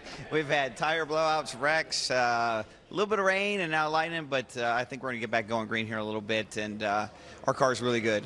Um, I'm really proud of my team. We, have made such huge strides here uh, over the last few uh, weeks and uh, really months and now we're able to show we've got a really fast uh, Roush Performance Parts Ford. Got Kings Hawaiian with me here this weekend, which is great. We really want to get to victory lane. I feel like if we can go back green and we can survive, we'll have a shot at that. So you mentioned survival. We heard how on the edge Michael McDowell was talking about it a moment ago. How concerning have the tire issues been today for everyone in the entire field? Yeah, I mean it's it's on everybody's mind. And you know, led 34 laps, but I, I have a feeling you're not going to want to be the one leading this race with 30 to 40 to go because it, it's whoever's running the fast laps is, is going to probably have the tire issues. So it's uh, it's really dicey out there, and you're just trying to be smart, Marty. Is it just a, a speed issue? Like what, what's causing the issue, Brad? Yeah, I mean, I think everybody's got a different opinion on it. I, I know my opinion, you know, is is that we can, the team can make really aggressive calls on, on how they set up the car, and they can put camber and, and take air out, which makes it really hard on the tire. But you know, uh, we took all that out of our car, and we're still right on the ragged edge. So uh, it, it, just seems to be the faster the cars go, the, the, the harder it is. So big, uh, big challenge in front of us, especially with the, the, track cooling off and the pace is about to go way up. So uh, this is going to be a hairy hundred or so laps when we get back going. I was going to ask you, is it even more concerning because you can feel it cooling down outside? So clearly the speeds will go up. So if it's all speed, does that make it even worse of an issue? Yeah, it, it, the speed is part of it. The tires aren't falling off for a number of reasons. Uh, you know, Goodyear brought a really durable tire in the sense that it doesn't wear, but then uh, on top of that, you have the PJ1 on the racetrack, which uh, you know grips up. So when the tires do start to, to slightly fall off, you can just go up there and it, it, it saves the pace of the car. And that sustained load is just really tough. So uh, big challenge in front of all the drivers. Uh, like I said, going to be a hairy 120 laps to go. All right, so let's talk about where things are with Roush Fenway Keselowski Racing. How odd was it for you last Saturday night? I mean, number one, you had a terrific car and, and had an issue there, but to to be in victory lane, but it not be your win. That's I know you've had that before with Brad Keselowski Racing. Yeah, it, it's still bizarre world uh, for sure. Uh, you know, I, I want to win races for the six car, but you know, I'm really proud of our, our, our team and our company as a whole to, that we have enough uh, similarities between the two cars that, you know, when one has an issue, another one can, can step right up behind it and, and have the result. So uh, really proud of Chris Buescher and, and, and his work uh, to, to get us to victory lane with RFK, and uh, hopefully our turn here is later today. As we watch you leading at Bristol, you led earlier today and obviously started on the pole. Where would you say the progression is for RFK? Are you where you want to be? Are you still a little bit away from where you want to be? Well, we're not where we want to be in the sense that we're, we do not have both cars in the playoffs, but we're where we want to be in the sense that we, are showing good speed and capability of winning races. So uh, that, that hasn't come easily. It's, it's been a lot of grinding. I want to thank all of our, our team and company back in uh, North Carolina that's been – working their butts off to make that happen. And, and it's, uh, you know, there's great competition in this series. You know, you know, you got Hendrick, you got Penske, Gibbs, Stewart-Haas. I mean, these are great teams, mm-hmm. and, and, they've got a lot of resources. And uh, we're not where we want to be compared to them yet, but we're, we're getting closer. So you know what it's like to be an owner. You owned a truck team for, for a long time and brought up a lot of very talented drivers who are now in the Cup Series. But is it a whole different level to now be in charge of all those people and have all those budgets on the Cup side? Yeah, the, the basics are the same. It's just you add another zero to all the expenses, you know.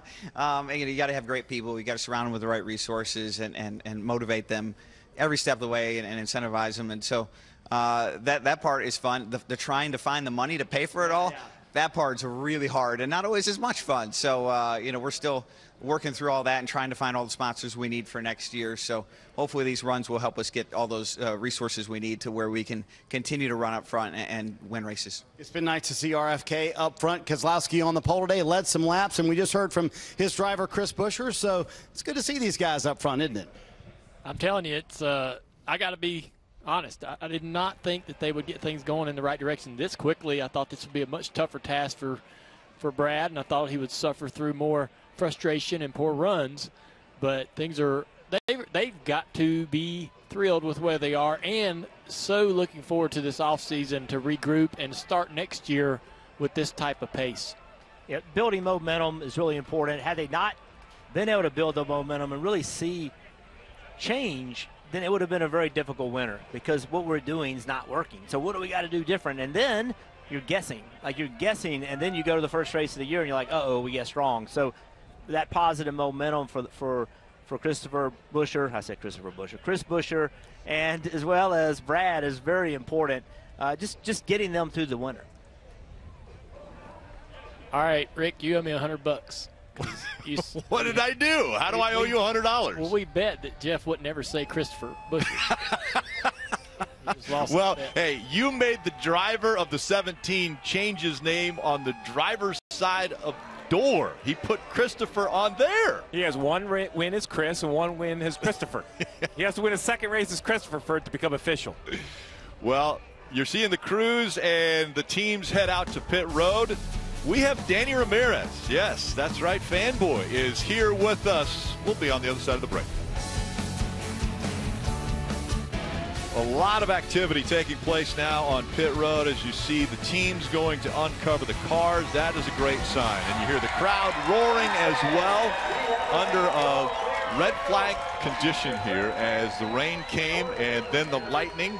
And that gives us the opportunity to bring in Danny Ramirez. And those of you that have been able to enjoy Top Gun Maverick, you know him as Fanboy. And as a matter of fact, you got to throw the green flag to start this race. Is this the first NASCAR race you've been to? It's the first time that I've had that responsibility my whole life on anything. I was told just all you have to do is wave it. Do not drop it. At that point, I had to do the double hand yep. because you just you never know like as much as it was described the power being so close to it felt like it was just going to rip my hand off. Yeah, you don't want to make the highlight reel by dropping. Oh it. no! So at that point, oh my God! But I would never hear the end door. of it. We've been watching you guys totally on board. So the Jets are one thing. What do you think about these race cars? Would you jump in one from what the crazy? Oh, easy! If you guys, if you guys give me a seat in there, I'll jump in right now. Honestly, I'll go in as a sub driver, and I'll be able to. I think I'll be able to do it. I hope. All right. I yeah. see 99 on the the hat. Danny there. Suarez. Have you? He's been kicking. He's oh. Yeah, you're close. he's been okay. kicking butt. He's yeah. been kicking butt. That's good. Okay, so yeah. now doing the movie, did you ever feel the urge that you should get a pilot's license after doing? Yeah, right now I'm in the middle of my pilot's training. So Are you really? Yeah, a couple of us. Glenn's got it. Tarzan's on his way to getting it. I know Jay, who's right there looking. You can't see him. He's just on the other side yeah, of the glass. He wanted to be looking at us. me like a proud father.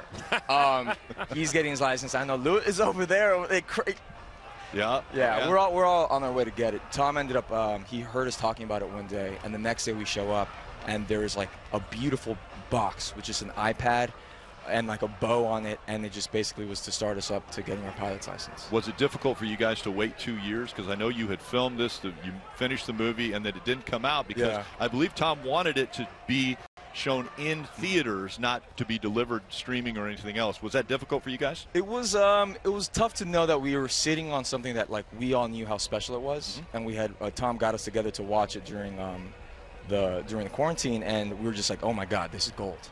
And so now seeing the response that everyone's had, and even coming back here and just seeing how like how many fanboys and fangirls and there just are, um, and now they're able to watch it from like the comfort of their own homes after having been able to watch it in theater. So it is now available in at you could stream it right now. Yep. But you could also go watch it in the theater and continue to add to the amazing box office success that we just we all knew that it had that potential. Thrill Seeker, is that something that uh, you've done all your life? Oh, not yes, yes and no, yes and no. There's these. Uh, I always call it like Discovery Channel. Kind of threw me off for a bit. As a kid, you run into bushes not knowing the dangers. Yeah. And then Animal Planet definitely shook me. But then doing Top Gun, um, I'm back to it. You know, there's there's like, and even waving that flag, just it reminded me there's just an addiction to speed, and um, I try to get as much as, as near to it as I can. Well, we have a car with a couple seats, so we'll have to get you back to ride with Burton. Dude, but now that might know, be like man. the Let me know. That might be like the, uh, the the what you learned about what's in the bushes. Because after you make a corner with Jeff Burton, you might be Oh, man, that roof. corner right now You might be wanting out. Yeah. So. Uh, I, I won't lie. I've been a little jealous. I mean, we have a great time over here covering the race, but you guys are over there having a great time watching the race. It's a big crowd. It's fun. I hate we had this little delay, Mm. but the energy next door is pretty uh, infectious. I want to come hang out with you. Dude, come kick it. Uh, crack a beer. We've been watching you like Yeah. every now and then. I know you popped in your head and just gave us a good old pump up. Yeah. You know. Sounds like Um, it's uh, you and the drivers, Rick. I think I'm it's hanging time out with these guys. I think it's time for us to go over there. Maybe that would Let's be go. the, During, I mean, we're, we're back on in a couple minutes. How long does it is, is this next moment? Uh, well, we've got 114 laps Mm-hmm. to go in the race, uh, and actually, I think they've already uncovered the cars, so we are ready to get back underway. So, Danny, thank you for joining us over here, fanboy. Absolutely. We've had a great time with you. Well, thank you, man. Appreciate All right, you guys. Great time. Enjoy the rest of the race. Go Kane. Still a bunch to go. a Daniel Suarez fan, and we'll see how Daniel does toward the end of the race. We know that Danny Ramirez did a great job of throwing the green flag. We're going to see that again here very shortly in Texas. Red flag about to be lifted as the crews are attending to the drivers. They have got strapped into the cars. And again, we mentioned earlier, uh, checked and released. Here is a release from uh, RWR Rick Ware Racing. Cody Ware was involved in an accident on track earlier in today's race at Texas Motor Speedway, transported to the infield care center. He's been released from the infield care center and will return home post race. Thankful for the track safety crews, medical personnel, as well as the stringent safety measures NASCAR institutes. So that's a, a great message that has been delivered, Kim. That's right. And team manager Robbie Benton met with members of the media outside the care center to give us an update on Cody. They went through all of the typical protocol when you get into an incident on track. Cody cleared all that. They did keep him in there a little bit extra to do x rays. He had a little discomfort in his left ankle, but nothing broken, nothing fractured, no concussion. So all good news there. Robbie said he has every reason to believe Cody will race next weekend at Talladega, but the absolutely have to do a follow up to see how that ankle pain is. Not likely get NASCAR's approval to go racing in Talladega. But the best news is Robbie said Cody was his normal self. Cody was Cody. Wow, that is great news. We're going to show you once again what happened in turn four to Cody. Yeah, he's sideways right here and then overcorrects into the wall. Such a hard impact. And then the car comes down the racetrack on the pit road, making contact with the pit wall here, just missing that opening. Was probably absolutely the most frightening part for everybody down there. But we saw him starting to get out of the car, and you can tell that he's very uncomfortable. And uh, now we see the drivers getting ready to fire these things back up. So See Kyle back to Larson. racing. Yeah. He's got that clear shield on his helmet. As late as it is, it's quarter to seven here.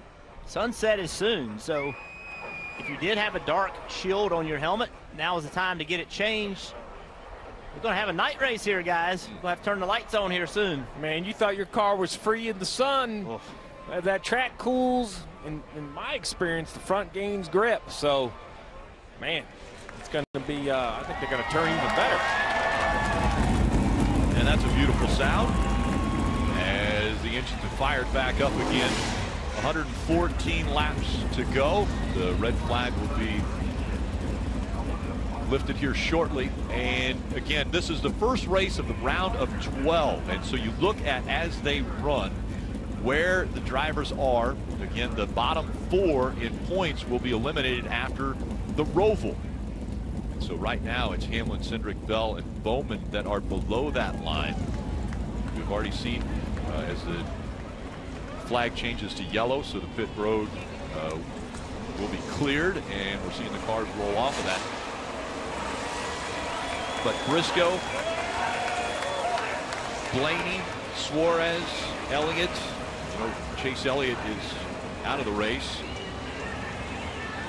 Going to be a pretty interesting restart right here, guys. You got cars on different tires, laps on tires. Never before in this race has the track been this cool. And on top of that, you have tires that have sat there. Some had laps on them, some didn't. That always changes the way the cars drive. A lot of unknowns going to the rest of this race. Well, add in the Michael McDowell we know doesn't have fourth gear. So when he restarts in second, he's going to have to pull back once in the third and then twice, skip right through fourth to fifth. That's got to hurt the acceleration. And what opportunity will the eight of Reddick have to go to the inside of the 34? Will three wide be an option? The way they kind of turn off into one, we've seen all day long, Jeff, you know, how wide that entry is that, you know, where you want to have your race car, there is a lot of real estate to your left where someone could definitely take uh, you three wide if they wanted to just turn left. And Reddick would be looking to do that anyway. You know, Tyler Reddick is very aggressive on restarts. He would be looking to jump to the inside. And you just wonder, I'm just concerned that as the 34, Michael McDowell, goes from third to fifth, he's not carrying that speed, what's going to happen? Where is Reddick going to go? Is McDowell going to try to go to the bottom, and then Reddick try to go to the bottom, and then there'd be contact? They're going to have to work this out. How, how big of a difference is fourth to fifth gear? Uh, go, I mean, when you go from third all the way to fifth, is there a big difference? Will he lose a lot of speed when he goes to fifth? So it won't be quite as substantial if you didn't have second or third because fourth and fifth are reasonably close ratios. That's why you could see sometimes we see fourth gear on the racetrack. Uh, but it's going to be an obvious, you know, uh, disadvantage for the 34. I'm kind of trying to time where it's going to be because I think most guys will carry fourth gear all the way through one and two. Don't you think, Jeff, you could take fourth gear on the restart all the way through one and two and not find fifth gear in, until off from two? So, you know, somewhere in the middle of the corner, I think he's going to have an issue. Yeah, that's what concerns me is that with the lower speeds, because remember, you're not up to speed entering turn one on a restart like you normally are a lot of guys will run through there in fourth gear. Well, he's not going to have that option. He's going to, he can't stay in third. It'll over rev the engine. He's got to go to fifth. So that will be an issue as they get ready to restart here in Texas. Parker. Well, Rick, as we get these cars rolling again here, I was just listening to some of the teams talk about the weather conditions that we now have as we talked most of this race about how hot it is. Well, we've lost a couple degrees in the ambient temp, but the big thing that Chase Briscoe's team just told them, the track temp has dropped 20 degrees. This is going to be a massive difference from when these cars were last under green flag conditions. So not only are they having to deal with a track that maybe got cleaned up a little bit or settled, but also it'll be 20 degrees cooler, which means there should be a lot more grip and change the line. So they're going to be experiencing something entirely different than it had all weekend, guys. We saw the 48 had come to pit road. Uh, obviously, a lot of damage on that car. Alex Bowman scored seven laps down to the field as you see him catching up to the back of the field. And getting ready for the green flag to get back underway. 11 cautions on the day. And back underway from Texas.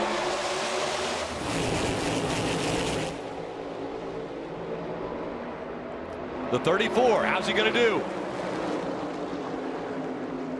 Doesn't look like he misses a beat yet.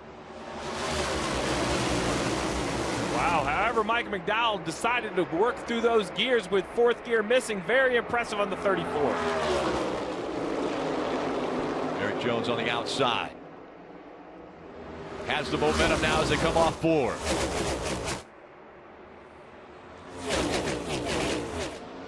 Reddick now looks to the inside to make it three wide. I think Reddick was actually just trying to get left to get a little air on the nose or under the car on the entry of the corner. Oh! Contact! Jones into the wall. Jones, Jones is upset with that. He feels like that he got ran into the wall right there.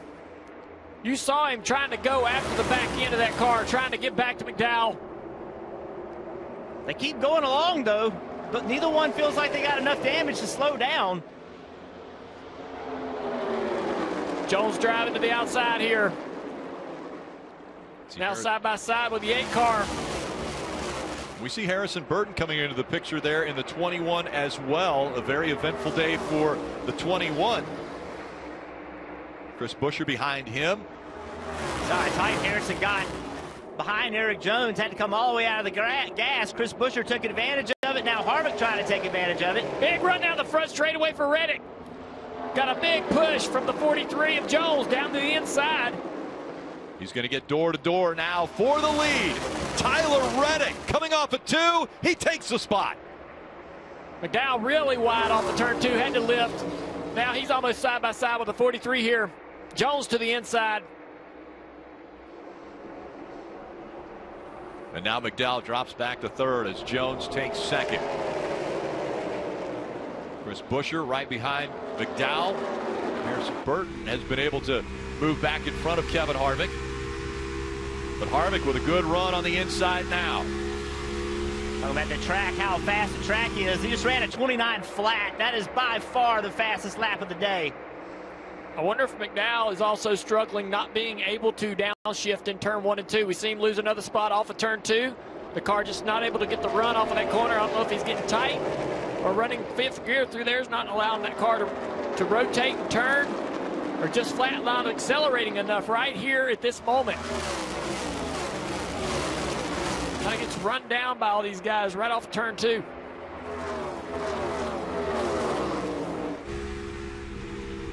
So the restarts might not be the issue with this car, but having that fourth gear for the acceleration off of two may be something that hurts him on, on the long runs. Looks like this 21 car of Harrison Burton's got tight. Doesn't roll the middle of the corner like he needs to. Kevin Harvick taking advantage of it. Harvick will take that spot away, and Harvick up to fifth now. Marty.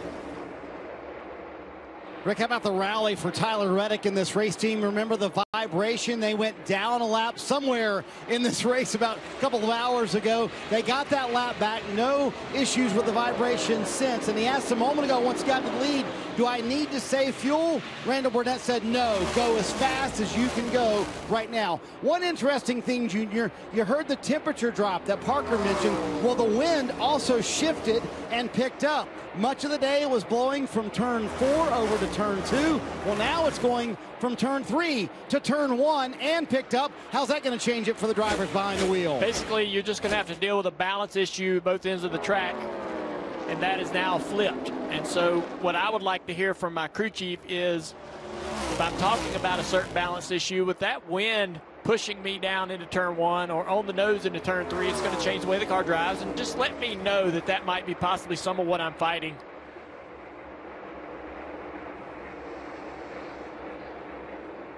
Parker, what's going on with the 17 of Buescher? Well, Rick, right now, he's the fastest car on the racetrack the last three or four laps. And remember, this is a car that spun off of turn four in the middle of the pack, flipped through the grass, got no damage, is now the currently fastest race car there is right now and running down these leaders of Erik Jones and Tyler Reddick. And we talked to Chris under that red flag, and he told us how happy he is with this race car. But that's just amazing to see the speed they still have in it after literally spinning out off of turn four. What a comeback. And we've seen bursts of speed out of the 24 of William Byron today as well. Maybe seeing that now as he's fighting with Harrison Burton for the sixth spot. Highest running playoff car currently, as you mentioned, fighting for the sixth spot. Plus 10 positions just here since the restart. So the cooler temperatures, the sun setting, whatever adjustments they made, definitely agreeing with this 24 car. Look at the battle, though. This is what they talk about when it's hard to pass. Obviously faster than the 21. Has got below Harrison a couple times. Just haven't been able to complete the pass. So close. Now, what will Brad Keselowski in the 6 do? He's going to run a little high. I think he's going to try to get a little run on the 24. Maybe push that forward, the fellow forward of the 21 by.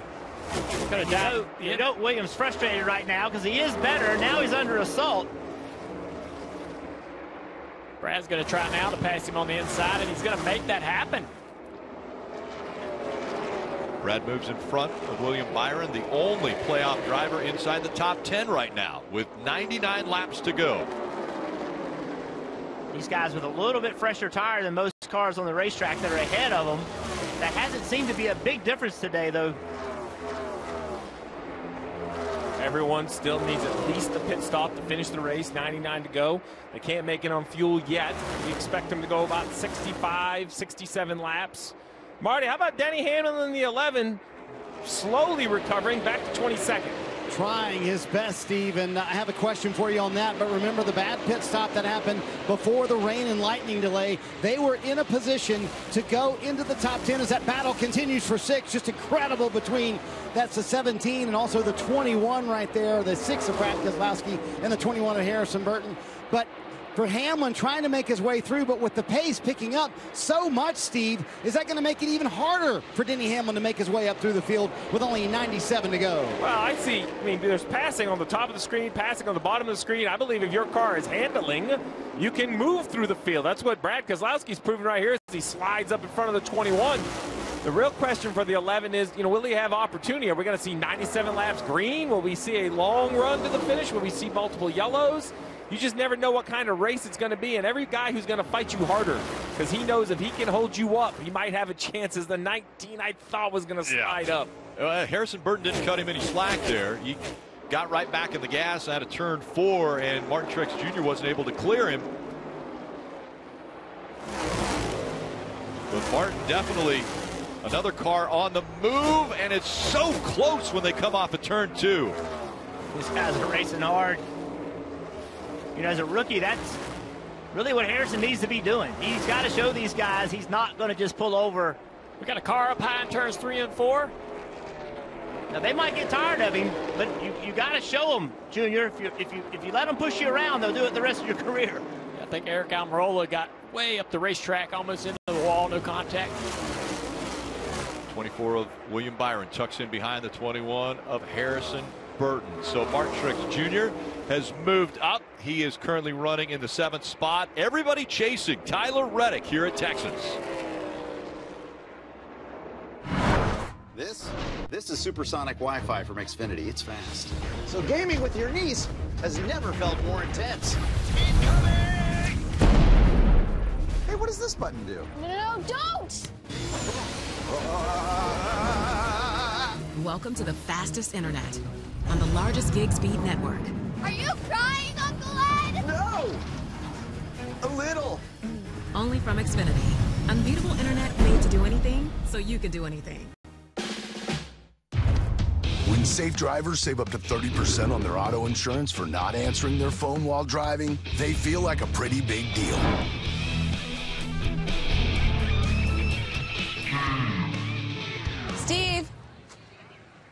Did you get the ice? Even if they forgot the ice. Uh, huh. Save up to 30% on auto insurance with USAA Safe Pilot. Get a quote today. Ray Magliozzi here. eBay Motors has 122 million parts. Hey, Dave. Yep. Wait, How are those new wipers? they're small. For parts that fit your vehicle, go to eBay Motors. Let's ride. Pain used to keep me from what I love most. Not anymore. Blue Emu gave me my horsepower back. It's the powerful relief my joints need. Blue Emu. It works fast and you won't stink. More truck owners are switching to Ram, which means more fathers are switching to Ram. Your body's changing. And more sons, more tailgaters, more tail waggers, more men with a lot of confidence. Easy. And more with not so much. Yeah, I'm not going to fit in there. And more guys who check straps for the firm tug and say, That ain't going anywhere. are switching to Ram. Right now, during Ram Power Days, get 0% financing for 72 months on our most popular models. It's the wildest ride in racing. Talladega. Too fast since the day it opened. This 200 mile per hour, nose to tail, five wide parade demands absolute perfection. Anything less, you might find yourself right in the middle of the big one. NASCAR playoffs continue at Talladega on NBC. Chris Buescher running in the third spot brings out the caution for the 12th time today. Take a look at what happened in turn four. Looks like another right rear tire goes down. You see the smoke out the back of the car, hard contact with the right rear. Comes back around, swings into the right front. He drives it around back to pit road here. You see the damage on the right rear. Yeah, 29 laps. Green flag running on his tires, Kim. And we'll watch as cars make stops. Top left, Erik Jones. They're going to take four tires, Sunoco fuel. No real read on that short little run they had on the top right. Michael McDowell told the team he's tighter in the front, freer in the back. We'll need just a little bit help, air pressure adjustment, Marty, for them. I think everybody a little bit concerned about the tire wear and seeing what happened to Buescher. So Tyler Reddick coming down pit road is going to need to be a little bit tighter for fresh Goodyear tires, Parker. And Marty, that's exactly what Brad Keselowski just said on the radio, that he is very worried about the tire issues that he just saw for his teammate Chris Buescher. You see Kyle Larson wins the race off pit road. They are also talking about how many sets they have left. They don't feel like these tires can go more than maybe 25 laps. We'll see. Larson gains seven spots with a two tire change. It's the NASCAR Cup Series playoffs on USA. The Autotrader EchoPark Automotive 500 continues when we return. For the restart, but the caution coming out for the 17 of Chris Buescher, a right rear tire going down. And Parker, it seems like that tire issue is becoming very prominent here. Right, Rick, as the speeds picked up tremendously here. Tire durability is becoming called into question right now. Here's the right rear tire from Chris Buescher's car, and you see where it's come apart, but also that bubble in the middle. And Steve, I'm not an expert in these things, so I'll throw this to you. I don't know if that bubble is more the cause or the effect of what possibly could have made this tire go down like this for Chris Buescher. Well, I'm not going to claim to be a Goodyear engineer, but I have seen tires that look like that in the past, and when they become damaged on the inside, it actually allows the air to work its way towards the surface. It, you can see an air pocket between like the inner and the middle or the or the actual rubber layer of the tire. Perhaps that's what we're seeing right here. You know, the challenge is, you know, what is causing it? We heard from Brad Keselowski during the lightning delay, and he was very confident. He thought it was a speed issue. He thought maybe there were some things you could do with your car, but he seemed to be more fearful of it being a speed issue. Now, without a doubt, more air pressure makes a tire more durable. So as a crew chief, that's the first thing I would do is just – start digging through the, or with our engineers. What information do we have? Do we have to add air? Because you have to get to the finish of this race. The other thing with 88 laps to go is you want to go fast, Rick, but you can run maybe 80 or 90% for a little bit. Try to be smart. Harvick, Truex Jr. bring us back to the green flag. William Byron giving the four a little shove as they go into turn number one, but he's not able to clear Martin Truex Jr. Now he does. Harvick's going to slide up, and he has the lead in Texas.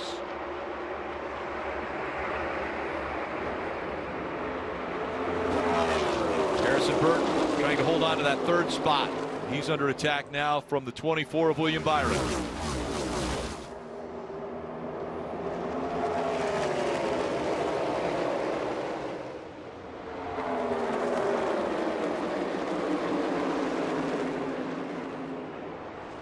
Racetrack for the 21. Byron now takes the spot away from Burton. Ross Chastain also has entered the picture here in the top 10. Well, it's it's impossible to list all the trouble of all the cars because it's been so many. But the second place runner of Martin Truex Jr. He was the first yellow of the day. Spun out and made contact with the wall. Here he is in second on board with Chase Briscoe, who's had a remarkable recovery from earlier in the day. I've spent most of the race outside the top 20. Here he is in eighth. Talk about all the trouble today. On a day where attrition matters and experience may matter, the two leaders, first and second, Martin Truex, Kevin Harvick, two oldest guys in the field. Wonder if that experience is paying off for them. Things heating up back here as well. Kyle Larson on the inside. We've got a rookie in Todd Gilliland in the 38 outside of him. Larson's been trying to work around this 14 car. Been a little bit tough here down the back straightaway. He's going to try to get a little side draft right there. Can't make it happen.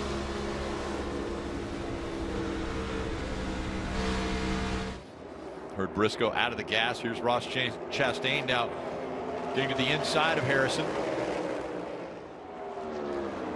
Austin Dillon behind him, sneaking into this battle. Oh, Harrison, he's like, oh, I'm going to stay out here, man. It's my line. Ross whoa, ran him whoa. way up the racetrack. Harrison Burton has to get out of the gas. Ross dove into the corner. 38's up the track as well. Ross went in the corner, committed to sliding up the track. And so uh, Harrison went in the corner saying, I'm not going to allow that to happen. They just arguing over position right there. How hard do the two veterans push it here? And they're pushing it hard. Hard as they can out front in this clean air. Kevin Harvick eliminated after the first round of the playoffs. Martin Truex Jr. didn't make it into the playoffs. And up into the wall. The four blew a right rear tire. Hold it. Hold the brake. Hold the brake. While leading. Kevin Harvick into the wall. Stay up there if you can. Stay up there. coming at Kevin. He slides down the track. Are you Everybody's okay? able to avoid. Talk to us if you can. Yeah, I'm okay. 10 4. Drive it or if it's for all distance.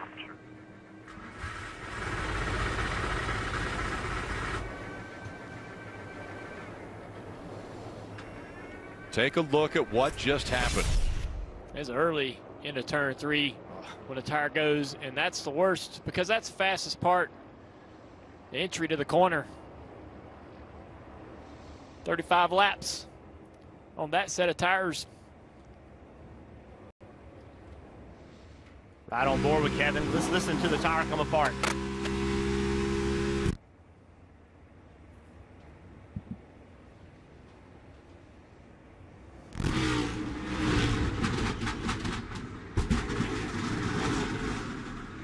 Oh, what a scary thought right there. And you can see him like trying to trying to control the car to keep it out of the you know racing line, but the rack is so violent. You know, you see the IndyCar guys have to just let go of the wheel when any kind of loss of control and This thing started down the hill right here, and he's like, oh no, I got to do everything I can to get it turned back to the right to keep it from going down the track. NASCAR drivers have always hung onto the wheel in crashes, right? Now they're having to learn that that you know to let go of the wheel and that so strong it'll just spin that wheel and break thumbs and hurt you. Marty. Junior Rodney Childers just came on the radio. He said there is no doubt a direct correlation to how fast you're going and how quickly your tire will go. And it just went immediately on Kevin Harvick. Steve, I cannot describe to you the palpable concern you can feel here on pit road. I mean, crew chiefs are like, man, is that what it's going to take tonight? So it's going to be interesting to see how they can finish out this race here at Texas. Well, to your point, the challenge. Now, Kevin Harvick stayed out under the last yellow, but would have new tires even have helped? And does he have enough tires even if he chose to pit with 80 to go, right? You, if you just can't, you know, I, I, really honestly don't know what, what their best option is. These crew chiefs have way more information than I do about what they think are doing it. To your point, Marty, if it's speed, what do you do? Tell your driver to slow down. That's very difficult to do in a race. Um, you know, and you reported, Marty, right? We're down to probably two sets of tires for most of the cars. So you also can't be ultra conservative and just keep bolting tires on the race cars. Pit roads open. And once again, we see Truex stay on the racetrack. We do have a few guys come to pit road, but not very many. Yeah, just a handful of drivers making their way onto pit road. Truex stays out. Chastain comes to pit road, though. Parker. And you see Chase Briscoe, who's fought this race car throughout this day. They've made tons of changes on it. Just saw his teammate have those tire issues, so they're going to come down and put four Goodyear tires on the 14 car of Chase Briscoe, Marty. So Phil Surgen bringing Ross Chastain down has to work his way around the 14 car. So Steve, here's what I think is going on. I think he looked down, talking about Phil Surgen, the crew chief for Ross Chastain, and said, "We're way above the cut line. I'm not going to chance anything." I'm going to play it conservative. They had three sets of tires left. They just put on their next to last set of sticker tires, one more set of scuffs. I think that's what playoff drivers and playoff crew chiefs are thinking about right now. How conservatively can I play these final 79 laps? Yeah, I mean, the challenge is with Harvick now going a lap down in the 29th position, there's 28 cars in the lead lap. So I, mean, you know, it's so easy to say, oh, well, put some air pressure in, put some new tires on, slow down. Well, to what point? If you say, hey, let's be nice and conservative, and no one else blows a tire and you run 27th, you ran 27th. I mean, you know, it's it's it's always so easy up here in the booth or on Monday morning to have an opinion. It is so so hard to be down there in the blender on top of one of these pit boxes trying to make sense of all this. And Steve, these playoff drivers also know that a win at Texas gets them to the next round. So you have to put that variable into it as well. We go to the Peacock pit box and Brad and KP. How much more can we throw at these guys today, Brad? Unbelievable. It, it, it is. I mean, we've thrown rain, we've thrown lightning, we've thrown Yeah. a slick racetrack, we've thrown high temperatures, and now we throw tire issues at. How how much more can they take? This is unbelievable. This is this is scary. Yes, if you're a race is. car driver, if you're a, a crew chief, if you're an owner, I mean, you're looking at this and saying, okay, we can't run 30 laps, you know, without these tires failing, and that is scary. What do you do? You heard Steve talking about it at nausea. You don't know what to do. So, I don't know. I, I, this is this is concerning. Um, you could you could obviously add a little more air pressure to the tires, slow it down just a little bit, but it's a race. It's a race. What do you do? I don't I don't know what to do in this circumstances. I know uh, this is tough calls for all these crew chiefs, but as we run and as we run faster and as we get to, towards that Yes. 30 laps, we're seeing these right rear tires go away. That is a scary situation for everybody involved. Yeah, I, th- I think it's it's hard on these crew chiefs. It's hard on these drivers. They get paid to run as hard as they can. That's win right. And it's hard on NASCAR at this point in time. 100%. What kind of call do I make? Where are the tires at? When does safety take the priority today? Absolutely. Do we have to run the whole race? We're past halfway. Parker. Well, uh, Kyle, let's catch up here. With Rudy Fugle, who's the crew chief for William Byron. You guys are currently in second place. You were last on pit road at lap 213. How concerned are you seeing all these tire issues?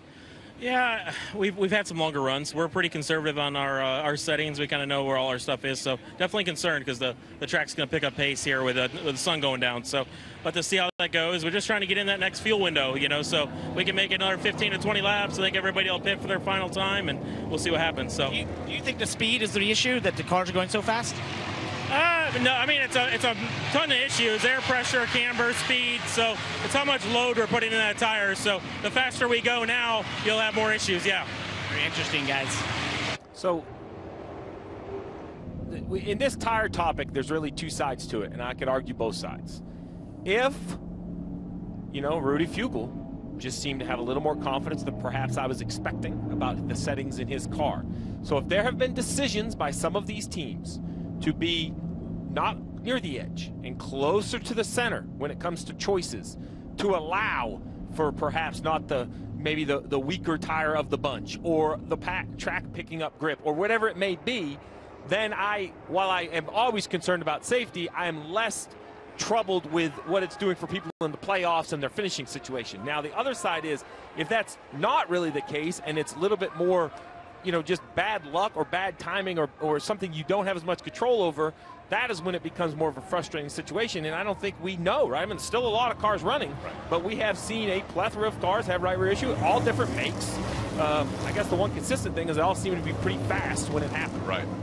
Rudy used the word conservative for his setup, so that might be a positive in this situation. Correct. Uh, if that does come into play. Martin Truex Jr. on the inside, William Byron on the outside. Green flag back in the air. Truex getting a nice push here from Austin Dillon. It's going to help clear that 19 car. Austin has to get, get out of the gas to allow some clean air to get under that car. Look how much distance the 19 car has been able to put on the field. Justin Haley making it three wide back there on the right side of your screen. Pretty good run for William Byron now as he closes the gap between himself and the 19. He's going to look to the inside as they go into turn one. And he ran Truex down quickly. Maybe Truex says, I don't want to lead. couple times now we have seen race leader wreck out of the lead. Well, I remember Buescher, we had a report by Parker that he felt he was the fastest car on the racetrack right before four or five laps before we saw him have a right rear down. Larson once again on the move, trying to get to the front, to the inside of the 12 of Blaney. He's going to slide up just to get some clean air because he's right behind the three cars. So Not much he can do about that. I know Blaney didn't appreciate it, taking the air away from him. Reddick back here trying to pass the 34 on the inside as well. Now back up front, battle for second place. Yeah, Denny Hamlin has come into the picture now as he looks to the inside of William Byron. They're side by side for second. I wonder if Truex is managing the gap. You know, maybe he's trying to think, where do I load this right rear tire? And maybe I should try to. oh, look, contact. Yeah, almost into the wall for Byron. And now we see Austin Dillon go to the high side, three wide into three. Man. I'm not sure if the 24 didn't make contact with the wall. It's hard to tell from that angle. That was contact with something. Yeah, we did get the fence, so I'll try to look right side. You'll need pictures. There you go. So you need pictures. There's photographers all around these racetrack that work for the manufacturers and the teams. They'll provide those pictures quickly to the pit box. See right here, saw the fire coming out of the 11 exhaust pipe. He was lifting off the gas trying to prevent that, but William Byron's not going to care. He's going to be upset. Got run in the wall. And the car in front of him is the one who put him there. But I'm wondering, watch the lead here. I think that I think that Truex is going to control this gap. Only run as hard as he needs to. Only really lean on that right rear tire as much as possible just to keep the lead. The driver knows when he's loading that tire, how much he's loading it, where that peak load is on the racetrack, and he may dial it back in that specific area, see if that makes a bit of a difference for him. Three of Austin Dillon wanting to get back to victory lane here at Texas. He did it back in 2020.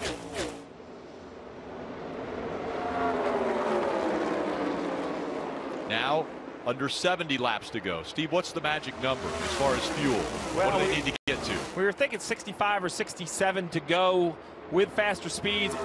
You know, you are using more fuel, so probably more like 63 to go, 65 to go would be a, a better feel. But all these guys can run quite a while. I don't think anybody's going to try to short pit or do anything like that. But at this point, if you had a yellow come out, I think you'd be forced to think you're in your fuel window and try to manage it from there. Already tying a record number of cautions from Texas Motor Speedway at 13. Now the drivers or the teams want to see another caution come out. Martin Truex Jr. out front.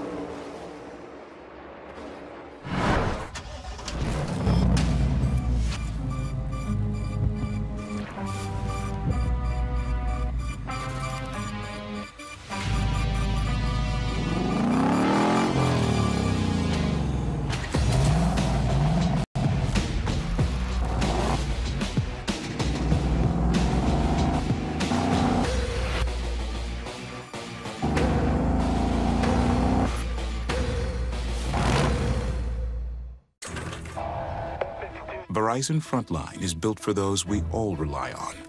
Built to prioritize first responders. Built for extreme conditions. Built for America's most reliable 5G network. Because when seconds count and lives are on the line, the people we rely on need technology they can rely on. Verizon is the number one network choice in public safety. Verizon Frontline, the advanced network and technology for first responders. In the future, everything will be powered by renewable energy. But it's not as easy as flipping a switch. It's a long road, requiring decades of time and trillions of dollars.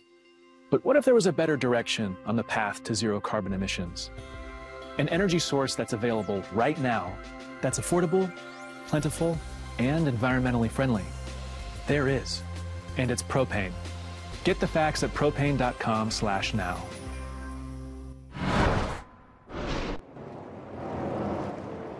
Race leader Martin Truex Jr. has just wrecked. He got into the wall. A right side tire went down.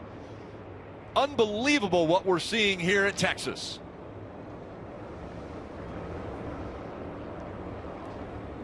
Thirty-five laps of green flag run on this tire as he goes into turn three. You see it.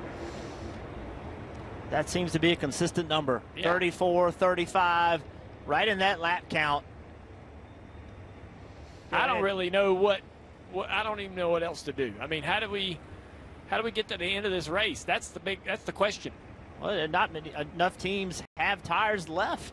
Yeah, but I mean, run this whole way, and and what do you do as a crew chief? What do you do as a driver? It this is This is a very difficult situation for everyone to be in. Then the 11 car on the front straightaway. Looks like there's some contact. Oh, the We 24 remember- of Byron. Remember what happened off of turn two. Byron felt like maybe that the 11 ran him into the fence off of turn two. Byron takes that opportunity to possibly retaliate. And then Denny, I believe, is trying to rejoin in the second position. We'll see what NASCAR thinks about that. The three of Austin Dillon leading the 11, pulled back up to second. I'm Yeah, not front of the sure NASCAR is going to think that's okay. We'll have to see what NASCAR has to say. What will NASCAR say about what the 24 That's did? back here in front of Under the two. caution spinning it. Well, the 24 has to admit it first before NASCAR will worry point. about I was it. going to You know, say, uh, That is a good point. I'm pretty confident. I, I think I know NASCAR's answer about the 24. Marty. Well, needless to say, Chris Gabehart is livid down here. They're trying to get their position back. Denny Hamlin, even more mad than Chris Gabehart. Listen. I have no, I mean, I don't know, I haven't seen a replay of it, but good grief, if he's mad about what happened off of two, you got tight underneath of him, lifted on. All right, so Denny Hamlin clearly is upset. They've been this has been going on all the way down the back straightaway, banging into each other. Denny is not happy. Well, now he has to be careful because he knows that all eyes are on him.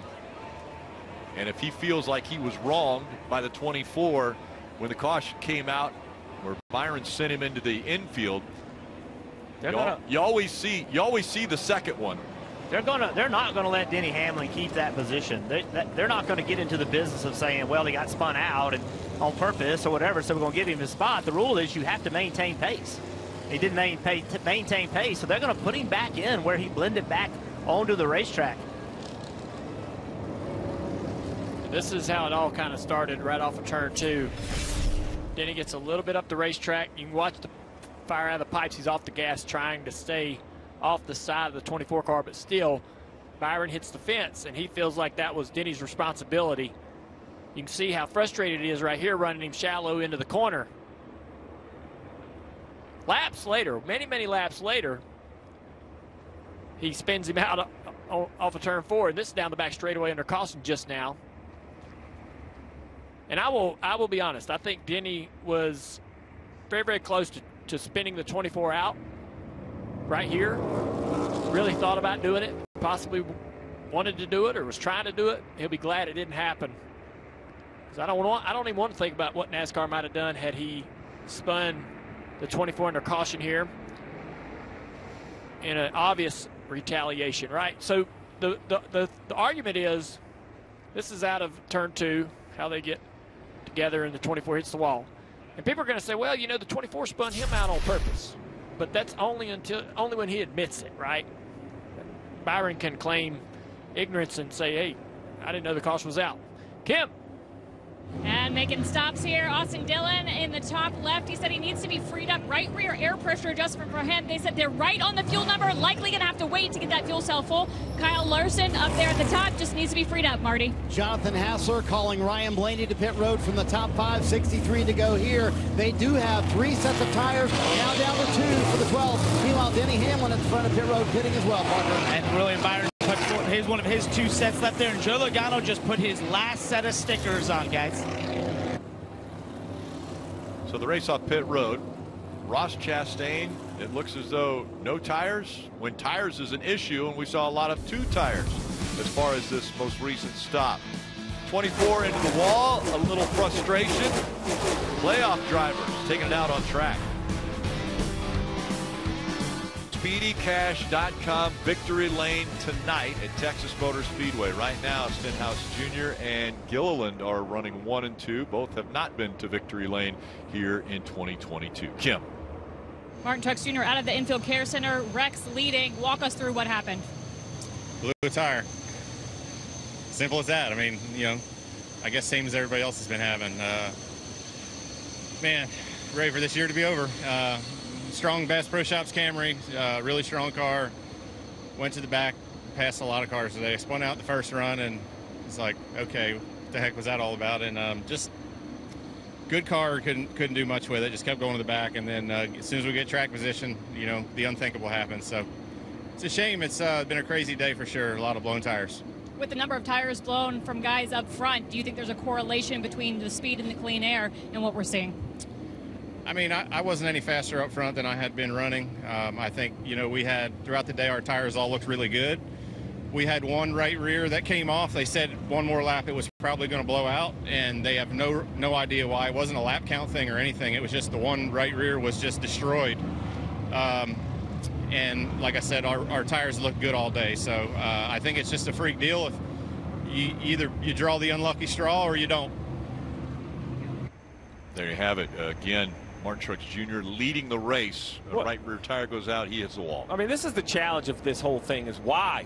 I mean, I, you know, I think the answer is there's a lot of opinions on why, but I'm not sure anyone knows absolutely ink on paper factually what is doing it. So what can cause it? Well, you can have settings in your race car that makes your car damage tires easier than someone else. You can have every tire. I don't think the durability of every tire is exactly the same. I think that would be uh, pretty naive to think they're all exactly the same. I also, we've heard Rodney Childers tell Marty Snyder that he thought, you know, speed was a factor. Absolutely. I mean, the faster you go, you're asking more of your tires. So all of these things are added up. Now the question is, what do you do to manage? Well, who are you? If I'm Stenhouse or the 38 at Gilliland or maybe even Briscoe, even a playoff guy, though, he might think he has to go win this race. Risk is probably worth the reward. You probably need to push your car. You ask yourself, someone else in the field, though, slow down, as silly as that sounds, in a race may be the best option. Either way, we have to run 60 more laps here. Um, and it, it is a it's a complicated situation because I I up here I sound like I know about as much as Martin Truex Jr. and he was in the car all day, right? That he he only knows what he's feeling and he's being told and uh, he felt like he had one earlier that was an issue, and now he lost one while leading. Well, if we're worried about the laps on the tires, the top three have 10 green flag laps on their tires. Ross Chastain back there, also with 10 green flag laps on his tires. Everybody else to pit road, changing two or four. So this is what has started all this chaos lately is Denny Hamlin up into the side of William Byron. William Byron upset about it. Down the back straightaway. William trying to show his little displeasure and then don't have a great shot of it, but this is when 24 gets into the back of the 11 when the caution comes out. See the 11 spinning down through the grass. And 11 so- team very upset about that. Yeah, we all probably imagined that it was on purpose, but until the 24 admits it, NASCAR's not going to react to that because he could say he was looking at his gauges or whatever. And then under yellow, they argue a little bit down the back straightaway, and we go down into turn three, and Denny takes a couple chops at the back bumper of this 24 car, and I think he'd be glad that he didn't spin him out because that that would be hard to argue it wasn't retaliatory, you know. And I think that's when you start to drag NASCAR into it, whether they they probably don't want to be in the middle of it. 58 laps remain. And Denny Hamlin will be starting back in the 22nd position. William Byron restarting in the 10th position. Up front, Stenhouse Jr. in the 47. He's on the inside. And then it's Todd Gilliland, the rookie, in the 38 on the outside. Back up through the gears they go.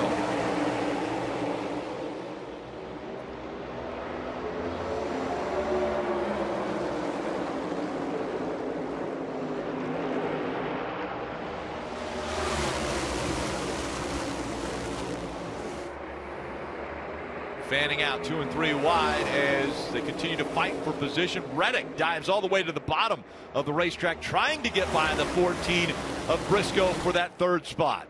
Todd Gilliland doing a nice job battling on the outside. Led that lap.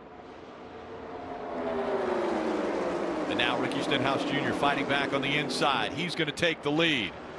Reddick's going to take third away from Briscoe, but now Briscoe fighting back on the outside. Todd still trying to catch the back of this 47 car for the lead. It's not done yet. Using that high line to try to create some momentum. He's going to have his hands full with this 8 car, though, here shortly. Reddick down to the inside of the racetrack. Tries to get alongside of the 38. Can't quite do it. Into three they go. And the gap is closing now with the 47. Gilliland has caught him. The eight of Reddick He's only a car length behind Gilliland. Reddick's going to go to the bottom here. Gilliland's going to follow 47. That's going to dirty the air for him. He's going to be able to slide up the track out of the throttle. He's going to take that position away rather easily. Side by side behind them, Logano to the inside of 14 of Briscoe down into turn three. Cindric also using that low line. Reddick on the high side is going to have a pretty good run on the leader down the front straightaway. Looking to the inside again. This will be a battle for the lead down into turn one. I think he's got that. He's been good up there, though. We saw him leading the race earlier. Earlier in the day, he ran that second lane, and nobody could get by him. Reddick stayed very low off turn two. Now, door to door as they go into three, and Reddick's going to take the spot. And he just kind of shook that 47 driver there, getting real close to his door. Stenhouse out of the gas, and that gives a spot up to the eight. It's going to happen eventually, but I think that surprised Stenhouse a little bit how close they got. Here comes Logano. Fourth place, trying to take third away from Gilliland. Steve, fuel, you think they can get to the end? Yeah, I don't think fuel's going to be an issue.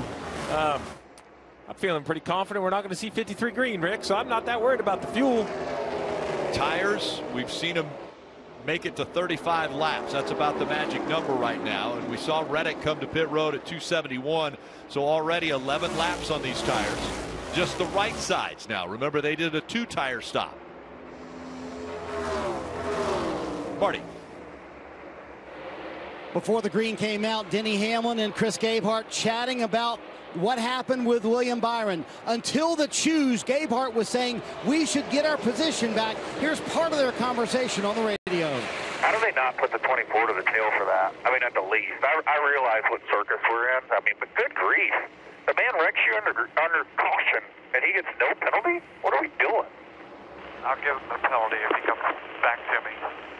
Key words from Denny Hamlin. I'll give him the penalty if he comes back to me. Hamlin is still incensed behind the wheel. He restarted 21st up to 18th. Can he get to the 24? It's going to be good theater if he does. They changed four tires for the 11 team. Joey Logano working that outside, trying to get on the outside of the 38. Todd pulls up in front of him. Joey going to go to the inside of him. If he can't carry enough speed, this bottom lane is starting, as its track temperatures come down, it's starting to be pretty good. You know, when you, the track gains more grip, oftentimes you just want the shortest way around the racetrack. And also, Junior, as the track temp comes down, that traction compound doesn't seem to be as effective on a cold racetrack. Yeah, they did not treat the they did not treat the track as well over the weekend, so that's kind of wore away a little bit. We saw in the Xfinity race, four cars running down low later in the race as well, thinking that Residence kind of lost a little bit of his grip. Blaney right there in the 24 battle. Blaney and Byron both come to, came to pit road on lap 271 and both took four tires. They're the furthest front of the drivers that came and cars that came to pit road under that 271 caution for four tires. Listen into the 24 radio. Not going to take his bullshit.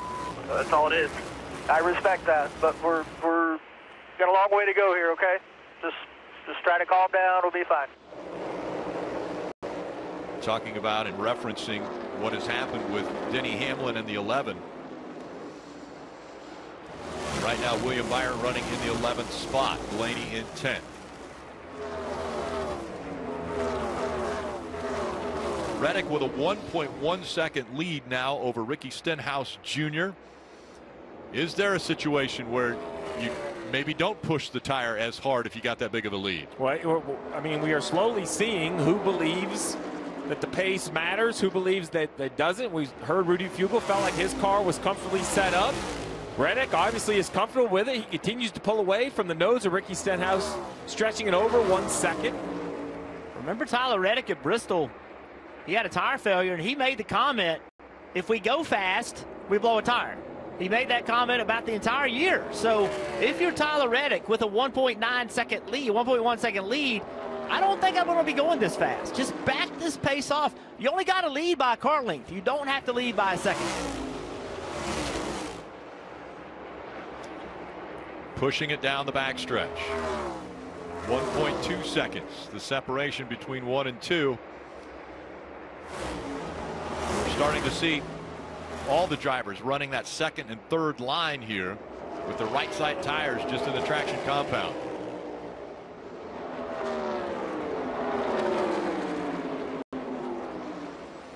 Logano to the bottom of the racetrack. He tries to gain some ground on Ricky Stenhouse Jr. Ricky's going to be hard to pass. Watching this whole race long, he's fought every position.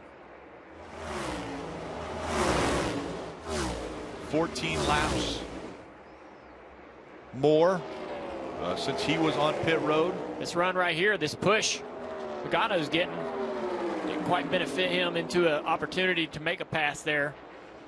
That's something we've been seeing a little bit of. Getting a big shove down the straightaway. Here he is alongside. He's able to make one and two work better than I thought. Gets way away to avoid the side draft. Now he's going to drive up the racetrack in front of that 47. It's going to assure him the position. Reddick Logano, Stenhouse Jr., Gilliland, Briscoe, the top five. Then it's Cindric Haley, McDowell, Chastain, and Erik Jones, part of the top 10.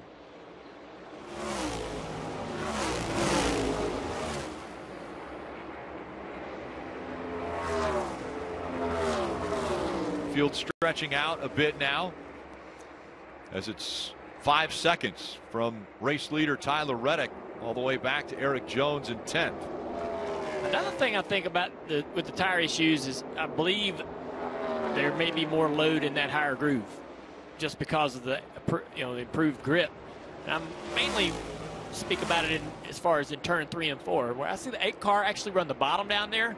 Feel a lot better about that than him running. Oh, now he's in the middle. That makes me nervous right there. With this kind of a lead, I'd be really want my driver to kind of stay in the traditional line, the cleaner line, the line that's going to probably load the tire a little bit less. I think most of the tire failures we've seen, the guys were running that higher line, as, as has been the case for most of the field all day long. But if that bottom's producing some lap time, maybe a better, safer spot to be running. All right, Junior, let's go through the field brought to you by DoorDash, and we'll start with Marty. Rick, this goes to prove that even if you've been eliminated from the playoffs like Tyler Reddick, who was eliminated by two points from making this round, you still want to win every race. I just asked Randall Burnett the question of do you back Tyler Reddick down, seeing all the tire problems? He said, I would love to, but Logano was behind me, and I think he's pretty quick. So right now, Tyler Reddick has full reign to go as quick as he wants, Parker. Right, Marty, in the car trying to chase him down is that 22 Joe Logano, who was the fastest car on the racetrack that last lap there. He uh, has no more sticker tires left. You saw him put those two right sides on. That was his last set because he had come on the radio and complained of a vibration coming from the right rear. Paul Wolfe didn't really want to pit, but knew his driver was concerned about enough to come down there and put those final set of stickers on the right side of the 22. And so now they can only hope that those can go to the end of the race, Kim. And Ricky Stenhouse Jr. running in the third position. Leave it to Brian Pattie to do a different strategy. They came down and put four on at lap 255. We're a few laps short on fuel, so topped off on 257. Just riding it out for Ricky. He's been a little bit loose on the back end all day long. Otherwise, very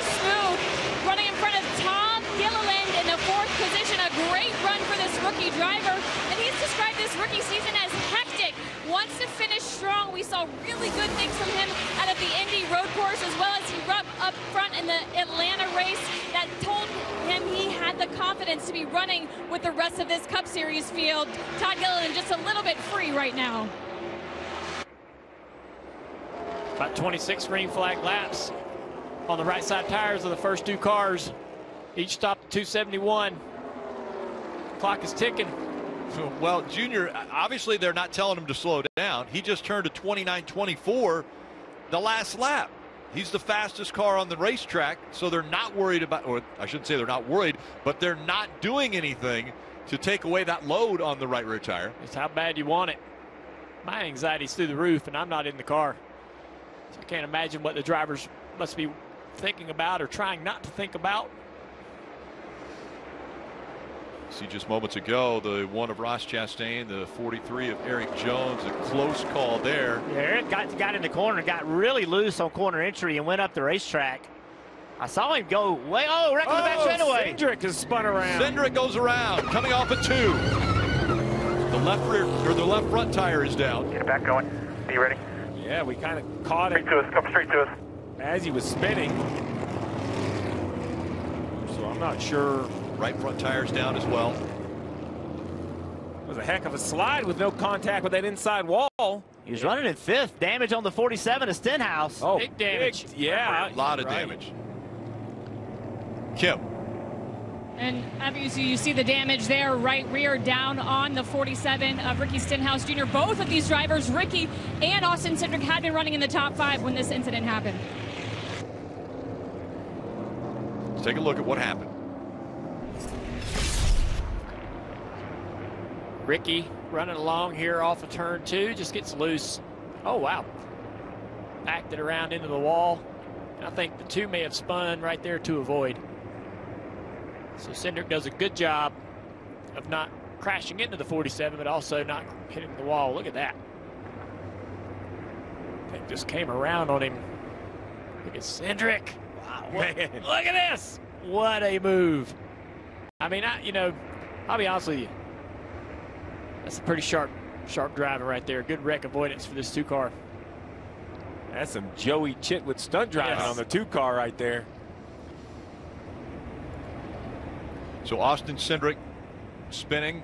We saw it started with the 47 of Ricky Stenhouse Jr. sliding coming out of turn two.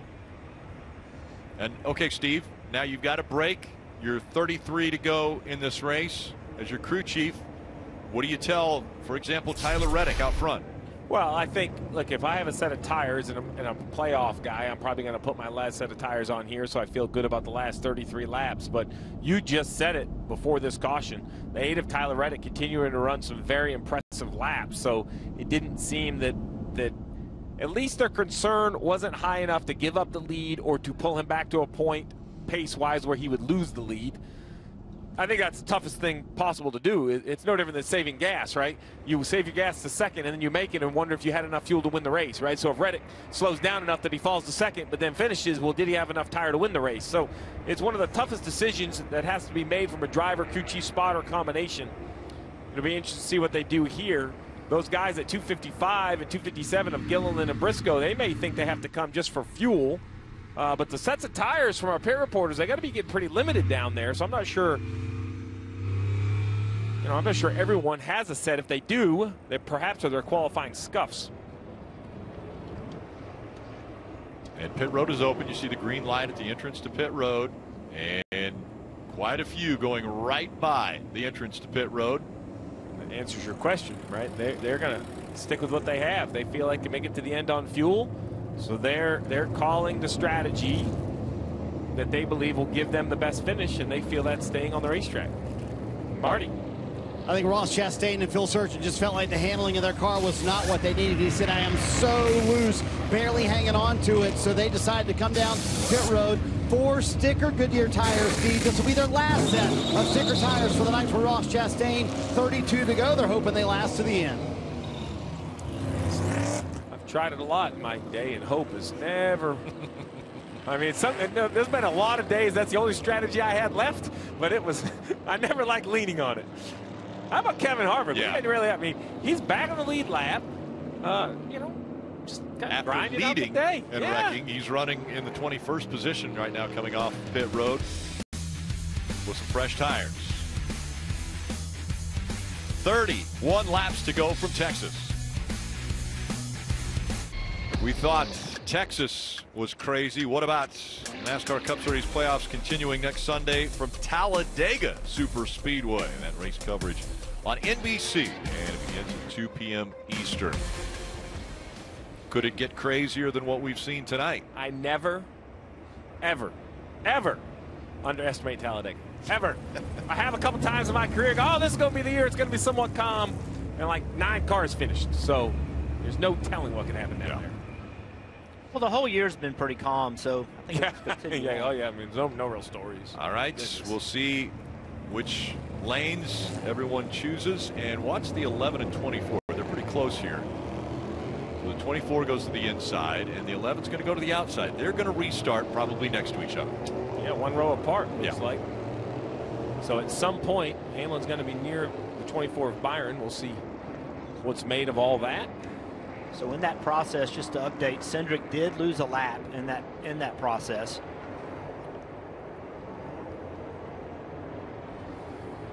Suarez will be restarting back behind Denny Hamlin. 27 cars still on a lead lap. That is, you know, we have seen a lot of tires and a lot of craziness and 15 yellows. But to your point, Jeff, we have tw- 27 cars running on the lead laps. Stenhouse has a little bit of damage in 27th. Cindric one lap down. Uh, Bowman has worked his way all the way back to five laps down after being one of the earlier accidents and up to 29th. I mean, saving points. Parker. And Steve, just to add to all this, the 22 Joe Logano, when this caution came out, said the vibration in the right rear is back. That's their last set of right side stickers. We'll see if that right rear can make it in our 30 laps. Man. Yeah, such positivity. All right. Reddick Logano. Logano on the outside. Reddick on the inside. 29 to go from Texas.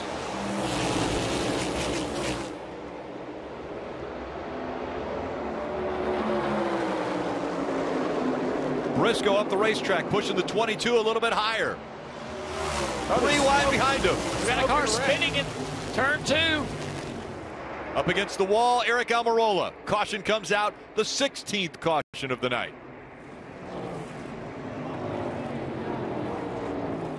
Are up. Balance is level. Yeah, tires are up.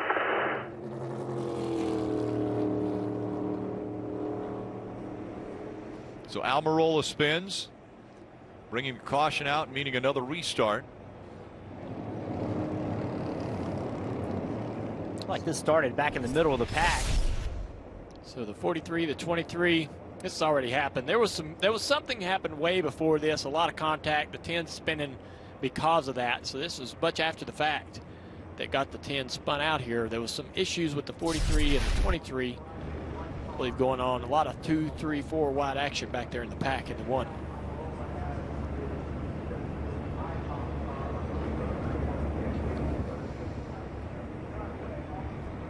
Kim, what were they saying on the radio? Well, you heard that little bit. After that, Aric added, he groaned and he said, guys, it's just so loose in these restarts. There's nothing I could do. So Almirola, after changing tires, is coming back out on the racetrack. You see the damage to the 47, Ricky Stenhouse Jr. And to what Jeff was mentioning, Cindric had lost a lap, avoiding Stenhouse coming to pit road. Uh, we'll wait for the official word from NASCAR, but I believe he is going to be the free pass. That'll put the two car back on the lead lap. That'll be 28 cars on the lead lap. I was going to ask if that helped your fantasy team, Rick, but I'll be honest, in all this chaos, I forgot I even who I had on my fantasy team. Well, I had changed it earlier, but there were a few things that there was nothing I could do. As we see boy. Ross Chastain on pit road. Marty.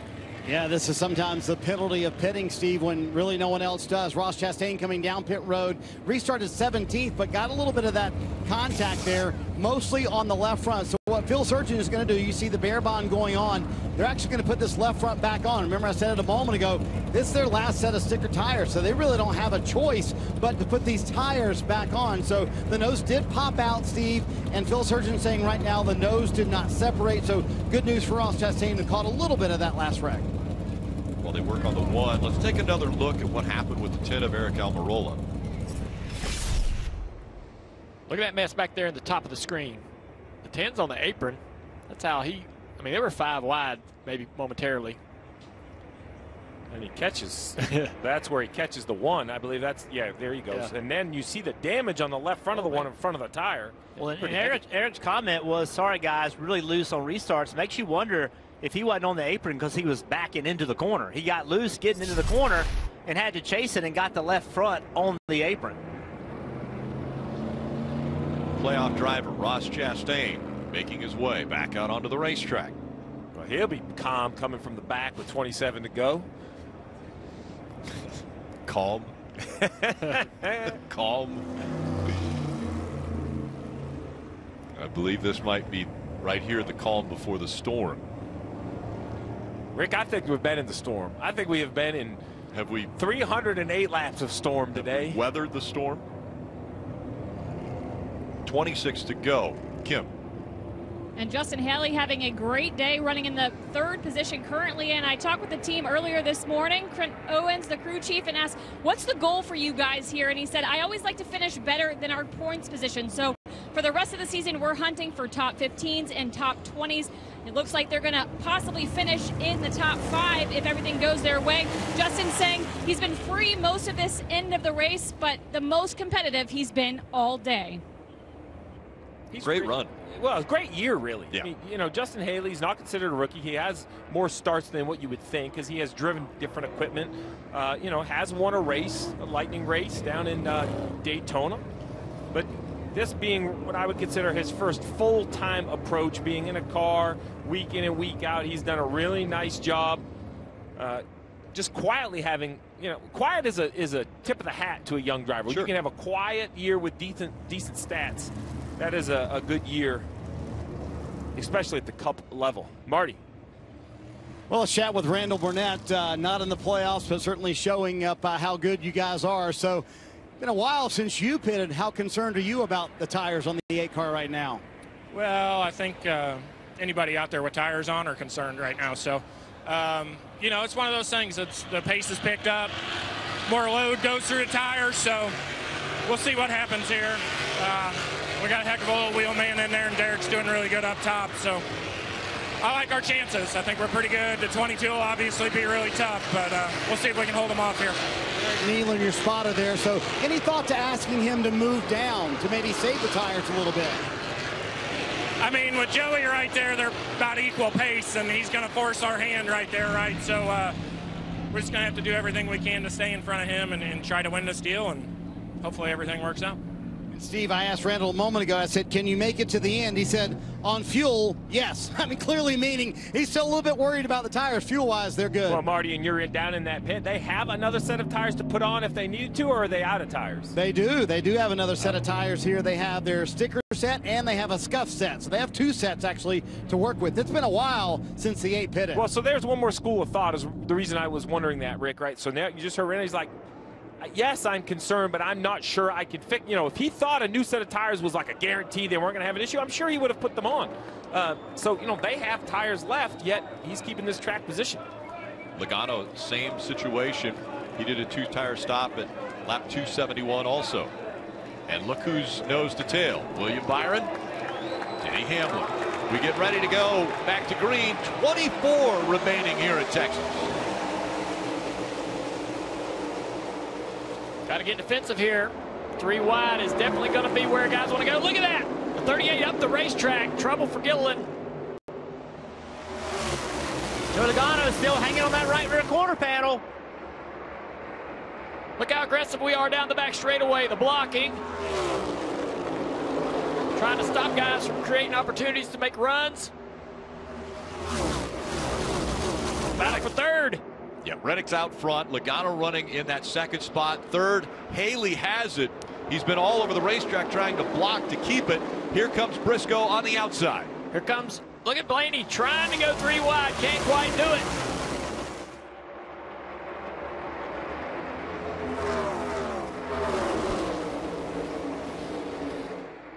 Man, these restarts are so tough. You've got to take advantage of opportunities, and you can't be put in a bad situation where you got to lift, especially as much throttle as we have now late in the race.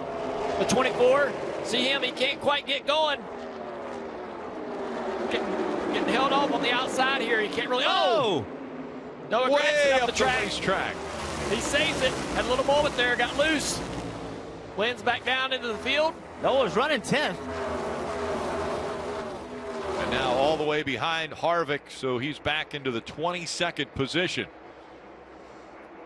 Blaney to the inside of the 14. Briscoe fighting back on the outside. That three hours ago, I don't think Chase Briscoe thought he had any chance in the world of running top five. They were struggling big time. Here he is battling Blaney for fourth. Reddick's driving away out front. This is the great battle right here. The 24, the 5 side by side.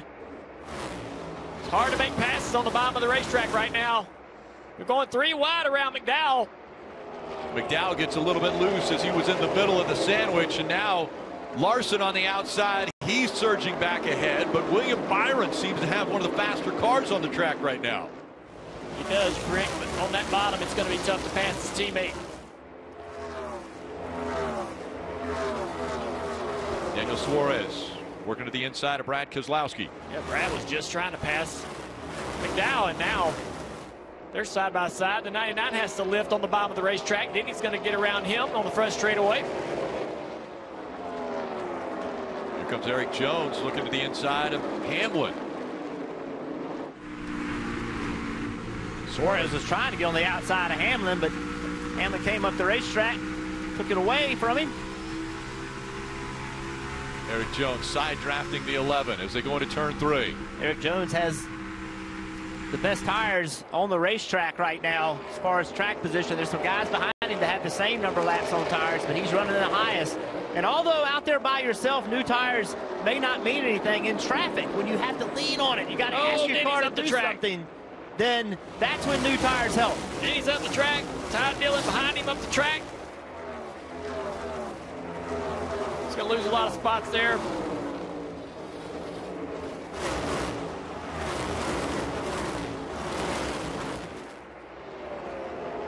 Still see this battle right here. Byron trying to get around his teammate.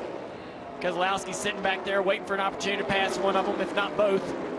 They're all kind of hung up right here behind Briscoe. Briscoe's sitting in that top groove, making it dif- difficult for Larson to do anything about it.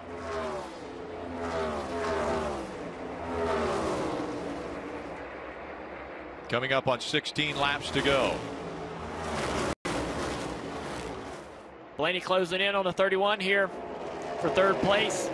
Ran the bottom of three and four the last time by. He's going to offset just a little bit to the left right here. Try to keep this distance. Loses a little bit right there. Has to get out of the gas. That cost him a lot of speed down this back straightaway. Have to regroup. Try to close back in. He's a little bit faster than Haley.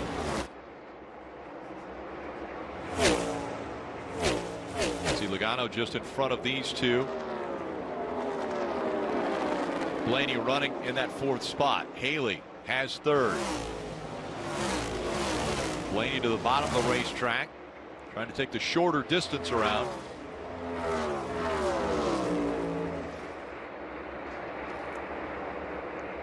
At the playoff picture, Logano 30 points above the cut line.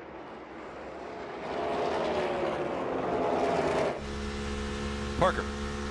Guys, I think this is an incredible job by Johnny Klausmeier and Chase Briscoe in this 14 car. Jeff, you said it. They were terrible earlier today. They could barely run in the top 30 or even top 25. They made so many adjustments on that car. I think it's the most adjustments I have seen in the next gen era on a race car and found themselves now up at the front and holding on to possibly a top five. This is an incredible job by this 14 team, Kim. We know what a cheerleader Cliff Daniels is for Kyle Larson. About 30 laps ago, he came on the radio and apologized to Larson for not getting Kyle what he needs on pit road. They just didn't execute as well as they wanted to. They made a mistake earlier, had to come back down, tighten a right front tire early in the race, and Cliff took all the blame for it, as well as telling him, we'll give you better, pepping up, telling him you can finish this race, just keep your eyes forward. Larson now runs in the sixth position. See Ty Dillon in the 42. Kevin Harvick in that four. Amazing. Still out there after leading the race, and a right rear tire goes down. He gets into the wall, but he's still out there competitive. Getting into the wall is almost downplaying it. I mean, that four car flat wrecked. They had to tape the deck lid back on it. Great runs. Oh, man, a big wiggle from Kyle Larson. He's got to stay out of the wall. He does. Brad Keselowski will take the spot, but that was a huge save by Kyle Larson in the five. The lap before, his teammate, the 24 Byron, had a similar issue in turn three and four, give up the spot to Brad Keselowski. Another spot given up there to the six car as well. Larson trying to regroup here, trying to salvage what he can, not lose any more positions. Remember Larson and Hamlin also had issues in this race. Now they're nose to tail.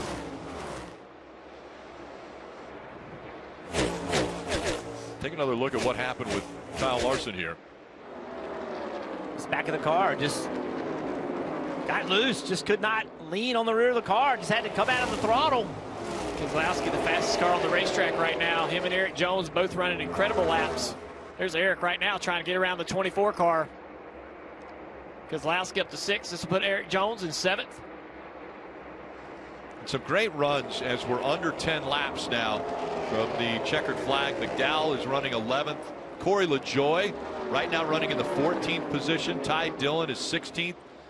Harrison Burton recovered to 18th. Keselowski up the racetrack. Big moment for him down in the middle of one and two.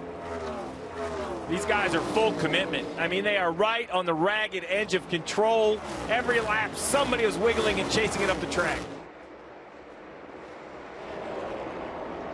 Under eight to go. Reddick, Logano, Haley, top three. Reddick with a 1.3 second lead over Joey Logano. We heard Randall Burnett say, We've got Logano pushing us. We can't go slower. Well, right now he's got a 1.3 second lead, and he has seven laps to go here at Texas. And Logano has company from that 31 and the 12 of Blaney, the winner from the All-Star race here at Texas earlier in the year. A lot of hopes coming back here at track he runs so well at. He won stage two. Looking to have a great day in the points, backing that up in the top five run, but he's thinking more as he tracks down the 31.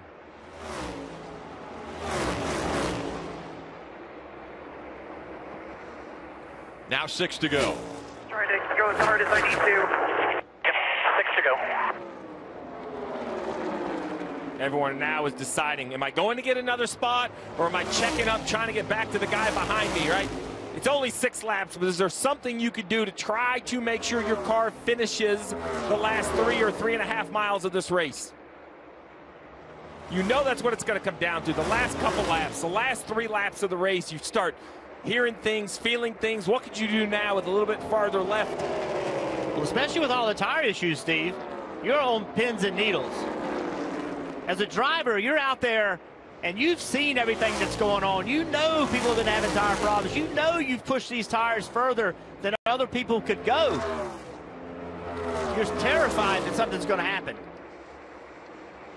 Tyler Reddick running up front. He's won twice already this year, but not on an oval, Marty.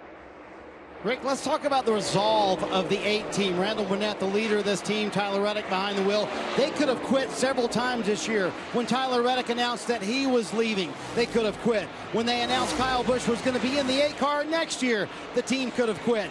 And Randall Burnett and these guys all could have quit when they didn't make the playoffs last week, Steve, or advance in the playoffs to the round of eight. Yet here they are, first race in the round of eight. They might win here with four to go. Tyler Reddick out front. That's incredible leadership, Steve, to keep all of that together and point it in the right direction and win races on this level. Great leadership, and I'm going to tell you, this combination of crew chief and driver, a lot of things come to mind, but I've never thought of quit. I mean, when they were winning Xfinity races on the fence in Miami, every race they've run in Cup, it is it is hammered down, attack, and continue to fight. Two laps coming up to go in this race. And one of the things that I always enjoy is when we're able to hear the communication between driver and crew chief. And it's some of the best between these two, between Tyler Reddick and Randall Burnett. They, they know each other. They know their personalities well enough that they can joke with each other. They can say things, you know, like if, if for example, Tyler Reddick says, well, the car's just not that great he'll say it in a way that Randall Burnett will appreciate it. It's like, okay, I get it. We're in this together. But right now, it looks like Tyler Reddick has got the car to beat here at Texas as he comes up on one lap to go, presented by Credit One Bank. Needs one and a half more miles out of that set of Goodyear tires. The engine under the hood of this eight car, a 500 mile challenge, and it's been an absolute challenge today into the night, Rick. And until he gets all the way out of turn four, nothing is guaranteed. Even with a 1.1 second lead, he goes to the bottom of the racetrack. through three and four for the final time and looking for career win number three. It's going to come at Texas. Tyler Reddick wins in the Lone Star State. Let's go! Great job, guys. Awesome, man. Really proud of you, little buddy.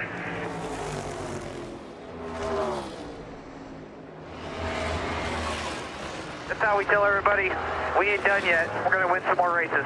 Come on! I all, all of you did a great job. That was Richard Childress coming on the radio. It was well publicized that the announcement that Tyler Reddick made, he's going to 23XI in 2023. Richard Childress wasn't happy with the timing of it when that announcement was made. But Reddick has proven that his commitment to this team, and this organization, is as passionate about his commitment to racing. Checker flag moment brought to you by Advanced Auto Parts.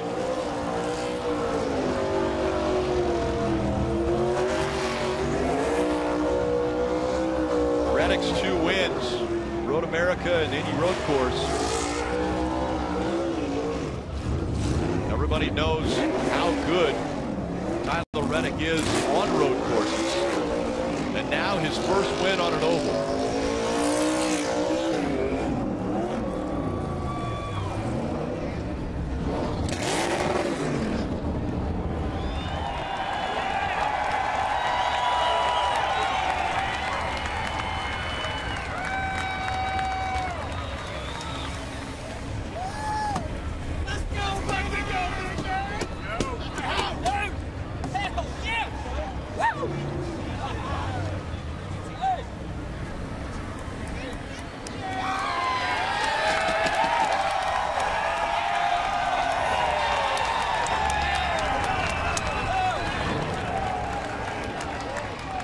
Marty, join in on that celebration.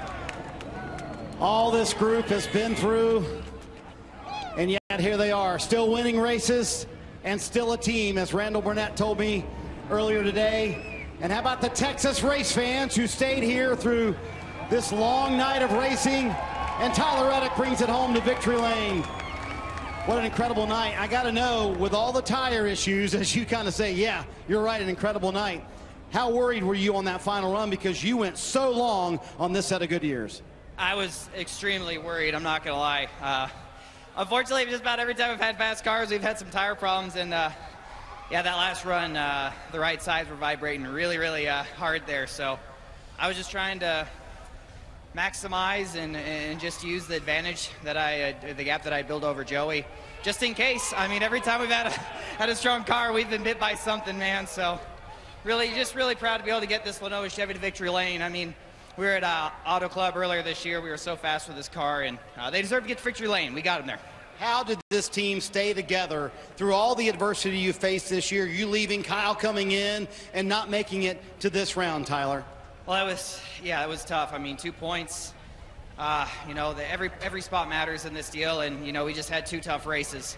We brought a really fast car to Darlington, and we were leading at Kansas when we broke and, and fell out early. And so it's just it's tough, but this will uh, this will make that uh, the pain of not making it through a little bit easier. Even though yes, it uh, it would have locked us in around eight, but hey, we're winning races. That's what we'll keep trying to do. What a long night. How about these Texas race fans who hung out for all of it? Yeah, I mean it was a hot one. Thank you to the fans coming out. I really appreciate it. This is uh, this is a tough race. 500 miles here is not an easy feat, and I know it wasn't easy on you guys as well. So it's just so great to be able to win here in a Cup car. Been close a few times, and uh, yeah. Look at Lombardi. Yeah, let's go! There you go. The guys are out here. What a veteran crew. Tyler Reddick brings it to victory lane at Texas. Yeah, Marty, he's going to be taking the eight car and the team.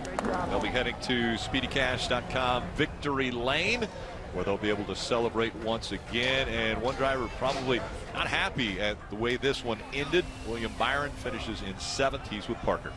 Right, Rick, and he had that incident with Denny Hamlin there. So let's start with the first one, and then we'll get to the second one. What happened off of turn two there between you and Denny? Do you feel like that was something in his control to not have happen?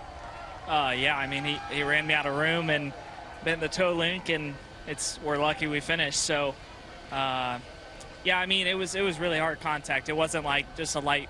It wasn't like, you know, just a light contact or anything like that. So, um, yeah, I didn't mean to, yeah, obviously spin him out over there, but I'm obviously, you know, pissed off and um, just not going to get run like that. We've always run so well um, or raced so well together, so I don't, I don't know what it was all about. I mean, the 19 took his air away and he ran out of racetrack, so he chose to run me out of out of racetrack completely. And again, like, look, it's not like it was just light contact. Like, I mean, I thought we were going to be done. So, um, yeah. So you ran into him off purpose off turn four.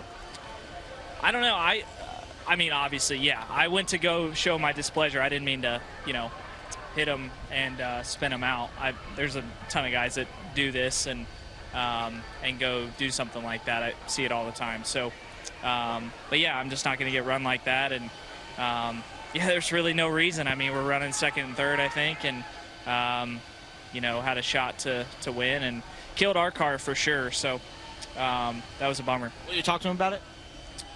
Uh, yeah, I guess so. We'll, we'll probably talk. I mean, look, like we've never had issues, so I don't, I didn't really get it. But I'm not just gonna be like, oh, don't normally have issues with the, this guy. I'm not gonna be mad about it. So it was, uh, yeah, it was uncalled for, and um, feel like we handled it. Kim, he's not gonna lay over. Let's hear the other side of the story. Denny Hamlin. Williams said he wanted to show his displeasure, but didn't mean to spin you out. You wanted to see a penalty for that contact under caution. Were you surprised it didn't come out by NASCAR? Well, I think the crew chief was wanting something because you can't. I mean, I guess we can just wreck each other under caution. I, I tried to wreck him back, but um, yeah, it's just. Uh, I don't think we touched. I, I got to look, but I, I, don't think we touched. But obviously, uh, he sent us through the infield on under caution. He said he likely needs to talk to you, but you guys haven't had any prior incidents. What's that conversation going to be like? I mean, you know, I, I, I keep hearing these guys, but I, you know, I've just, I'll just add it to the list of, of guys when I get a chance, they're going to get it. Going to get it later in the playoffs, or is this something that carries over to next it year? All, it all just works itself out. We'll be racing each other at some point, and he'll lose a lot of spots because he's, you know, racing me. So it's just, uh, it's this is hard racing. Obviously, um, I'm fine with hard racing, but wrecking me under caution is obviously uh, not what we were. Uh, uh, bargained for. And so thanks to my FedEx Toyota team for bouncing back. Obviously, it cost us all of our track position. I thought we were in a great position to win until uh, we, we got sent back to 20 something there. So.